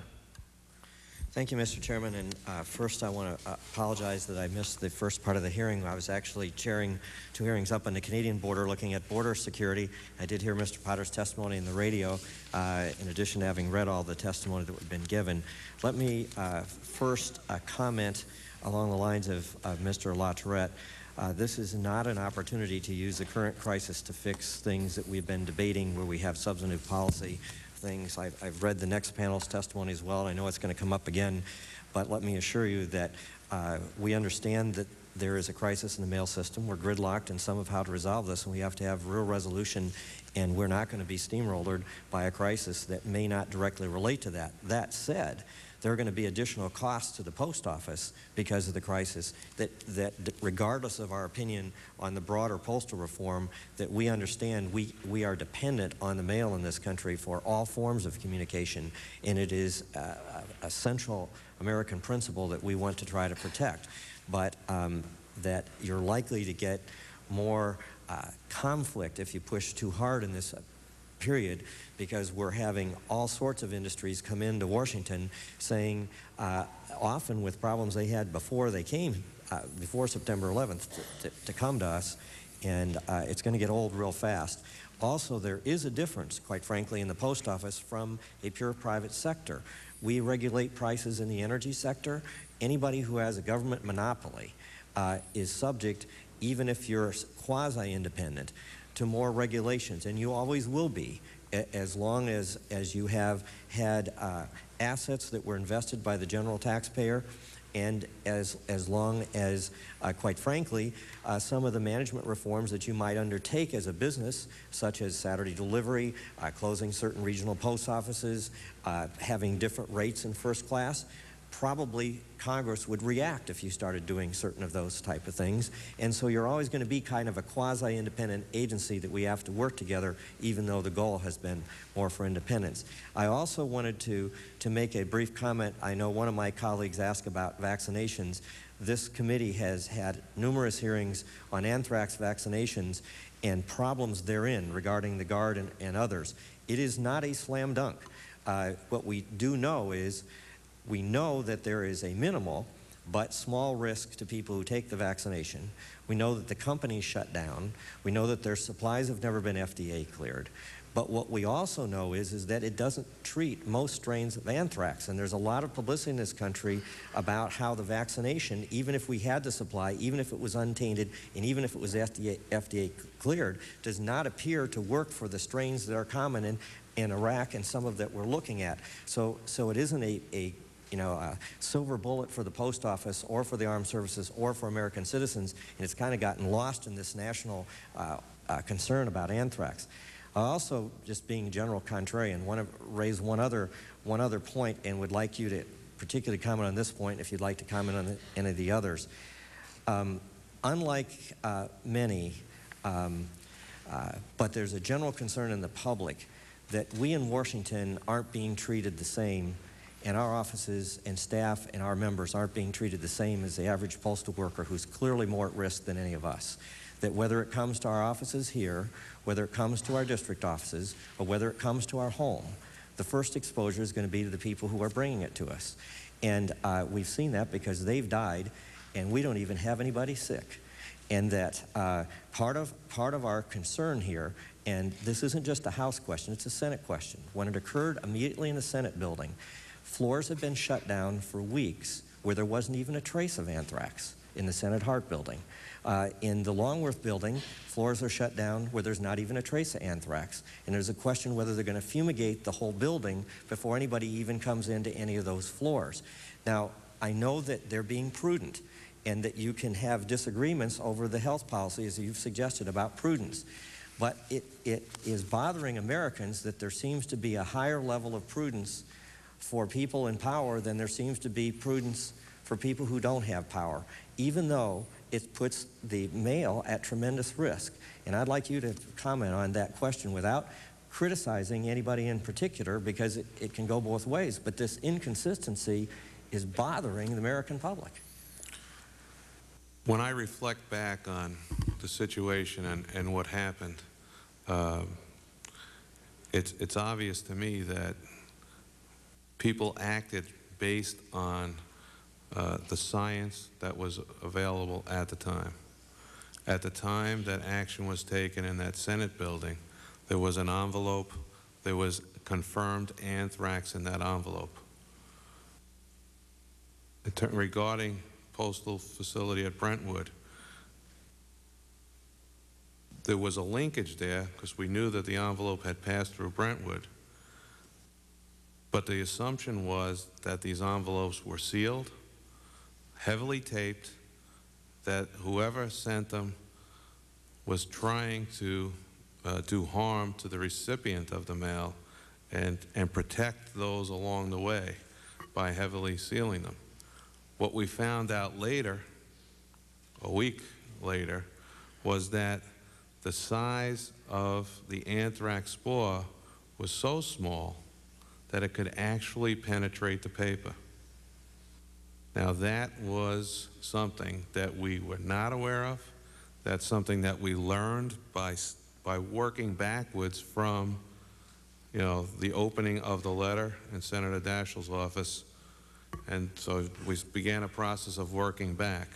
Once it became clear that we had a case of anthrax, although we did not have any confirmation. As I said, we did a quick test on that Thursday that said there was no anthrax found in Brentwood. Once it was clear that we had an employee with anthrax, we took immediate action, shut that facility, had people tested, had people treated, uh, and so again, it was what, were the, what was the information we were working with at the time? I, wa- I wasn't even necessarily, uh, although it, it's, in retrospect, you can do all sorts of management. Right now, a New York building is open, whereas the Senate Hart, where they didn't find traces on those floors, and the Longworth House and the Ford building, where they didn't find traces, are closed. And uh, it, it's not just a historical question, it's a question that we're looking at right now. Um, and that uh, the general public would like to see some consistency because, on the one hand, you say your postal employees are safe, but if the political leaders in the State Department shut all their floors, or HHS does, or Congress does, it's not surprising that you're going to have dissension. Or uh, it may be that we're overreacting. But the American public is disturbed and can't get a consistent health message when we're not behaving the same way on floors in the same buildings that do not have traces. Gentleman's time has expired. Uh, You want to respond? We- we- We're believing, we believe we're reacting with the information that we have at hand, with the best advice that we can get in the world, uh, so that we can safely remediate our buildings and not put our people in harm's way. Mrs. Mink? Mr. Chairman, I had asked the uh, uh, first panel a question that they declined to answer, and they passed it over to you, Mr. Potter. Who did that? I, I won't name the individual. But uh, the question that still persists in my mind is uh, the tracking of the mail from uh, Daschle's office uh, to the Brentwood facility, and then the uh, stopping of the mail deliveries to uh, the House of Representatives on the 12th of October. From the 12th of October until the Brentwood facility was closed on the 21st, we assumed that the mail was held there and uh, embargoed because of the possible presence of anthrax on the outside of the envelopes. From your testimony, I understand now that the, the mail that had been held in Brentwood from the 12th to the 21st is being sent to Ohio to be sanitized by this uh, E ray machine that uh, irradiates. Uh, my question is, once Brentwood was closed on the 21st, what happened to our mail, and is that also going to the Ohio facility? Uh, The answer to that question is that the mail, for, the mail that originates in Washington, D.C., was moved to uh, facilities in suburban Maryland and northern Virginia to be processed and dispatched throughout the country. In addition to that, mail coming from around the country was moved to these facilities, and mail is being sorted there on a daily basis and prepared for delivery in Washington, D.C. The mail for, for target, where we have, uh, there's an assumption that there's a, a threat, that mail is being isolated and will be uh, sanitized. So the reason we haven't gotten any mail since the 12th of October is that we still constitute a target group, and the mail is not being delivered to us, but is being delivered to other people in the city. Is that correct? Correct.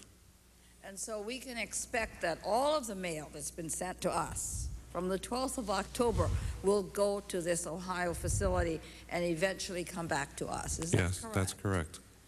That's, uh, that's uh, very comforting because we get asked this question all the time. What happens to our mail? Are we eventually going to get it? And we have been responding thus far that ultimately we will see the mail. But there's some question of what happened to the mail after Brentwood was closed. Why weren't we getting that? And the answer is that too is being sanitized in Ohio. Is that correct? Correct. So then uh, the uh, constituencies that are waiting for responses can be told roughly, what, another week? It may be several weeks. Several weeks. Are you taking it in the sequence in which they arrived at Brentwood, or are you taking it wherever it happens to be? We're trying to move the oldest mail that we, that we have through the system to direct it back to your offices and to other federal agencies. I see. Thank you very much. Ms. Mi- Oh, go go ahead, that's all right. To my ranking member. Because you had another minute left, and I, what concerns me is that uh, we're taking all this mail that, that might have anthrax in it and isolating it. But we've seen a couple people get sick, and that's not from this mail because it's isolated. So the, the question is how these people got sick, and it could well be one possibility is that they had a cross contamination from some letter or mail that had anthrax on it.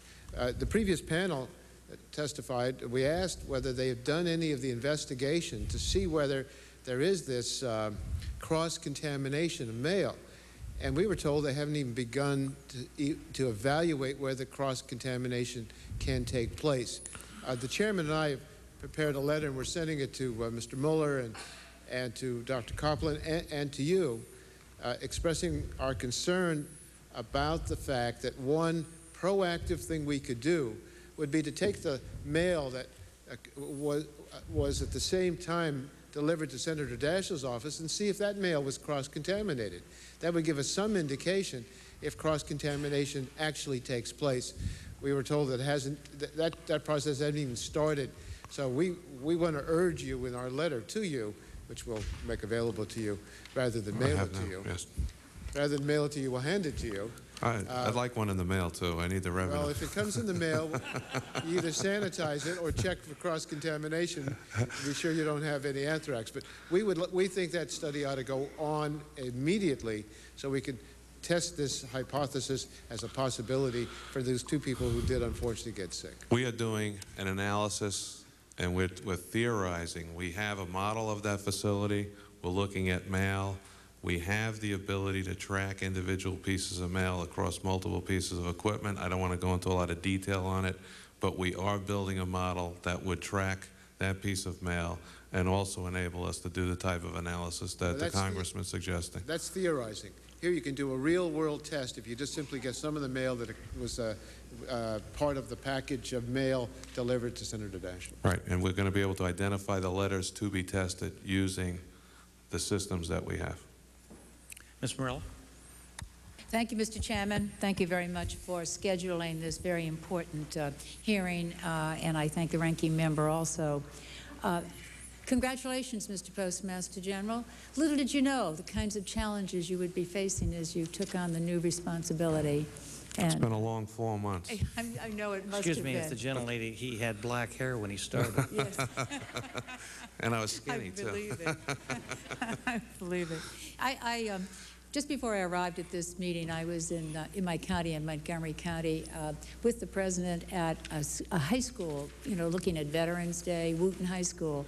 It's appropriate that their logo has to do with the Patriots. They're called the Patriots. I say that because I really believe the United States postal system have they have been patriots. The letter carriers, the administration, those people who, uh, the postmasters. I truly mean that. And indeed, at this time, some of them feel like they're real veterans of. Uh, uh, of uh, a, a war, um, and, and they have all been very patriotic, and I just think you need to know that from the top all the way out. So I, I salute them. I have also been very much aware of the kind of tension that they have felt.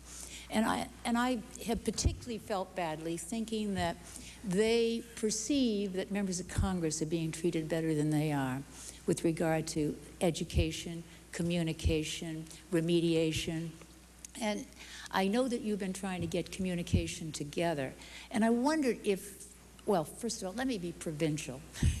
What is the status of the suburban distribution facility in Shady Grove, Maryland, after your scheduled inspection last weekend? We did not get the uh, test results back, but we did schedule the suburban Maryland and Northern Virginia facilities. uh, And so the the surrounding facilities here in the the metropolitan area, the surrounding facilities in Trenton, New York, and Florida, and we are- we are, we hope to be getting those results back uh, shortly. What are you doing to bring everybody together to communicate? On a daily basis at 10 o'clock, and since October 15th, on a daily basis at 10 o'clock, we meet with the uh, presidents of the labor unions, the heads of the management associations, and we discuss the topics of the day, the issues surrounding this anthrax situation. We hear back from them on whether or not the stand-up talks we've asked uh, to be given to our employees actually have been given. We've been out there and communicating as aggressively as we possibly can. We have videos out, we have, uh, you know, masks out, we have stand-up talks. We are trying to, to message to our employees. It's not a perfect system. We have 800,000 people. You know, this is like an aircraft carrier. You know, trying to get everybody moving in the right direction does take time.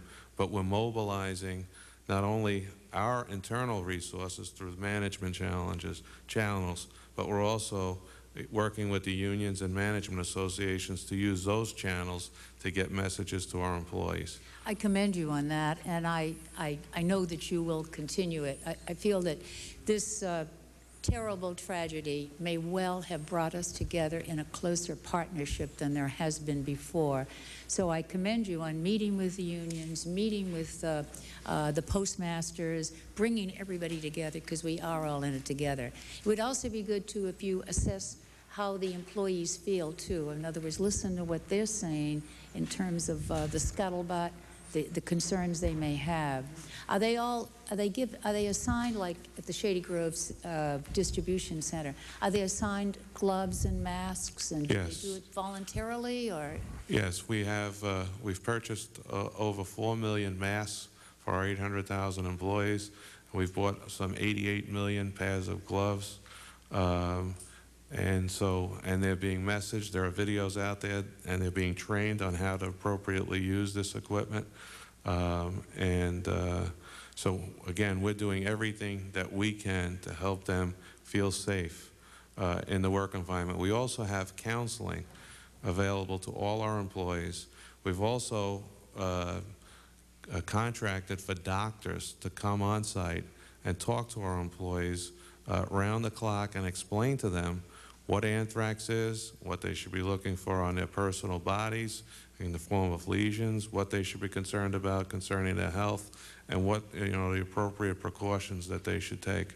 Now, again, you're going to find somebody in America who might have been off on that day or where it wasn't done properly, and, and we're trying to shore that up and make sure everybody's getting a common message. Mm-hmm. And with regard to the uh, irradiation or the electronic beam technology, are you prioritizing what centers are going to get it before others? I mean, do you have a kind of a level of, of Well, uh, well, certainly we'll listen to the law enforcement authorities and, and, and allow them to, uh, to help us in terms of prioritization. It's not something that we would tell the world, obviously, uh, because people then could circumvent what measures we put in place. Mhm, But you will have a priority will be established, and it will be done on the basis of the greatest need as perceived Greatest threat, by- yes. What- by those who, those people who are experts.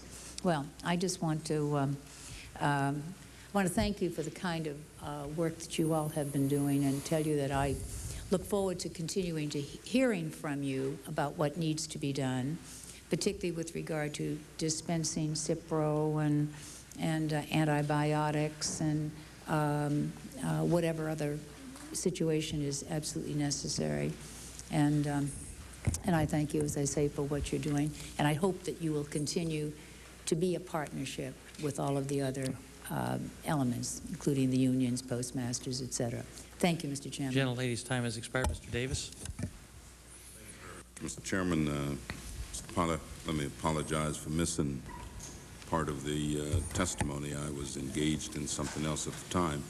But it sounds to me like you're, you're, you're expressing a level of confidence and comfortability in terms of having policies that are either in place or that can be immediately put into place to not necessarily guarantee, but to feel that the health and safety issues of employees are being addressed uh, adequately.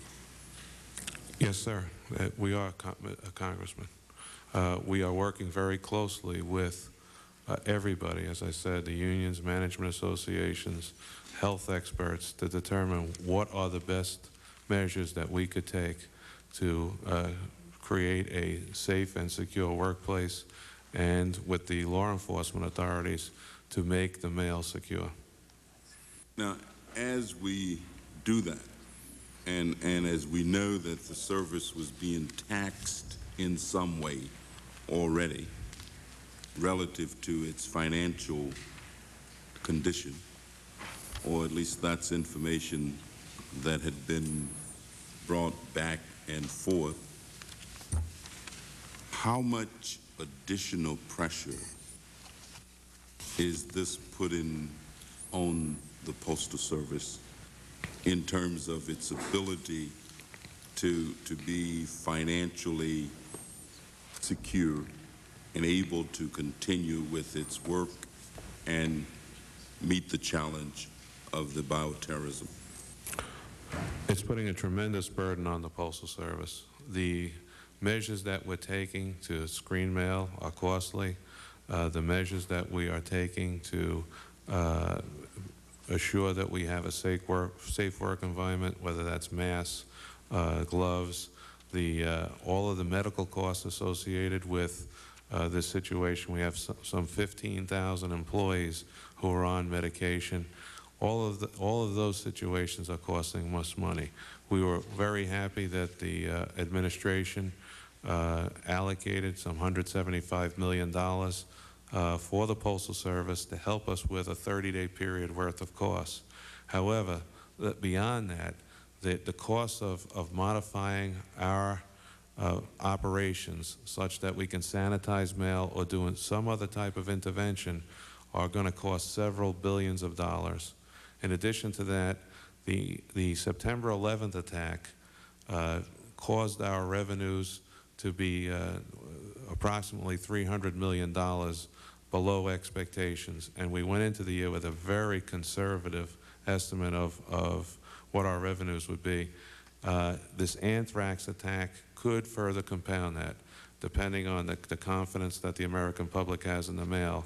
Uh, and so we could be looking at seven, several billion dollars worth of impact, uh, in, you know, from a revenue standpoint. Obviously, as time goes on, we'll be better able to quantify that. Uh, and we are working feverishly to try and provide what is a, uh, a, as- an accurate estimate of what those costs would be. So you're saying that any way you cut it, that no matter how you look at it, you're going to need to be able to generate either some additional revenue or find some way to reduce the cost of operating, and certainly it doesn't look as though that would be possible in this climate.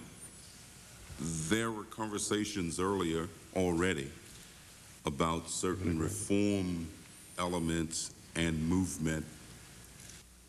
Does the does this heighten the need for reform that was already being discussed and on the table? It, it certainly illustrates the tools that the Postal Service has to address these types of situations. Uh, one tool that we have not used in, in years was to seek an appropriation. And we're going to seek an appropriation because we are going to have one-time costs associated with the modification of our facilities, uh, one-time costs associated with this loss in revenue. And we view this as a homeland security issue. This is, this is you know, uh, terrorists have, have done harm to the postal system. Uh, there have been comments before you came into the room regarding whether or not this was an appropriate time to discuss reform. Uh, we at the Postal Service have been discussing that uh, for the last five years and discussing the type of tools that, that we have as managers and that the board has uh, available to them to react to situations such as this. And, and I would ask that uh, Governor Fineman uh, perhaps would want to make a comment. I feel somewhat reluctant, Congressman. Uh, I, I would say that there's no part of me that wants to limit, the, they can in any way limit the debate that this committee is going to have about postal reform. Um, but on the other hand, it's clear to me that um, this crisis just heightens the awareness of postal reform. And maybe we do have to separate the issues. But an issue for us, the governors, you know, there's probably two of the most important things we do, one of which is to hire the Postmaster General. And in this case, we hired the right man. We hired somebody who understands how the Postal Service operates and is guiding us through what is clearly a crisis in operation and a crisis in management. On the other hand, what we do is we, we help set rates in conjunction with the Postal Rate Commission. What we don't want to do, we've spoken to the chairman, Congressman Davis, to others. Um, I heard the Congresswoman talk about the magazines in New York. We don't want to, in, in essence, limit the amount of mail that's going to come through the postal system by raising rates so high that we're going to find other means of communication. And as the Postmaster General indicated, for this one time, we're probably going to come back to Congress and we're going to say we, we need some help here because this is a homeland security problem. On the other hand, at the same time that we're going to be asking for funds, it looks pretty clear to me that the amount, the volume of mail is going to decrease for some period of time. And I, and I just say to you, we can talk about how to do it. But right now, we have very, very limited tools. I know that my time's up, Mr. Chairman, and I appreciate the indulgence. Um, could I just ask if they'd answer, are you saying that you really feel that you don't have any choice except to come and ask for an appropriation? Given the economic circumstances of the Postal Service, the answer is a resounding yes. Thank you, Mr. Chairman.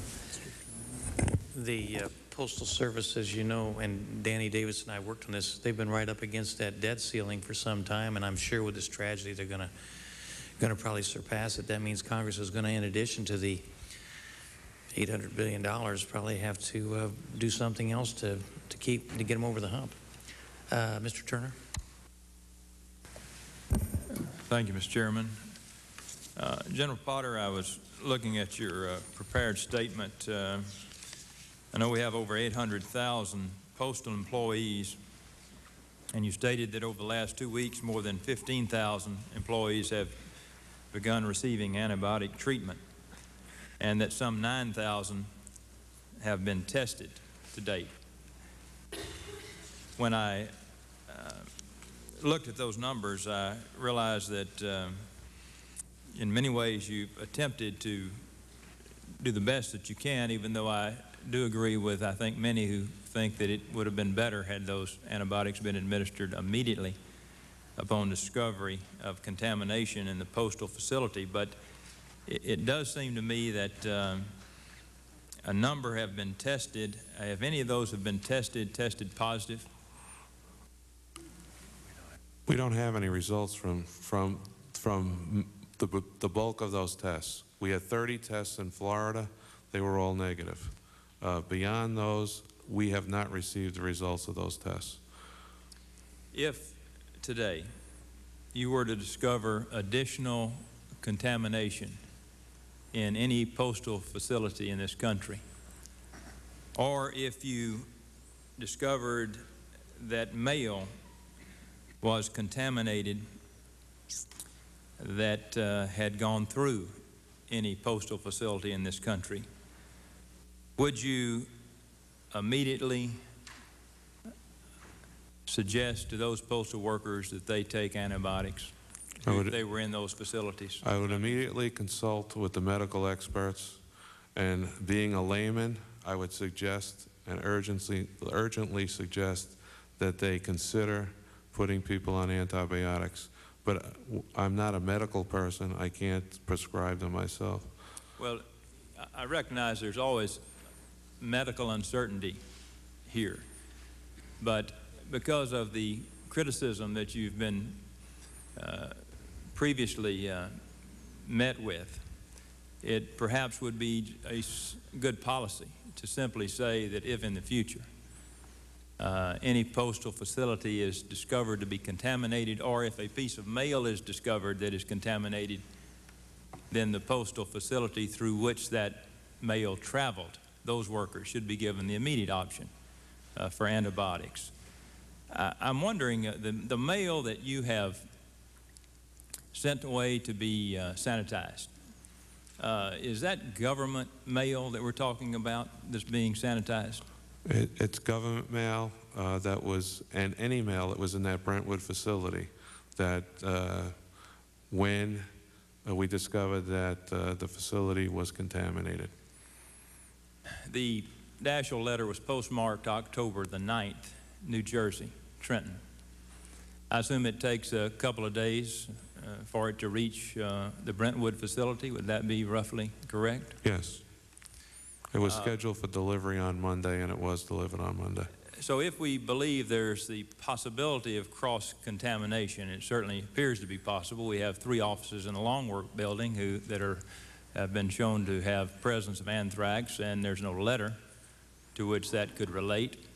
Uh, is it then not possible that cross-contamination occurred in some of the mail that was delivered uh, after approximately October 11th uh, until the mail ceased to be delivered from Brentwood, that contamination could have occurred in other locations in the district that is served by the Brentwood facility other than the government offices? Yes, that's certainly possible. And has there been any effort to uh, publicize which areas of the district that would be? There's been an effort to identify uh, mail that was processed uh, on, on, on machines with the Daschle mail, and the, the vast majority of that mail, I'm talking about over 95% of that mail was government mail. So that's the mail that, again, we, uh, uh, you know, we embargoed, held onto, and uh, are seeking to sanitize. Know, this government has just been, uh, it's been suggested that our government and our agencies have perhaps had a double standard with regard to the treatment of postal workers. It would seem to me prudent not to find ourselves in a position where we also are accused of a double standard with respect to recipients of mail who may be non-government uh, recipients. And uh, perhaps it would be wise to, to at least advise the public as to which portions of the district may possibly have received other contaminated, cross-contaminated mail. We're, we're thoroughly looking through our systems to try to identify uh, not only uh, what pieces there might have been and what sections, but actual addresses. I wanted to ask Mr. Day if he would comment. Uh, You've suggested that you need two and a half billion dollars to install the necessary equipment to begin sanitizing the mail on a routine basis.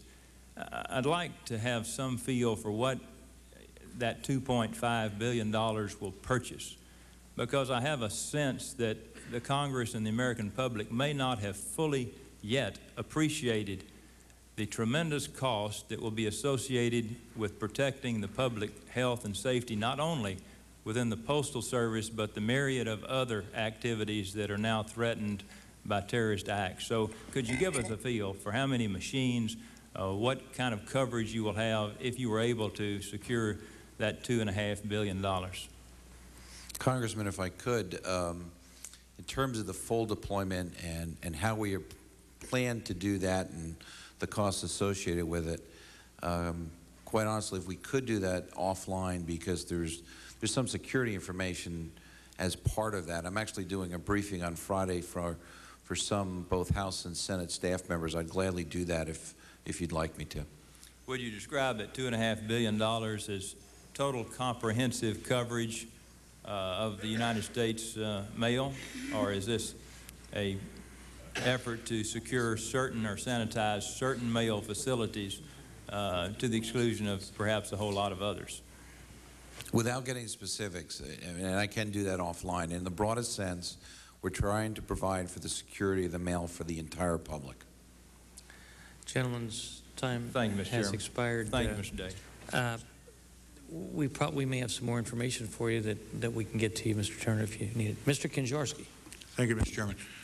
Mr. Potter, I have a few questions. I, I think I'm trying to speak for the average citizen and the average postal worker when, and I, I don't want to say this to embarrass you or to attack you, but there's an attitude starting to build in the country. It hasn't come to a, a, a crisis stage, but that we seem to be an hour late and a dollar short. Our logic and our reasoning are always behind the cycle. And I, something that struck me, that as soon as Mr. Stevens was infected with inhalation anthrax, it is axiomatic that the spores had to be one to five microns in order to penetrate the depths of the lungs that cause that disease. So then the logic must have followed after that, that somebody should have had the question, what is the pore, uh, the pore, the pore size of paper? And as I understand it, the average uh, envelope uh, can be penetrated by 30 micron material. So it would have been very conclusive that what was what had uh, infected Mr. Stevens could pass through paper and envelopes. And yet there was a period of 14 or 18 days that there was no backup study of the exposure of the post offices and the processing of the mail. That's not to blame anyone. The thing that bothers me is that there doesn't seem to be logical thinking, analysis, time where people are stepping back and analyzing what can happen. I pose another question, and I'm sure you don't have the answer to this. I did ask it of the uh, Homeland Security Director's Office the other day. We've now had four deaths from inhalation anthrax. First time since 1978, to my knowledge, that anyone in this country has died that way. And my question was, as I understand from microbiologists, in every drop of blood of a person that expires from anthrax, inhalation anthrax, there are 2 billion bacteria. And bodies have to be processed after death. And I wanted to find out what is being done with these four bodies. Are they properly being processed to make sure that we're not turning over an inventory or factory of anthrax, either in a grave or in a funeral home or its location? And the answer was, well, no one had thought of that. I haven't received a full answer yet, but that shakes my confidence in the system. You had mentioned earlier that you just you were buying 400,000 masks. Do those masks with, withhold particles of one to five microns? Most masks that I know that you can buy only uh, uh, withhold 30 micron material. Other than that, you have to have a closed system of oxygen. I could be wrong. I'm not an expert in the area. But are you certain that these masks you're buying are, are, are able to filter out material lower than 30 micron? They're able to filter out down to three tenths microns. Three tenths micron. Excellent. Glad somebody, you know, asked the question. Now, The, the, the final question I come up with is, I know your, your department has done a study recently on consolidation of postal centers and ha uh, postal handling material, and that was done pre-September 18th. It seems to me that this should point up to the Postal Service that concentration of mail out of single bulk houses covering regions, maybe a state in size or multi-states, may not be the best psychology in the world, and decentralization may be much better. I'll give you a perfect example. In Pennsylvania, you're going to be uh, uh, merging two uh, uh, centers. That means uh, rather than a million people uh, that have their mail, if they're merged in with another million or two million, if there is a biological attack, it affects the mail of 3 million people rather than 1 million people. It could have a tremendous economic impact, uh, your, your theory of concentration and centralization. Now, I understand in, in pre-bioterrorism, that may have been good business. I'm not certain that total centralization is not something that should be re-examined, restudied, and perhaps uh, uh, doesn't lend itself to the best judgment at this time, not only considering anthrax, but any other biological problem or any problem that we may have in the future. So I would hope that uh, you as the leader of the Postal Service would re-examine that study. I wish I could give you the name. Maybe you're aware of it. It is contemplating the consolidation of 25 centers in the country. Yeah, the area mail processing studies that are underway. I'm very much aware of that. Well, I, that's right on track to be implemented, and it may be directly contradictory to decentralization theory of, of, of, of, being able to contain the exposure and contain the, uh, well, the effect of something like this. We're also looking at it as being consistent with the, I, the concept of sanit sanitizing mail because of the expense of the equipment and the, the type of shielding that this equipment requires. Yeah, you, you want to limit the amount of sites that you have that type of equipment in. I would assume, aren't you going to sanitize the mail upon receipt as opposed to pre-delivery? You're to, we're going to sanitize the mail. Uh, we're going to, we're going to develop procedures for handling of mail out of collection boxes and moving the mail to... At the collection site, not necessarily at the distribution site. With the san sanitizing will occur at a distribution center. Well, then so you're going to expose all the postal workers to anthrax? No, we're not. We're developing procedures to assure that that mail is handled safely.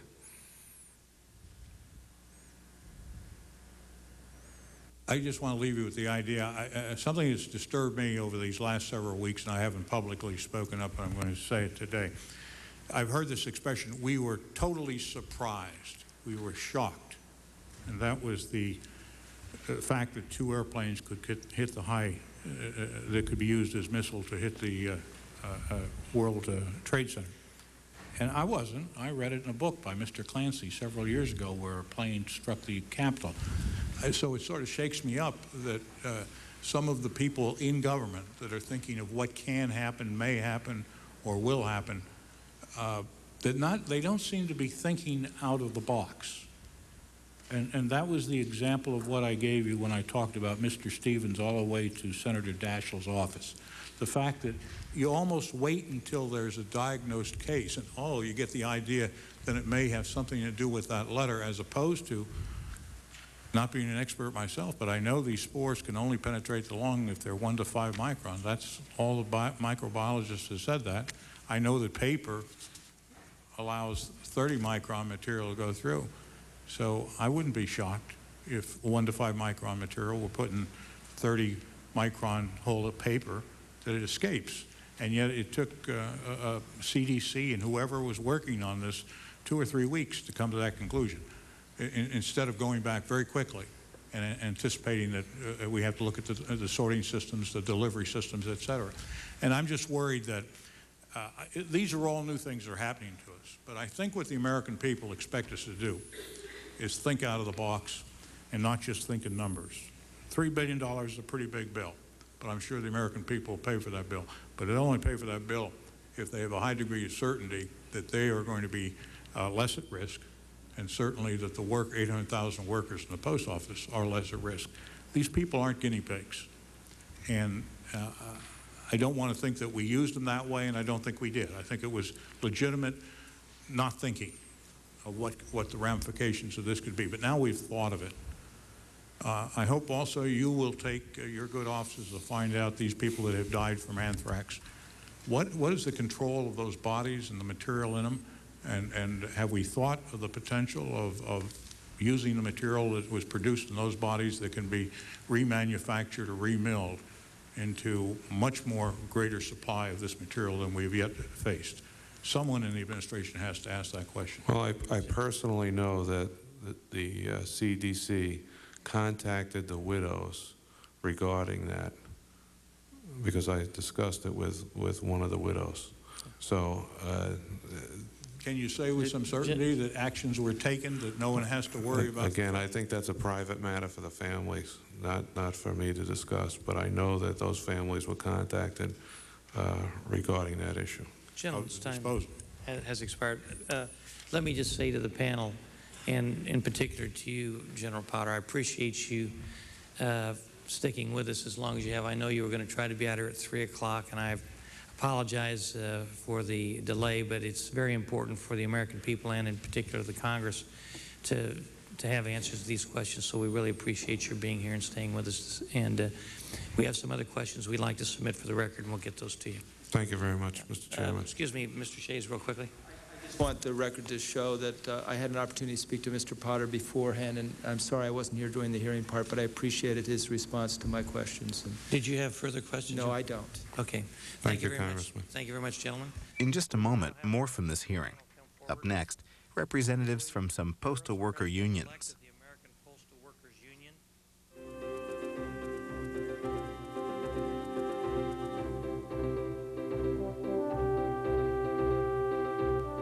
After the rest of this event, part of another House hearing. This one, a House Rules Committee meeting on the Aviation Security Bill. Then at 7 a.m. Eastern, Washington Journal. On the program, more discussions about postal security, Pakistan's nuclear capability, and the ongoing actions in Afghanistan. And at 10, the U.S. House of Representatives returns for consideration of some federal spending bills that fund the Departments of Treasury and Energy, the legislative branch, and the U.S. Postal Service.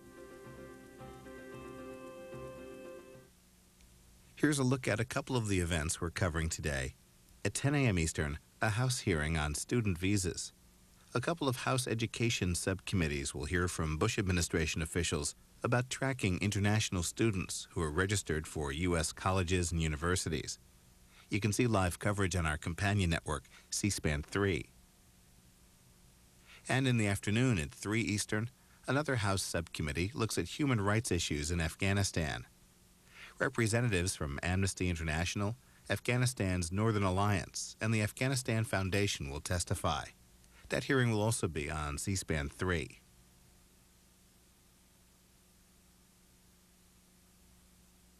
Join Book TV this Sunday for In Depth David Halberstam. Three hours of conversation and your opportunity to call the Pulitzer Prize winning journalist and author of 18 books, including The Best and the Brightest, Playing for Keeps, Michael Jordan and the World He Made, and War in a Time of Peace, Bush, Clinton, and the Generals. You can also talk to David Halberstam about the introduction he wrote for the new book, New York, September 11th. In Depth, David Halberstam, live this Sunday at noon Eastern, 9 a.m. Pacific. In-depth interviews are the first Sunday of the month. Looking forward, upcoming guests include David McCullough, Cornel West, and Tom Clancy, all on Book TV on C-SPAN 2. Now, the rest of the House Government Reform Committee hearing on the safety of mail and postal workers. In this hour and 20 minute portion, you'll hear from representatives from some postal worker unions. Mr. William Burrus, President-elect of the American Postal Workers Union. William Young, the Vice President of the National Association of Letter Carriers. Uh, Gus it Baffa? Gus Baffa, uh, President of the National Rural Letter Carriers Association. I know that, Gus, I'm sorry. And William Quinn, President of the National Postal Mailer Mail Handlers Union.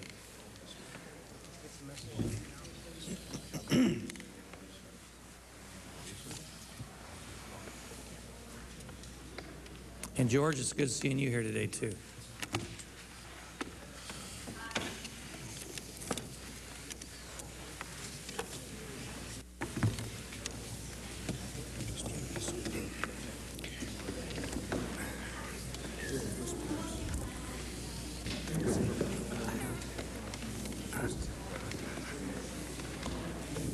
Good seeing you, Governor.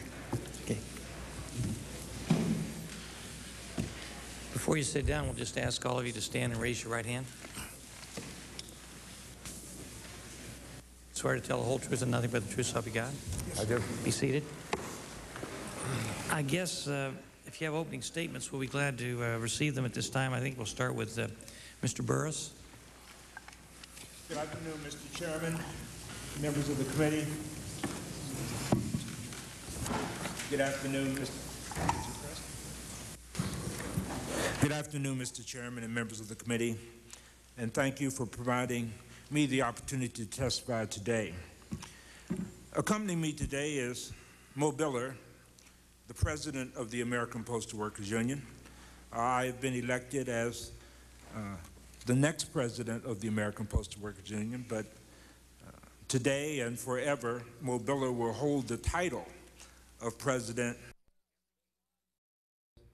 Uh, the next president of the American Postal Workers Union, but uh, today and forever, Moe will hold the title of president uh, of our union. He has served an illustrious career, having served humankind as well as all postal employees for an extended period of time. Uh, we in the labor movement honor uh, all of his contributions to our country and certainly to our union, and uh, we will be ever grateful for his contribution to us. I've had the opportunity over the past 21 years of serving as the vice president under Moe's leadership. I am proud and humbled to be representing them before you today.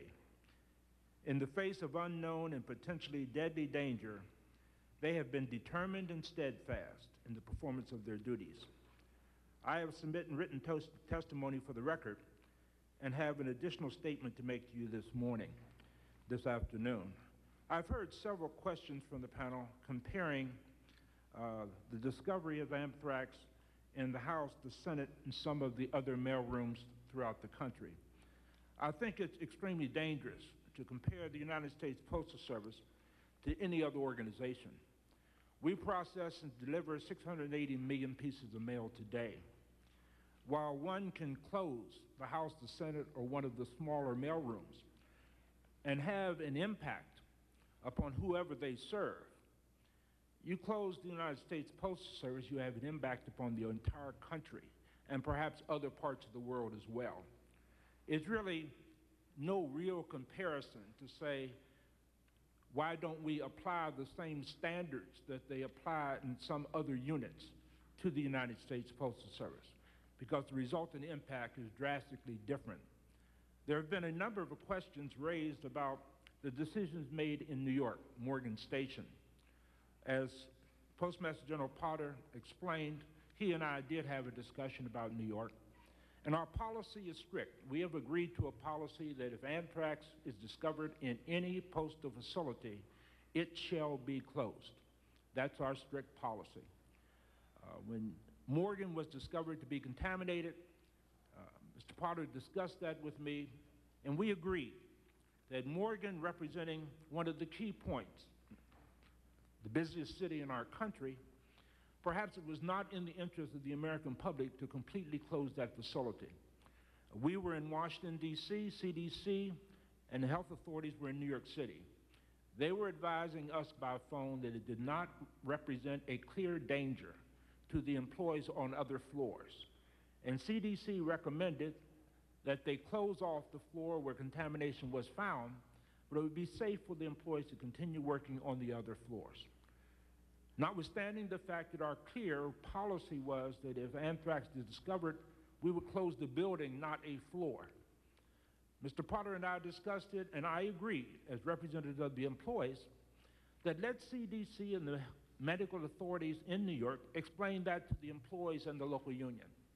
Convince them that it's safe. And leave it to the individuals on those floors whether or not they wish to work on other floors in Morgan or leave the facility. Uh, they did that. Obviously, some of the employees in Morgan Station elected to continue working in the building. But what I've since learned is, having traveled to Capitol Heights uh, here in the district yesterday to visit with my constituents, there is a lot of animosity when employees come from a tainted facility into what is perceived to be a clean facility. The average employee believes that they can contract anthrax by mere contact with another person who possibly could have been exposed to anthrax. So taking the employees in Morgan and dispersing them to other facilities in New York would have set up that type of situation. You would have had other employees in other facilities resenting the fact and afraid of those employees' presence in their facilities. So I thought at the time, and I don't want to extend this, and I talked to Mr. Potter during our testimony today, in between our testimony, that we're not going to make the exception the rule. While we agreed to make an exception in Morgan Station, and today in Palm Beach, Florida, it too is an exception. CDC made the same recommendation. But I informed him and Mr. Donahoe that these are exceptions and will not become the rule. That if we have agreed to close any facility that is tainted by anthrax, we must follow through with that commitment.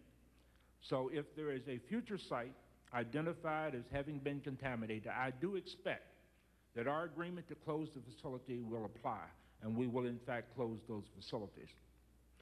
I want to emphasize that despite the deaths and injuries that have occurred, the American Postal Workers Union and the United States Postal Service have approached these tragedies and challenges together. Even though we have had a historic adversarial relationship, we find that this is common cause, and there are no differences between us as we address the real dangers of, in, of the anthrax scare. In fact, just prior to the earlier discovery of anthrax in Florida, Postal Management had issued instructions to employees to recognizing dangerous material. And it initiated what we refer to as the shake test. That if an employee found a, a parcel or a letter that appeared to be dangerous or contained some hazmat related material, the employee was to raise it to eye level and shake it. This is before we knew anything about anthrax. Uh, we initially, my union initially objected very stringently to the shake test. We thought that it just didn't make common sense to take something potentially explosive, take it up to eye level and shake it, perhaps combining two chemicals that when combined create an explosion and perhaps seriously injure a postal worker or a customer. But just as we entered the anthrax situation, after meeting with management, they agreed to eliminate this shake test. That was our first agenda item. We had to eliminate the shake test.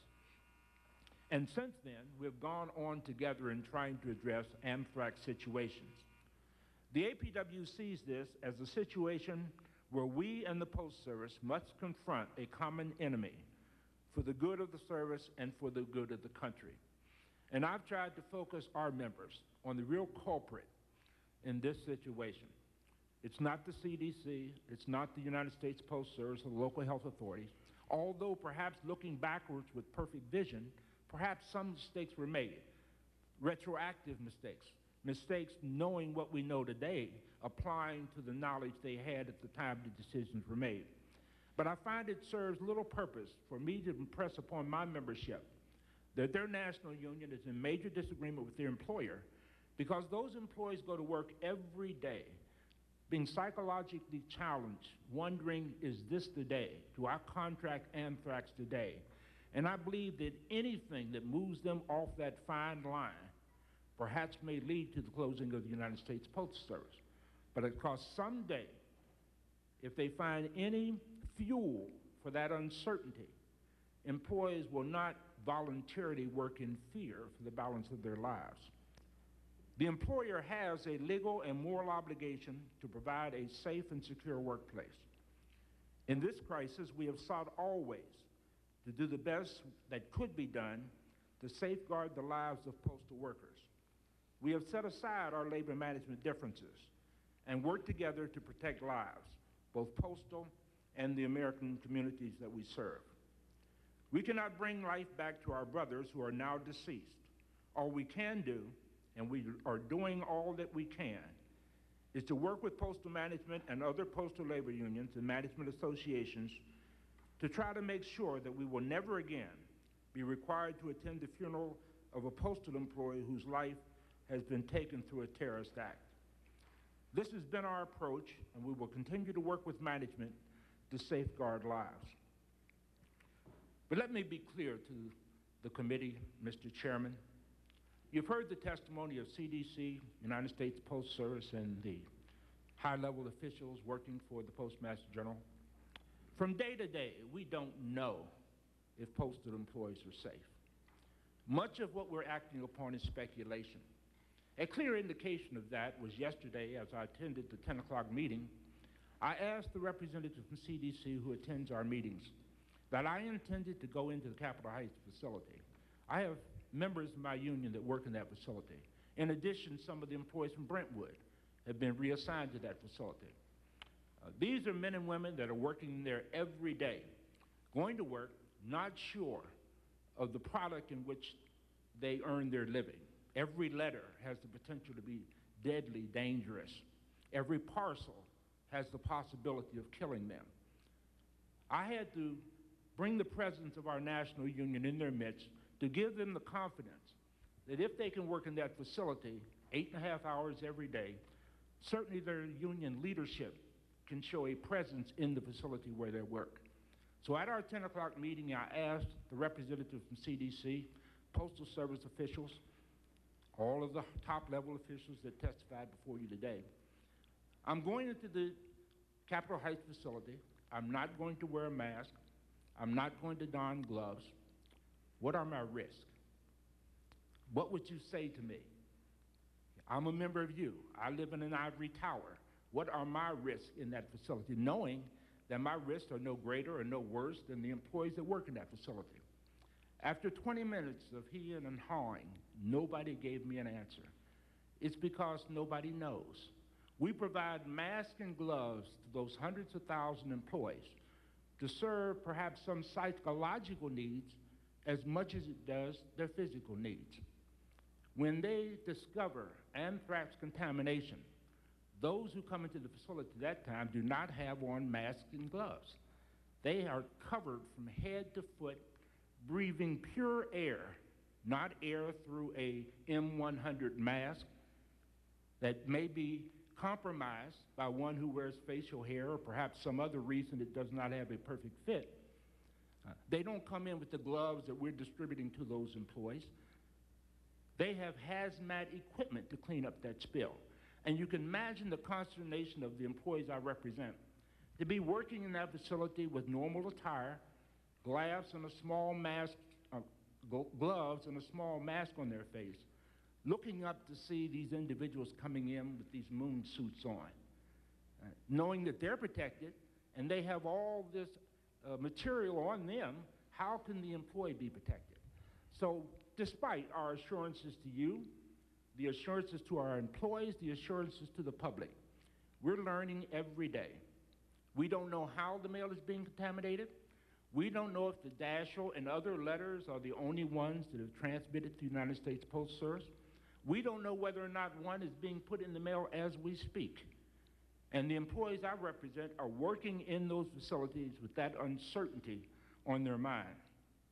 And as postal management public, publicly expresses its sorrow and concern for deceased postal workers and their families, they are simultaneously attempting to cut the wages and health benefits of these very employees, using the impact of anthrax as justification for these reductions. Now, nothing could be more cynical than that. This is institutional hypocrisy. Postal workers have been without a contract since November of 2000. Management has refused to negotiate a new labor agreement and now are seeking to impose cuts in wages and health benefits, and not just a simple cut. Cuts every year for four years. Successive cuts every year for a four-year period for individuals that are putting their life on the line every day to serve the American public. These are proposals management has advanced in bargaining before But this time they seem to hope that the anthrax crisis will give them an opportunity to achieve them. Excuse me, Mr. Burrus. Uh, let me say that uh, your, your statement is very powerful, and we do appreciate it. Would it be possible for you to summarize I the am. balance of it? Thank I'm- you, sir. I'm just about finished. Thank you, sir. The APW will not tolerate or accept this attempt to exploit this tragic situation to achieve this long-sought goal. This is not the time or place for me to go into these issues in any detail. I have called an emergency meeting of our executive board to prepare a response and to schedule a press conference. The focus of today's hearing should be and is safety of postal employees. This is our first and primary concern. Thank you for your attention. Thank you, Mr. Burrus. And as I said, that was a very, very powerful statement. Mr. Young? And if we could, gentlemen, I'm, I'm, I'm going to allow you extra time because I understand you've got an awful lot that you want to get off your chest. But if we could stay as close to the five-minute limit, we'd appreciate it. Thank you, sir. My name is William Young. I'm the Executive Vice President of the National Association of Letter Carriers. I'd like to thank you for holding this important hearing today. I know that you and the members of the committee will understand if I say that I really wish this hearing was not taking place. But given the current situation, we at the NALC appreciate your concern. The expressions of support that we have received over the last week and a half have been heart heartening. To every American, the sight of their letter carrier is a symbol of national community. It is familiar as virtually any image of our country. When the perpetrators embarked on this heinous attack, they could not have possibly imagined the strength and compassion of the American public. And I brought with me today, and I'd like to ask that it be entered into the record, Mr. Chairman, something that was hung on the, the board of the lo- in the lobby of the Brooklyn Post Office just this week. It's very short, and I'll read it. To our postal workers, we salute your courage, we salute your services. You are the newest soldiers in the war against terror. We sympathize with and pray for your stricken and fallen colleagues. Stay the course, a Brooklyn family. It's those kind of expressions, sir, that make it so easy for the members that I represent to be out on the street every day. We, we will put that in the record. Thank you very much. Now, Congress has expressed, and I won't get into any detail with this, but several of the members of the committee today, while I was sitting back listening, have expressed the importance of their mail because it keeps you in touch with the uh, constituents that you represent. We understand that, sir, uh, and, and that's why the members of my union, the members of Bill's union, and, and the other brothers represented here are working so hard to try to keep the mail flow up and running, even in these uh, very challenging times. But when we're confronted with a challenge of this magnitude that is wholly removed from anything we've seen before, the learning curve is pretty steep. The Postal Service and all the employee organizations have been able to disseminate timely information as it becomes available to us. It is no secret that our union has not always seen eye to eye with the Postal Service, but this unprecedented attack has been met with equally unprecedented levels of cooperation. Our national agreement, Article 14, Section 1 says it is the responsibility of management to provide safe working conditions in all present and future installations and to develop a safe working force. And from my point of view, sir, and from the point of view of the leadership of our union, the United States Postal Service is doing everything they can to meet that commitment. We have been forced to rethink the way we move mail. Serving more than 130 million delivery points six days a week requires a massive and extensive infrastructure, an infrastructure that will largely have to be revamped in the coming months. Our members have learned the hard way that they have to look for these new threats and that the country is relying on them for protection. I have great admiration for all of our members, especially those at the Brentwood facility here in Washington and in West Trenton. I'm extremely proud of the letter carriers there for the way that they have responded during this crisis. The New Jersey carriers are casing their mails in tents next to the building where they normally work, and I have another thing that I'd like to be asked entered in the record. It's a picture of those tents with our letter carriers in them performing that work, and it's objection. taken very recently. Every day for the last two weeks, we have gathered with other postal employee organizations and the Postmaster General at Post, Postal Service headquarters here to obtain and share the latest developments. We've heard from the CDC, law enforcement, and executive branch agencies in our efforts to understand the full magnitude of this situation. In addition to the videotape and other materials that have been distributed from postal headquarters, we at Letter Carriers have been working diligently to disseminate information to our membership. We've been regularly updating our website with the latest information. Our NALC bulletin is distributed and posted in 13,000 postal facilities, and we have been communicating almost on a daily basis with our 15 national business agents through our intranet system of computer. Last week, our national president, Vince Sombrotto, had the high privilege to meet in the Oval Office with President Bush, Governor Ridge, and Postmaster General Potter. The White House committed 175 million to deal with the immediate response, such as testing and distribution of antibiotics, the masks, and the gloves. The Postal Service is also using 200 million from its own security fund. However, there's still enormous expenses to be met, and the Postal Service will be seeking billions of dollars necessary to obtain and install equipment to sanitize the mail. These are funds that would otherwise go towards the purchase of machines through which mail at all processing facilities would pass would be cleansed of biological agents. This would prevent the transmission of anthrax, smallpox, or other infections through the mail. In addition to the actual expense of the purchase of these machines, each facility will need to be retrofitted to accommodate the new equipment and to ensure that employees are trained to operate them safely. It is important to note that the Postal Service is a self-funded entity and does not receive an appropriation. However, remember Congress does owe the Postal Service 957 million under the Revenue Foregone Act of 1993. Rather than being paid 29 billion, million a year over the next 42 years, as it, is, as it is currently written into the Act, the Postal Service needs that full amount now. Even that amount represents only a portion of the revenue lost as a result of recent events. These last couple of weeks have extracted a toll on our members and the Postal Service itself. Restoring the confidence of postal employees and the American public is of the utmost importance, not just for our national psyche, but because the Postal Service is an integral part of this country's economic infrastructure. Individuals and businesses rely on the Postal Service to receive and pay bills and securely send original documents. Keeping that system up and running is absolutely essential.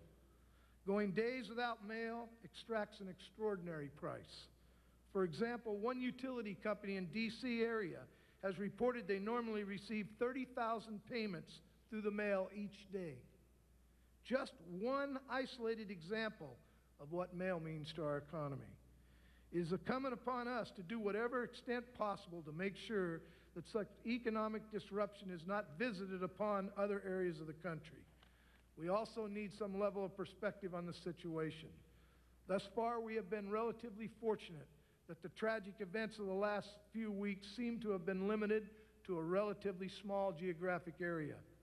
We also need to be vigilant because if the evildoers spread their poison elsewhere in the country, the result could be worse than it's been to this point. I would also like to note, Mr. Chairman, that this disaster has further highlighted the shortcomings of the 30-year-old law governing the Postal Service. Simply put, Postal Service needs greater flexibility, not just when disaster strikes, but on a daily basis. I commend you, sir, because I know you've been studying this issue, and I know you're, you're right on top of the needs here. Each year, the, the NALC honors our heroes of the year. These are, the letter carriers never cease to amaze me by demonstrating what they're capable of doing when confronted with adverse situations. Now every letter carrier must display that same type of heroism. They are the first line of protection for a large segment of the American population. I know they're up to the task, but they also have to know that they have the tools to take on this new challenge. Mr. Chairman, I wish to thank you and the members of this committee for your concern during this difficult time. Too often the work that we do goes unnoticed. In many ways, that serves as a silent tribute to the members of the NALC. Now that times have called for a more vocal expression of support, I'm glad that we're all speaking up. Thank you, sir. Thank you, and I can assure you that we're going to do everything we can to give the Postal Service and the postal workers every bit of help they need and equipment and everything else. Mr. Baffa? Mr. Chairman, members of the committee, my name is Gus Baffa. I am the newly elected president of the 100,000 plus National Rural Letter Carrier Association. I have submitted my statement and requested it become part of the record. I also would like to make a brief oral statement. There aren't any rural carriers in New York City. There are approximately 30 to 40 rural carriers in the Trenton facilities, and many rural carriers are served through the Brentwood facility. On September 11th, this country was attacked by terrorists in New York, Pennsylvania, and right here at the Pentagon. And what happened as a result of that is this country became united. Recently, a person or persons unknown have utilized the Postal Service as a vehicle to send their weapon of anthrax through the mail. That is an attack on the Postal Service and the postal family, and we are now united. Postal Service has attempted to do its very best during this crisis. There is no playbook to follow. This is a road none of us have been down before. It doesn't matter if we are referring to a rural carrier, a city carrier, a mail handler, a clerk, the PMG, the FBI, or the Center for Disease Control. It's new to all of us. Postal workers are part of the army of foot soldiers in this war against terrorism and getting back to normalcy. As our president said, we must continue life as normal. Our members are doing that every day. We are reporting to work, we are casing the mail, we are putting it in our vehicles, and we are delivering it. Sure, some are very worried. As a Kentucky rural carrier said on a national public radio interview when asked if anything had changed, he replied, definitely. Now when I come home each day, instead of picking up my three-year-old daughter, who is waiting to give me a welcome kiss with her arms outstretched, I need to take a shower first. At this time of extreme anxiety, Postmaster General Potter and postal employees across the country have stepped up to the plate to ensure continued delivery of our nation's mail. It is now time for Congress to step up to the plate by appropriating the sums necessary to ensure safe and ongoing mail delivery, and by passing postal reform legislation to ensure that the Postal Service can function safely and effectively in the 21st century. Thank you. Thank you, Mr. Baffa. Mr. Quinn? Mr. Chairman and distinguished members of the committee, my name is Billy Quinn. I'm the national president of the National Postal Mail Handlers Union. On behalf of the over 50,000 union mail handlers employed by the United States Postal Service, I appreciate the opportunity to testify about the challenges of safety and security that currently are being faced by the United States Postal Service and all postal employees. The mail handlers we represent are an essential part of the mail processing and distribution network utilized by the Postal Service to move more than 200 billion pieces of mail each year. Mail handlers work in all of the nation's large postal plants and are responsible for loading and unloading trucks, transporting mail within a facility, preparing the mail for distribution and delivery, operating a host of machinery and automated equipment, and containerizing mail for subsequent delivery. Our members generally are the first and last employees to handle the mail as it comes to, goes through, and leaves most postal plants. Our paramount concern is the safety of postal employees, including all mail handlers. To this end, we have been active participants in the Mail Security Task Force that has been established by postal management and includes representatives of all unions and employee associations. That task force is implementing plans to prevent infection by anthrax or other biological agents that may be sent through the mails. Among other issues, the task force is addressing the need to close affected facilities until they can be certified as safe for all employees. The distribution of necessary antibiotics to postal employees, the distribution and use of masks and gloves that may be helpful in preventing anthrax infections, the development and delivery of safety training programs, and the development of revised cleaning methods for mail processing equipment. The task force also is looking to the future and is considering a host of issues such as anthrax vaccines and irradiation of the mail. I must say, however, the task force is having great difficulty keeping up with the news and information cycle that has developed around the anthrax issue. And even when the task force has current and accurate information, the timely dissemination of that information to more than 800,000 postal employees and thousands of postal facilities is extremely difficult.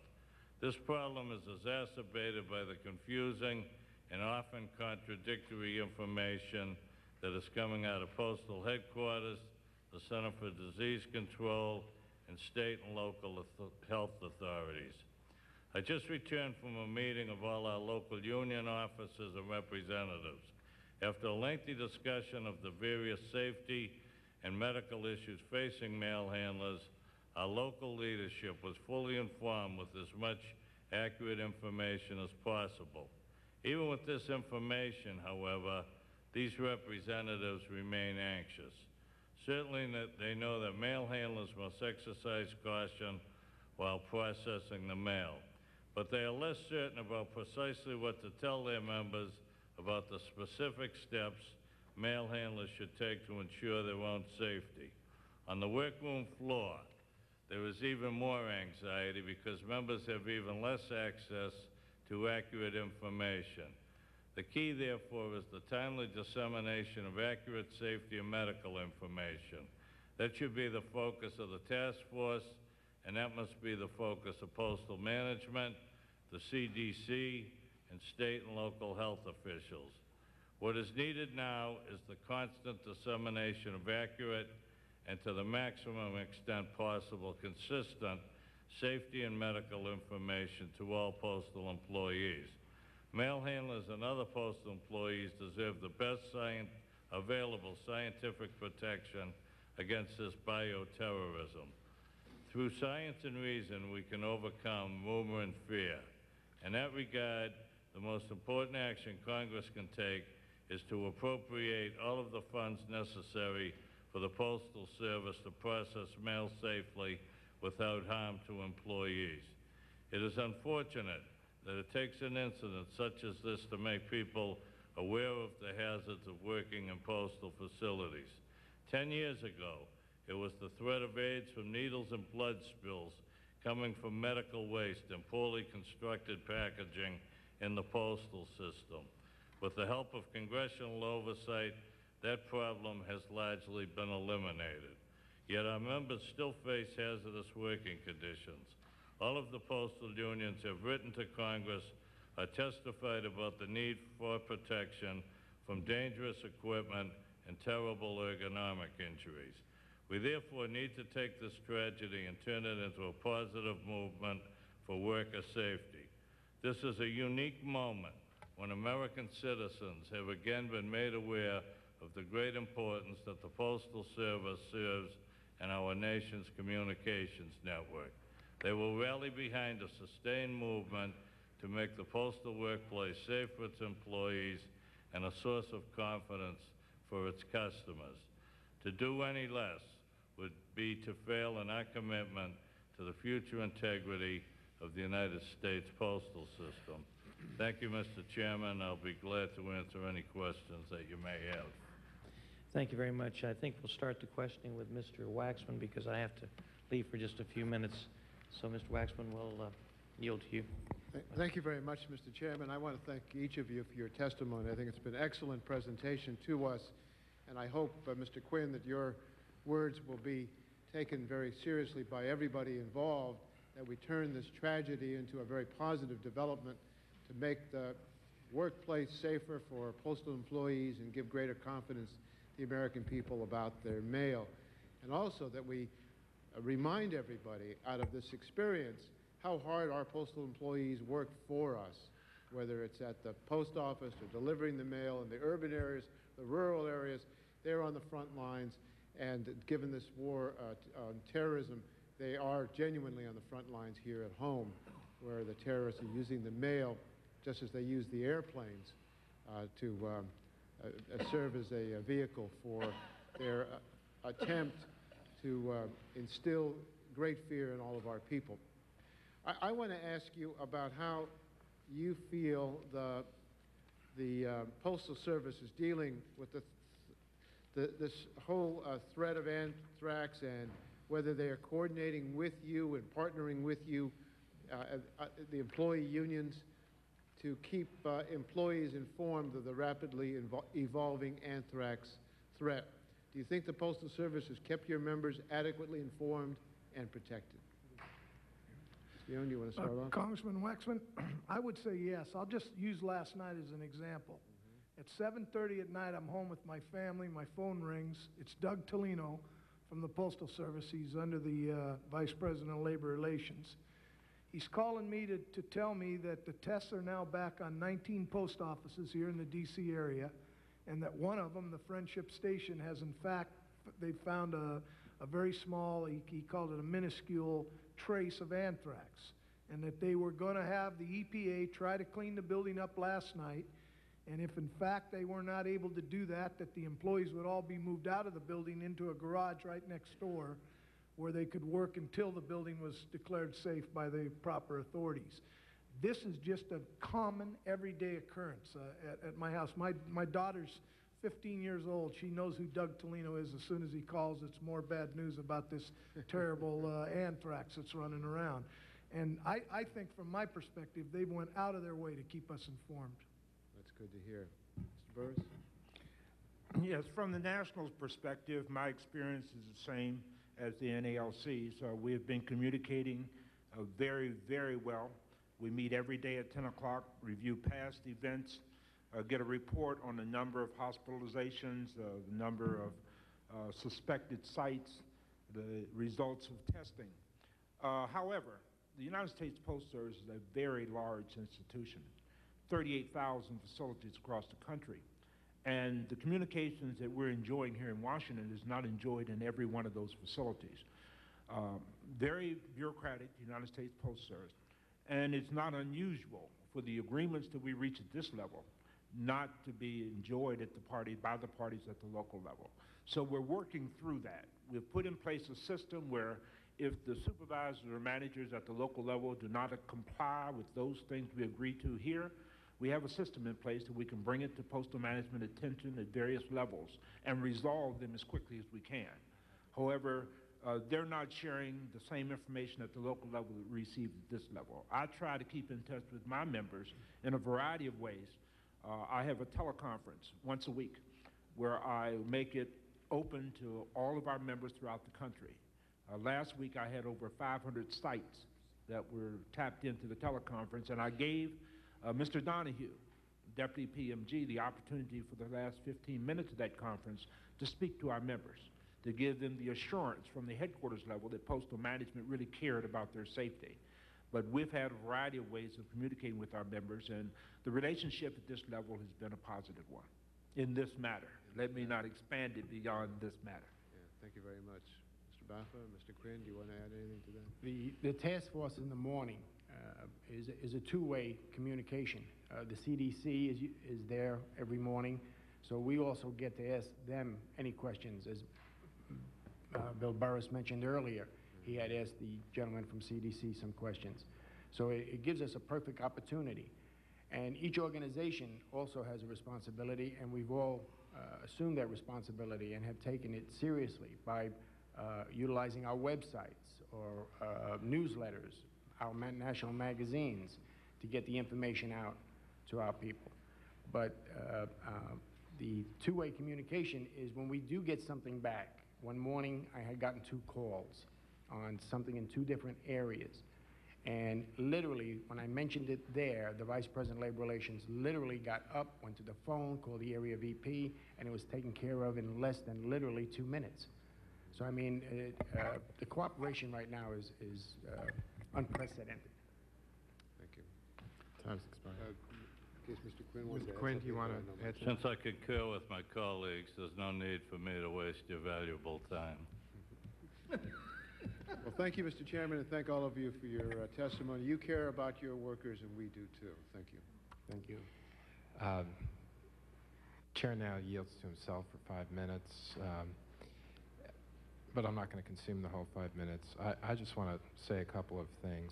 Uh, my father uh, was uh, more than 30 years as a clerk with the uh, Levittown Post Office, and uh, from this member of Congress, I just want to say to all of you how much we appreciate the rank and file and their willingness to go to work. Several of you have mentioned the word anxiety, and I just want you all to know you're not alone in that area of anxiety. Uh, we have staff that are anxious. Uh, we have meetings of just members, and the members are anxious. We've been targeted too. Uh, so we're all in this boat together. Um, and it's okay to be anxious. Um, but I want you to know how pleased I am uh, at the attitude of the postal workers. And I've talked to some of them myself in my district and uh, in this area, in the Washington, D.C. area. And I'm impressed. People want to uh, carry on. They know uh, that the risks uh, are there, but the risks are low, and the intention is to put fear in our hearts. Uh, this is a psychological game. It's a great tragedy to lose one postal worker, um, but, and, and as we all know, we've lost two. Um, but most of the postal workers are quite safe, and we know that. Um, but the real victory for these terrorists if they, is if they can put so much fear in the hearts of the American people and the postal workers that they'll stop working. Now, I think very clearly there's more we can do, and I've heard the message loud and clear. The Postal Service is going to need some help uh, in dealing with this crisis, and the ranking member and the chairman are, are ready to work with all the members of the committee and, and, and your unions to uh, make sure that we're able to keep the mail moving. It is critical to the economy. Mr. Young, I'm glad you focused on that because um, this is a huge, huge issue for our economy. So I want to thank you all for your uh, testimony and the work you're doing. And um, I now yield to the gentlelady from uh, the District of Columbia, Mrs. Norton. Thank you very much, Mr. Chairman. Um, if I could just thank the four leaders, postal union leaders who have given such important testimony today. Um, I don't think it is hyperbole to say that you and your workers are regarded as heroic in this country. And I can certainly say that from the town meeting I had last night, where um, over 500 people came, most of them, of course, not um, postal workers or letter carriers, but a fair number of them were. I got to speak with uh, the experts from the CDC and the post office um, who were there to be uh, questioned. Um, just let me say that I think it should go without, without being said that at the very least, the post office, which faced a fairly substantial deficit, should be made whole. That is to say, no worse off than you would have been had this tragedy not occurred. You are no different from the airlines.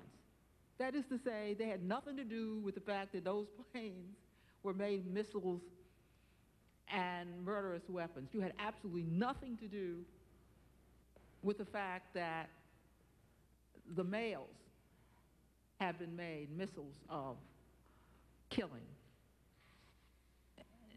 Just as people had to get um, medicine without cost to them, it, it seems clear to me that you should be put back at least where you were. And I certainly hope that does not become a controversial matter in, in this Congress, and frankly, I think it cannot and will not. I want to ask your advice. Um, at the town meeting last night, uh, there was not a lot of so, uh, solidarity, as you might imagine, with the postal management. You know, people don't, don't readily identify with whoever managers are. It was a hell of a lot of solidarity with the postal workers. Um, Tonight, I am sending staff to the Friendship Heights community. Now, not a single person in that community I, who will be at that meeting, I bet you, works for the Postal Service. But I would appreciate, I, I, we need your help on how to transfer some of your courage to the average citizen. Because they think what the postal workers are doing is absolutely unbelievable. They see you going to work in tents. They see you going. They see the pictures of the masks. Uh, they see their letter carrier every, every day. When they don't get their mail, they know why they're not getting it. They miss their le letter carrier. Some of them have only a letter carrier in their lives. Um, they identify with, with the mail handlers and the postal workers.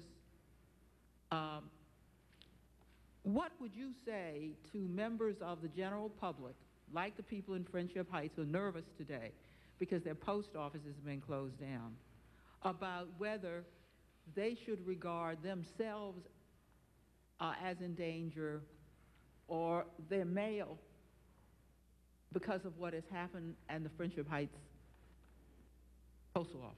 I mean, how will, they will, you have more credibility the, based on what I saw last night, to speak to them than anybody in this Congress or, uh, bless their hearts, anybody in management. What should my staff say to them?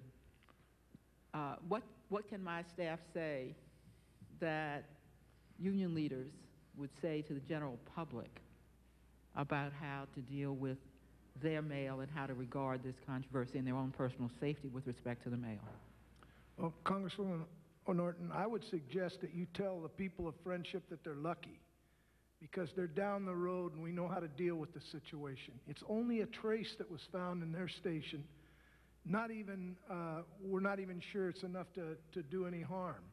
But the right thing's happening there. The station's being closed down, it's being sanitized, and, and, that will remove the risk. So uh, my, my, if I was to go out there with you, what I'd be telling the, the uh, letter carriers out there is that they were fortunate, that they, they had learned from the other mistakes that had been made, the, the fatal mistakes, to be honest with you, in Brentwood, and that now the Postal Service was doing the right thing, and that that risk was greatly diminished because the right thing was being done.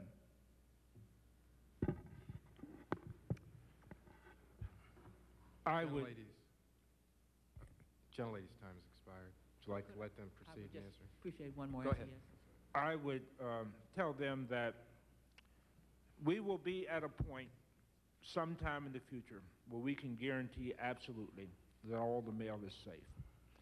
In the interim, we must tell them that we cannot let the terrorists win.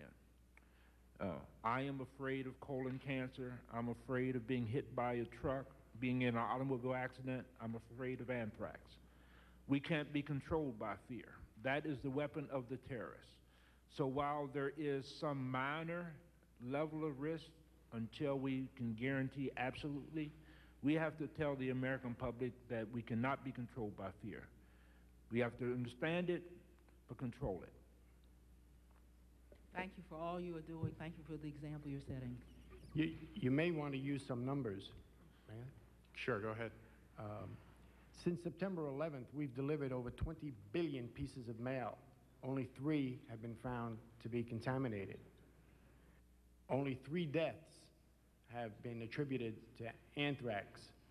Uh, the prediction from the CDC, I believe, is 20,000 people will die from the flu this coming flu season.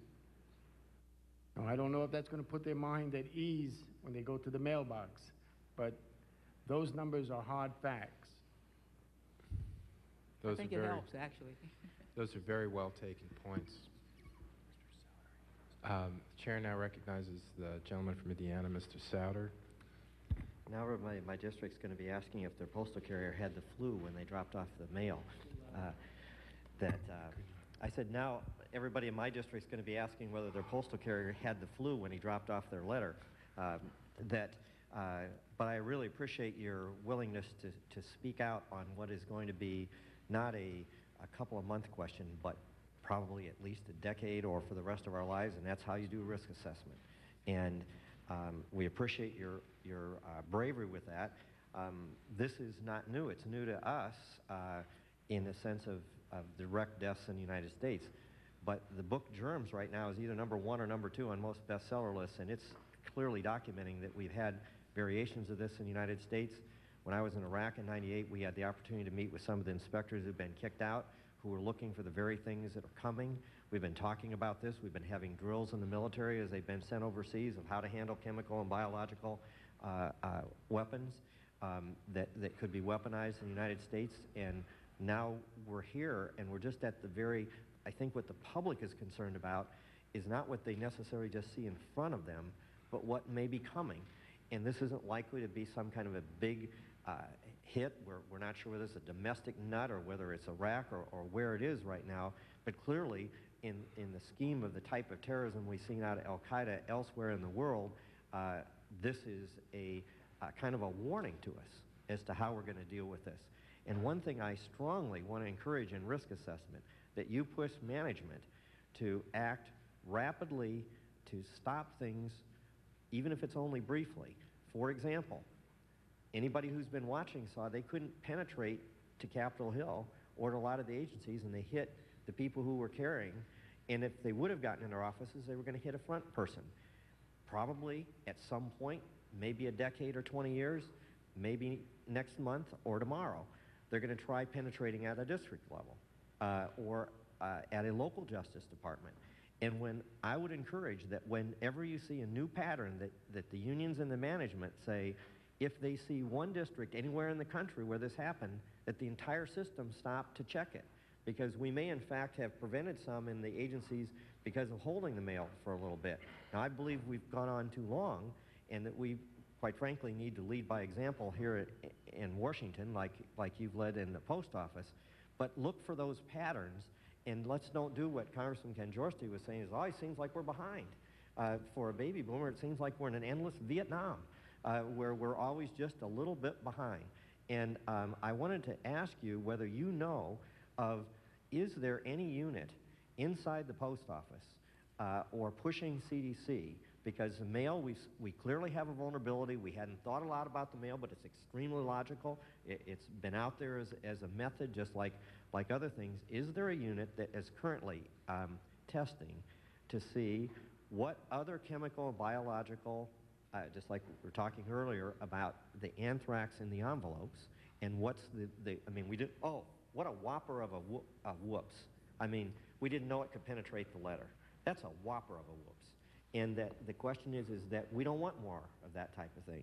Is there a unit that is looking at other chemical and biological as to how they could work through the mail system? Uh, okay, we have masks now that can treat this one type of thing. What other things may be coming?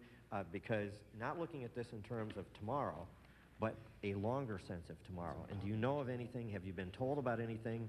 And if not, we ought to be looking at that, trying to figure out what other ways to research to make every letter carrier as safe as possible, knowing that perfection is impossible.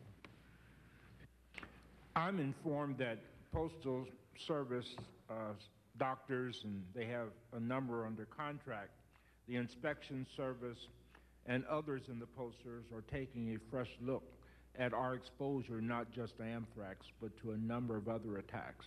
I understand, I don't know if they had undertaken those type of activities before anthrax or not, but I am assured that presently they have. So yes, they are. We are not involved in those activities. Uh, we're just reacting to anthrax, uh, the labor unions. But uh, the Post Service is embarking on some studies, some other issues. In your, in your committees, for example, if we buy 2.5 billion in new equipment, is that equipment all geared to anthrax or is it going No, no, that would be geared to all bacteria, all organisms, organisms anything that comes through smallpox, uh, anthrax, diphtheria, anything that comes through will be killed. Anybody else have any comments on this? I encourage you to, to stay aggressive with it uh, because you're the frontline defense representing your uh, workers. Thank you. The chair now recognizes the gentlelady from New York, Mrs. Maloney. Thank, thank you, Mr. Chairman, and thank you for your testimony and, and for your leadership as a New Yorker, I can tell you that since September 11th, there have been many heroes, certainly New York's uh, finest, uh, New York's bravest, uh, but now everyone's talking about the postal workers who are going about their business under very challenging and, and difficult times.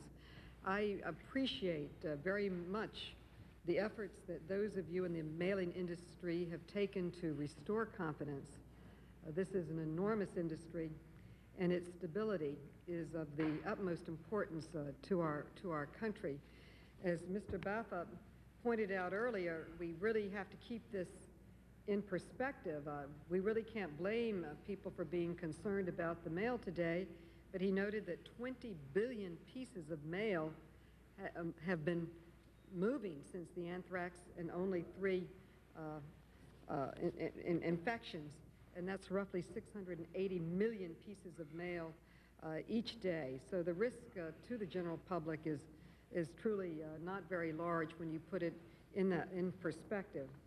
I, I, I would like to ask uh, you or, or any of you to comment, what else could we be doing to make your workers safe and to ease their fears? Do you mean Congress, Postal Service, or the unions? The- the- the- What, what could we in Congress be doing to help the workers, to ease their fears, to, to make it safer for them? Well, you could advance the, the funds that the Post Service will be so dep- desperately in need of. Uh, as long as money is at issue, then the Post Service is going to be stretched in terms of how much protection they can provide to the employees. The 175 million that has been advanced to date uh, has been very helpful in terms of purchasing some of the uh, protective equipment that postal employees need. But before we're through with this, they're going to need a whole lot more than 175 million. So I believe that Congress could be directly involved in appropriating sufficient monies. Uh, you demand of us universal service. We have to deliver to every American, no matter where they live, provide forwarding services, number of other services that a good business would not perform at a universal rate. So recognizing that, that we perform services as an arm of the United States government, in these times they will need additional financing, funding, and I would request that Congress keep an open ear in regards to requests that will be coming to the Hill. Uh, There's something else you can do that's a lot simpler than giving us money, and we do need the money. Uh, I bumped into a senator here in town earlier in the week, and I, it was just at the time when the Senate was starting to reopen most of their facilities. And I just mentioned to the senator in passing how encouraging that is to our members to see you all back in business. Now, look, I don't want anybody here to take any unnecessary risk, and I want to make that clear. But that double standard thing that was talked about earlier, it's out there. And our members look at that, and they do feel like they're being treated in a lesser manner than you all are being treated. And, and, and I just think to the extent that you can safely get back to your business, that's a, that's a pretty simple thing for you all to do. I know it takes cleaning it up and everything, but I mean, I want you to all appreciate how much that says to our members who are out there every day and have been out there every day to see you all back in business and function in your, in your capacities here. So as soon as it's safe to do that, I'd encourage you all to do exactly that.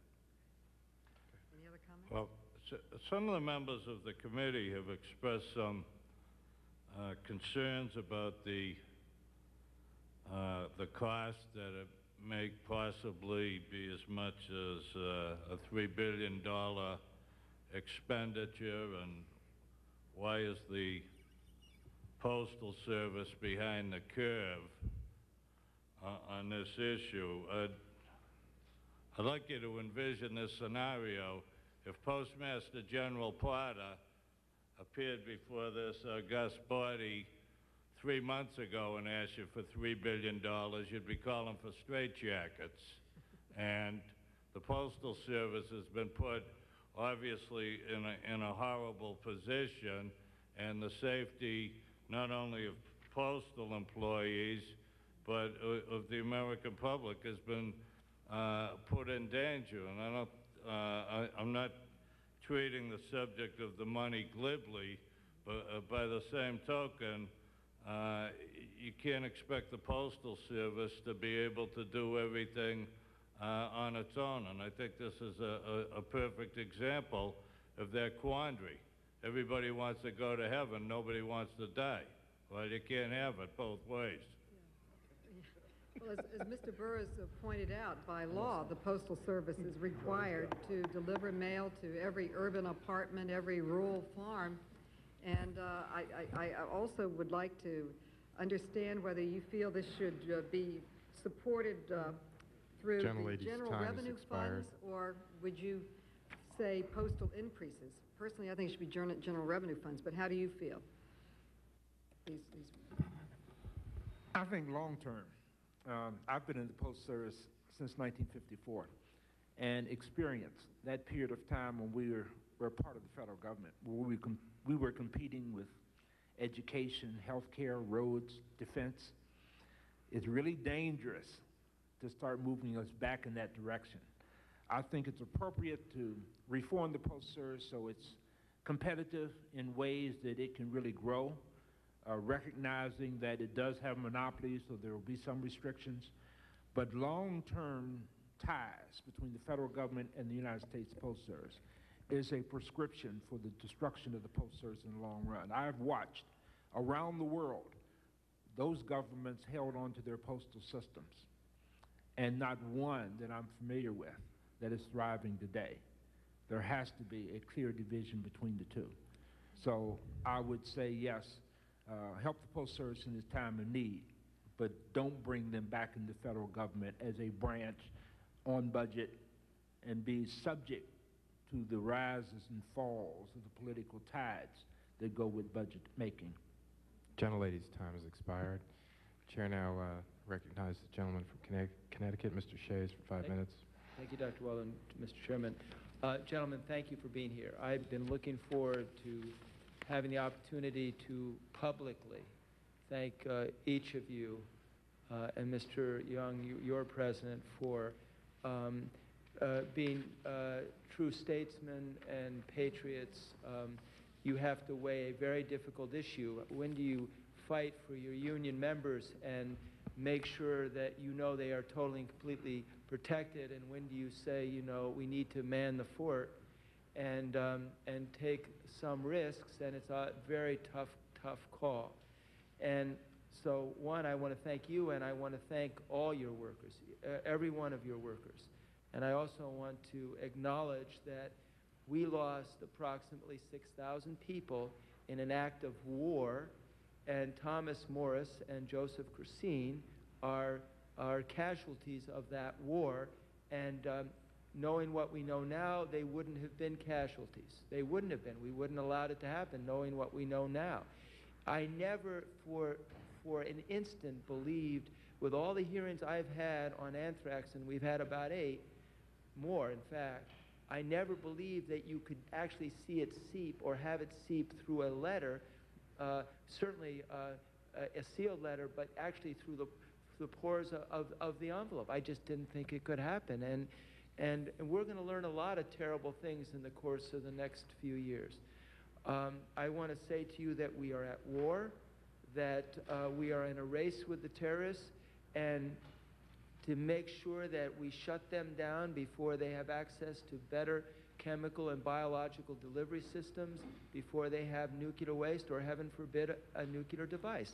That is the reality. And if we all know that, we know why we're fighting this war. And I also want to say to you publicly that when I went to Ground Zero, what touched me as a member who represents probably the wealthiest district in the country, except maybe for Henry's, um, I have a lot of white collar workers and obviously a number of blue collar. I don't have as many uniformed workers, so called. But it was touching for me to see my white collar workers uh, manning the stations to hand out gloves and protective gear and medicine and food to the blue collar workers, the uniform workers, because my constituents uh, came to grips with the fact of how grateful we are for all the service employees who serve our country. And they just wanted to be a part of what they were doing and knew they couldn't because they didn't have the skills. We needed the uniform workers to do that. And I'm using my time to question to just say that, but in my request for the chairman to have this meeting, I wanted to publicly acknowledge the loss of two people, to tell you that I regret that we didn't see it happen, um, and to, to thank you for the tough call that you have to make You haven't demagogued this issue. You haven't done all the things that you could have done. And then to just publicly say to you, if it's an issue between 2 million or 3 billion, I consider it a time of war. And your men and women are uh, one of the first line of defense. Uh, they are part of this army to fight terrorism. And I believe that the question during time of war is, what does it take to protect our army, your workers? And I think that you will see bipartisan and bicameral and, and bi-branch support uh, from you all, for you all, and that you have earned a lot of credibility with all three branches of government, uh, even the judicial branch, frankly. Um, not that I can speak for that branch, but so um, I apologize for not having a question. I'm happy to to use my five seconds if you want to make a comment, but God bless each and every one of you and all your workers. Thank you. Mr. Davis. Thank you very much, Mr. Chairman. I know it's been a long day, and we're about at the end of it. Let me just uh, join with all of those who have expressed a tremendous amount of gratitude to not only each one of you, but each one of you as well as the men and women that you represent who make up the membership of your unions.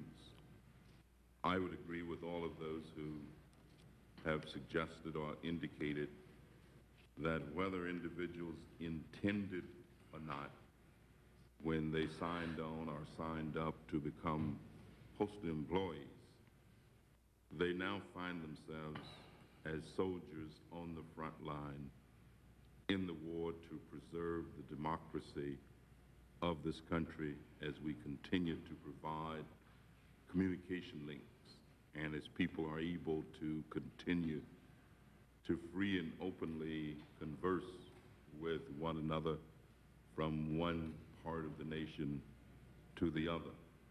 We've gone through the discussion in terms of whether or not there may have been perceptions of, of, of, of different standards, whether or not there has been reaction that, that was quickly enough. And we've looked at all of the other components of, of what have us in this grip. But I want to commend you for putting the health and safety of your members first and foremost above everything else.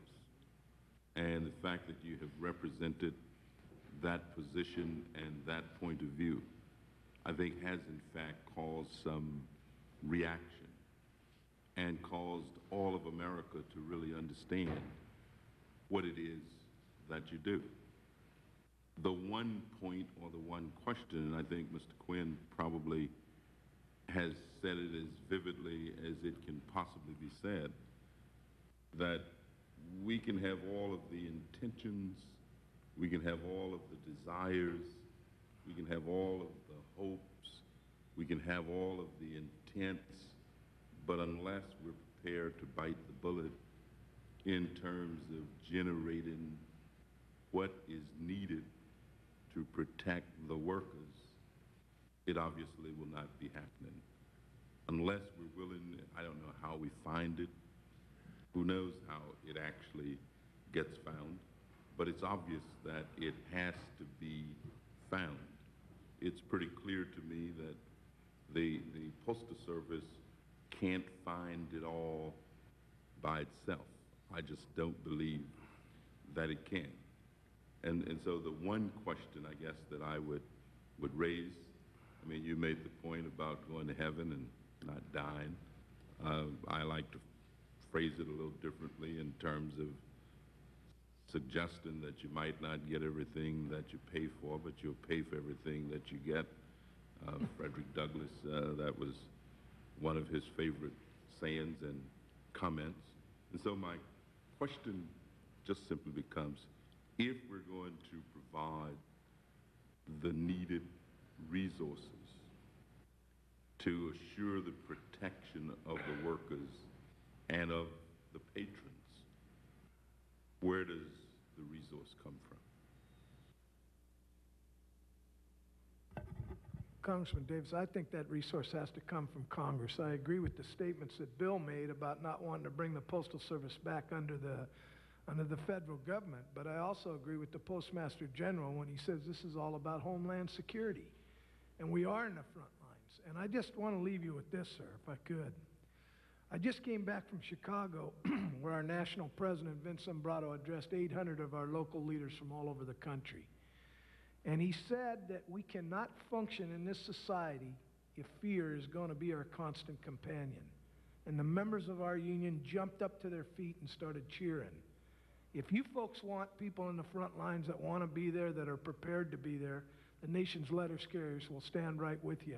We just ask that you give us the tools that we need to do so.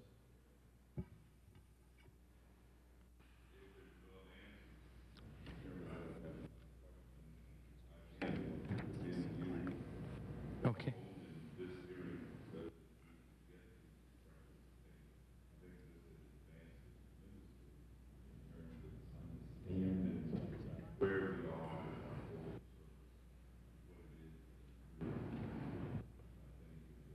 Well, thank you, Mr. Davis, for all the hard work you put in on postal reform and everything else. Mr. Clay? Thank you, Mr. Chairman. I realize that the hour is upon us. and I appreciate the opportunity to ask uh, a few questions of the panel. Let me first thank the panel uh, for, for being here today uh, and showing um, your interest in this issue as well as uh, uh, representing those 38,000 postal employees that, that work hard every day uh, throughout this country. Uh, let me ask you about the Brentwood situation because I'm, I'm really concerned about the safety and the health of those post, uh, those men and women that go to the postal system uh, every day. Uh, the Postmaster General has stated that he relied on the advice of the CDC in determining whether to have postal workers from the Brentwood facility tested for exposure to anthrax. Uh, postal workers were not encouraged to undergo testing until Sunday, October the 21st, six days after the letter to Senator Daschle was shown to contain anthrax. Was the CDC on top of the Brentwood situation? Uh, Mr. Barrett, perhaps you could answer that. I would believe it unfair to evaluate the Postal Service, CDC, local health authorities, or anyone else applying today's knowledge to an evolving situation that occurred some three weeks ago. If I had known three weeks ago what I knew today, I'd be a very wealthy man.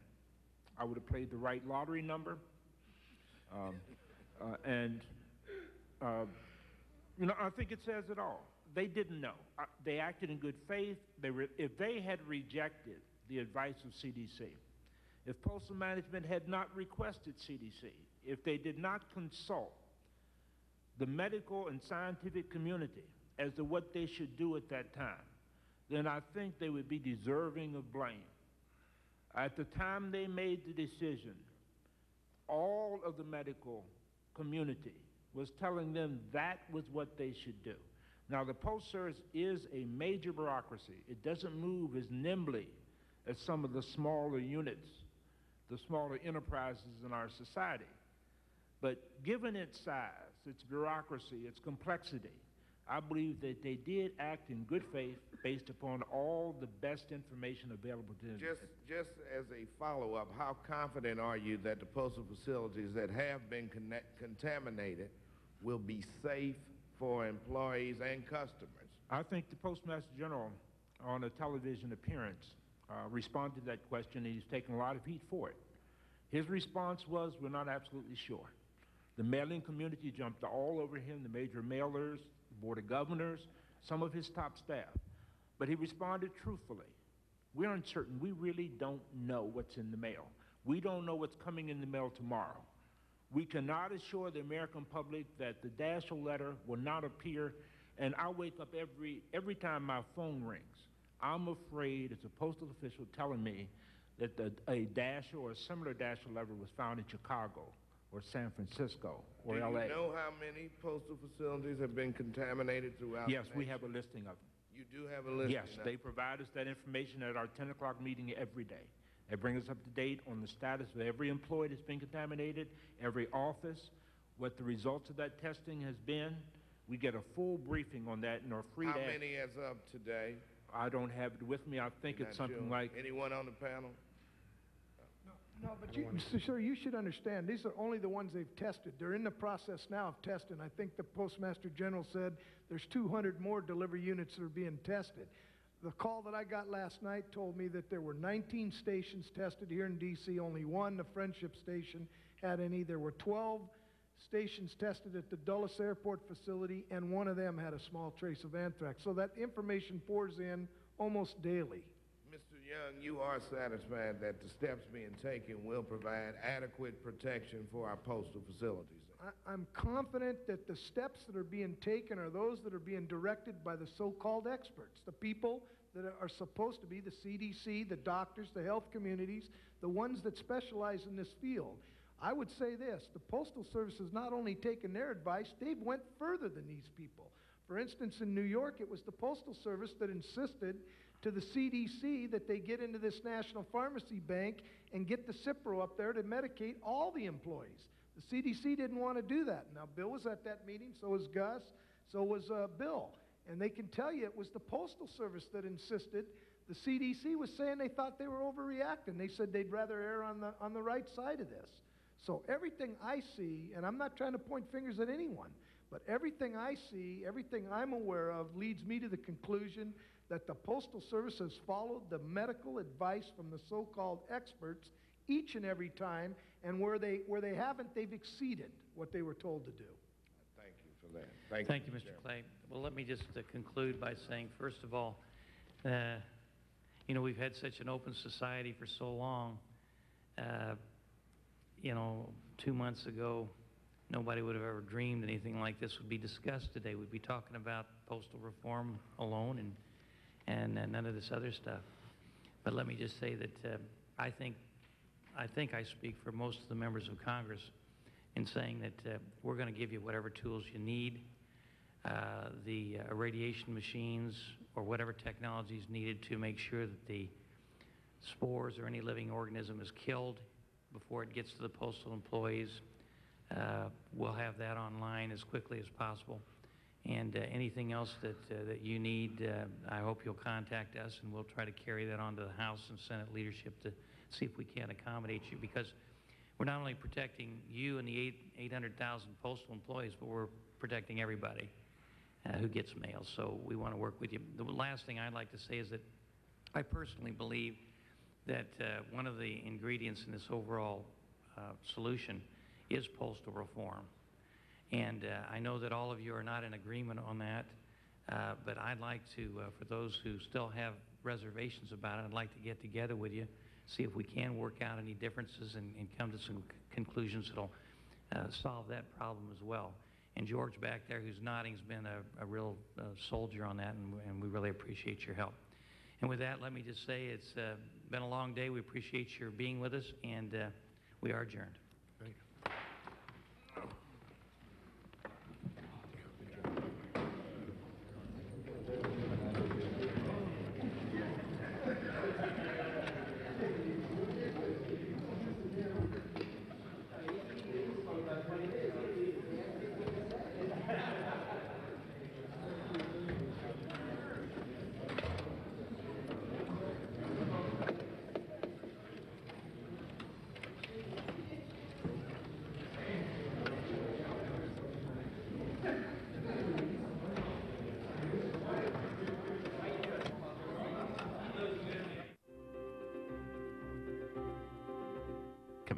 C-SPAN, part of a House hearing on the Aviation Security Bill.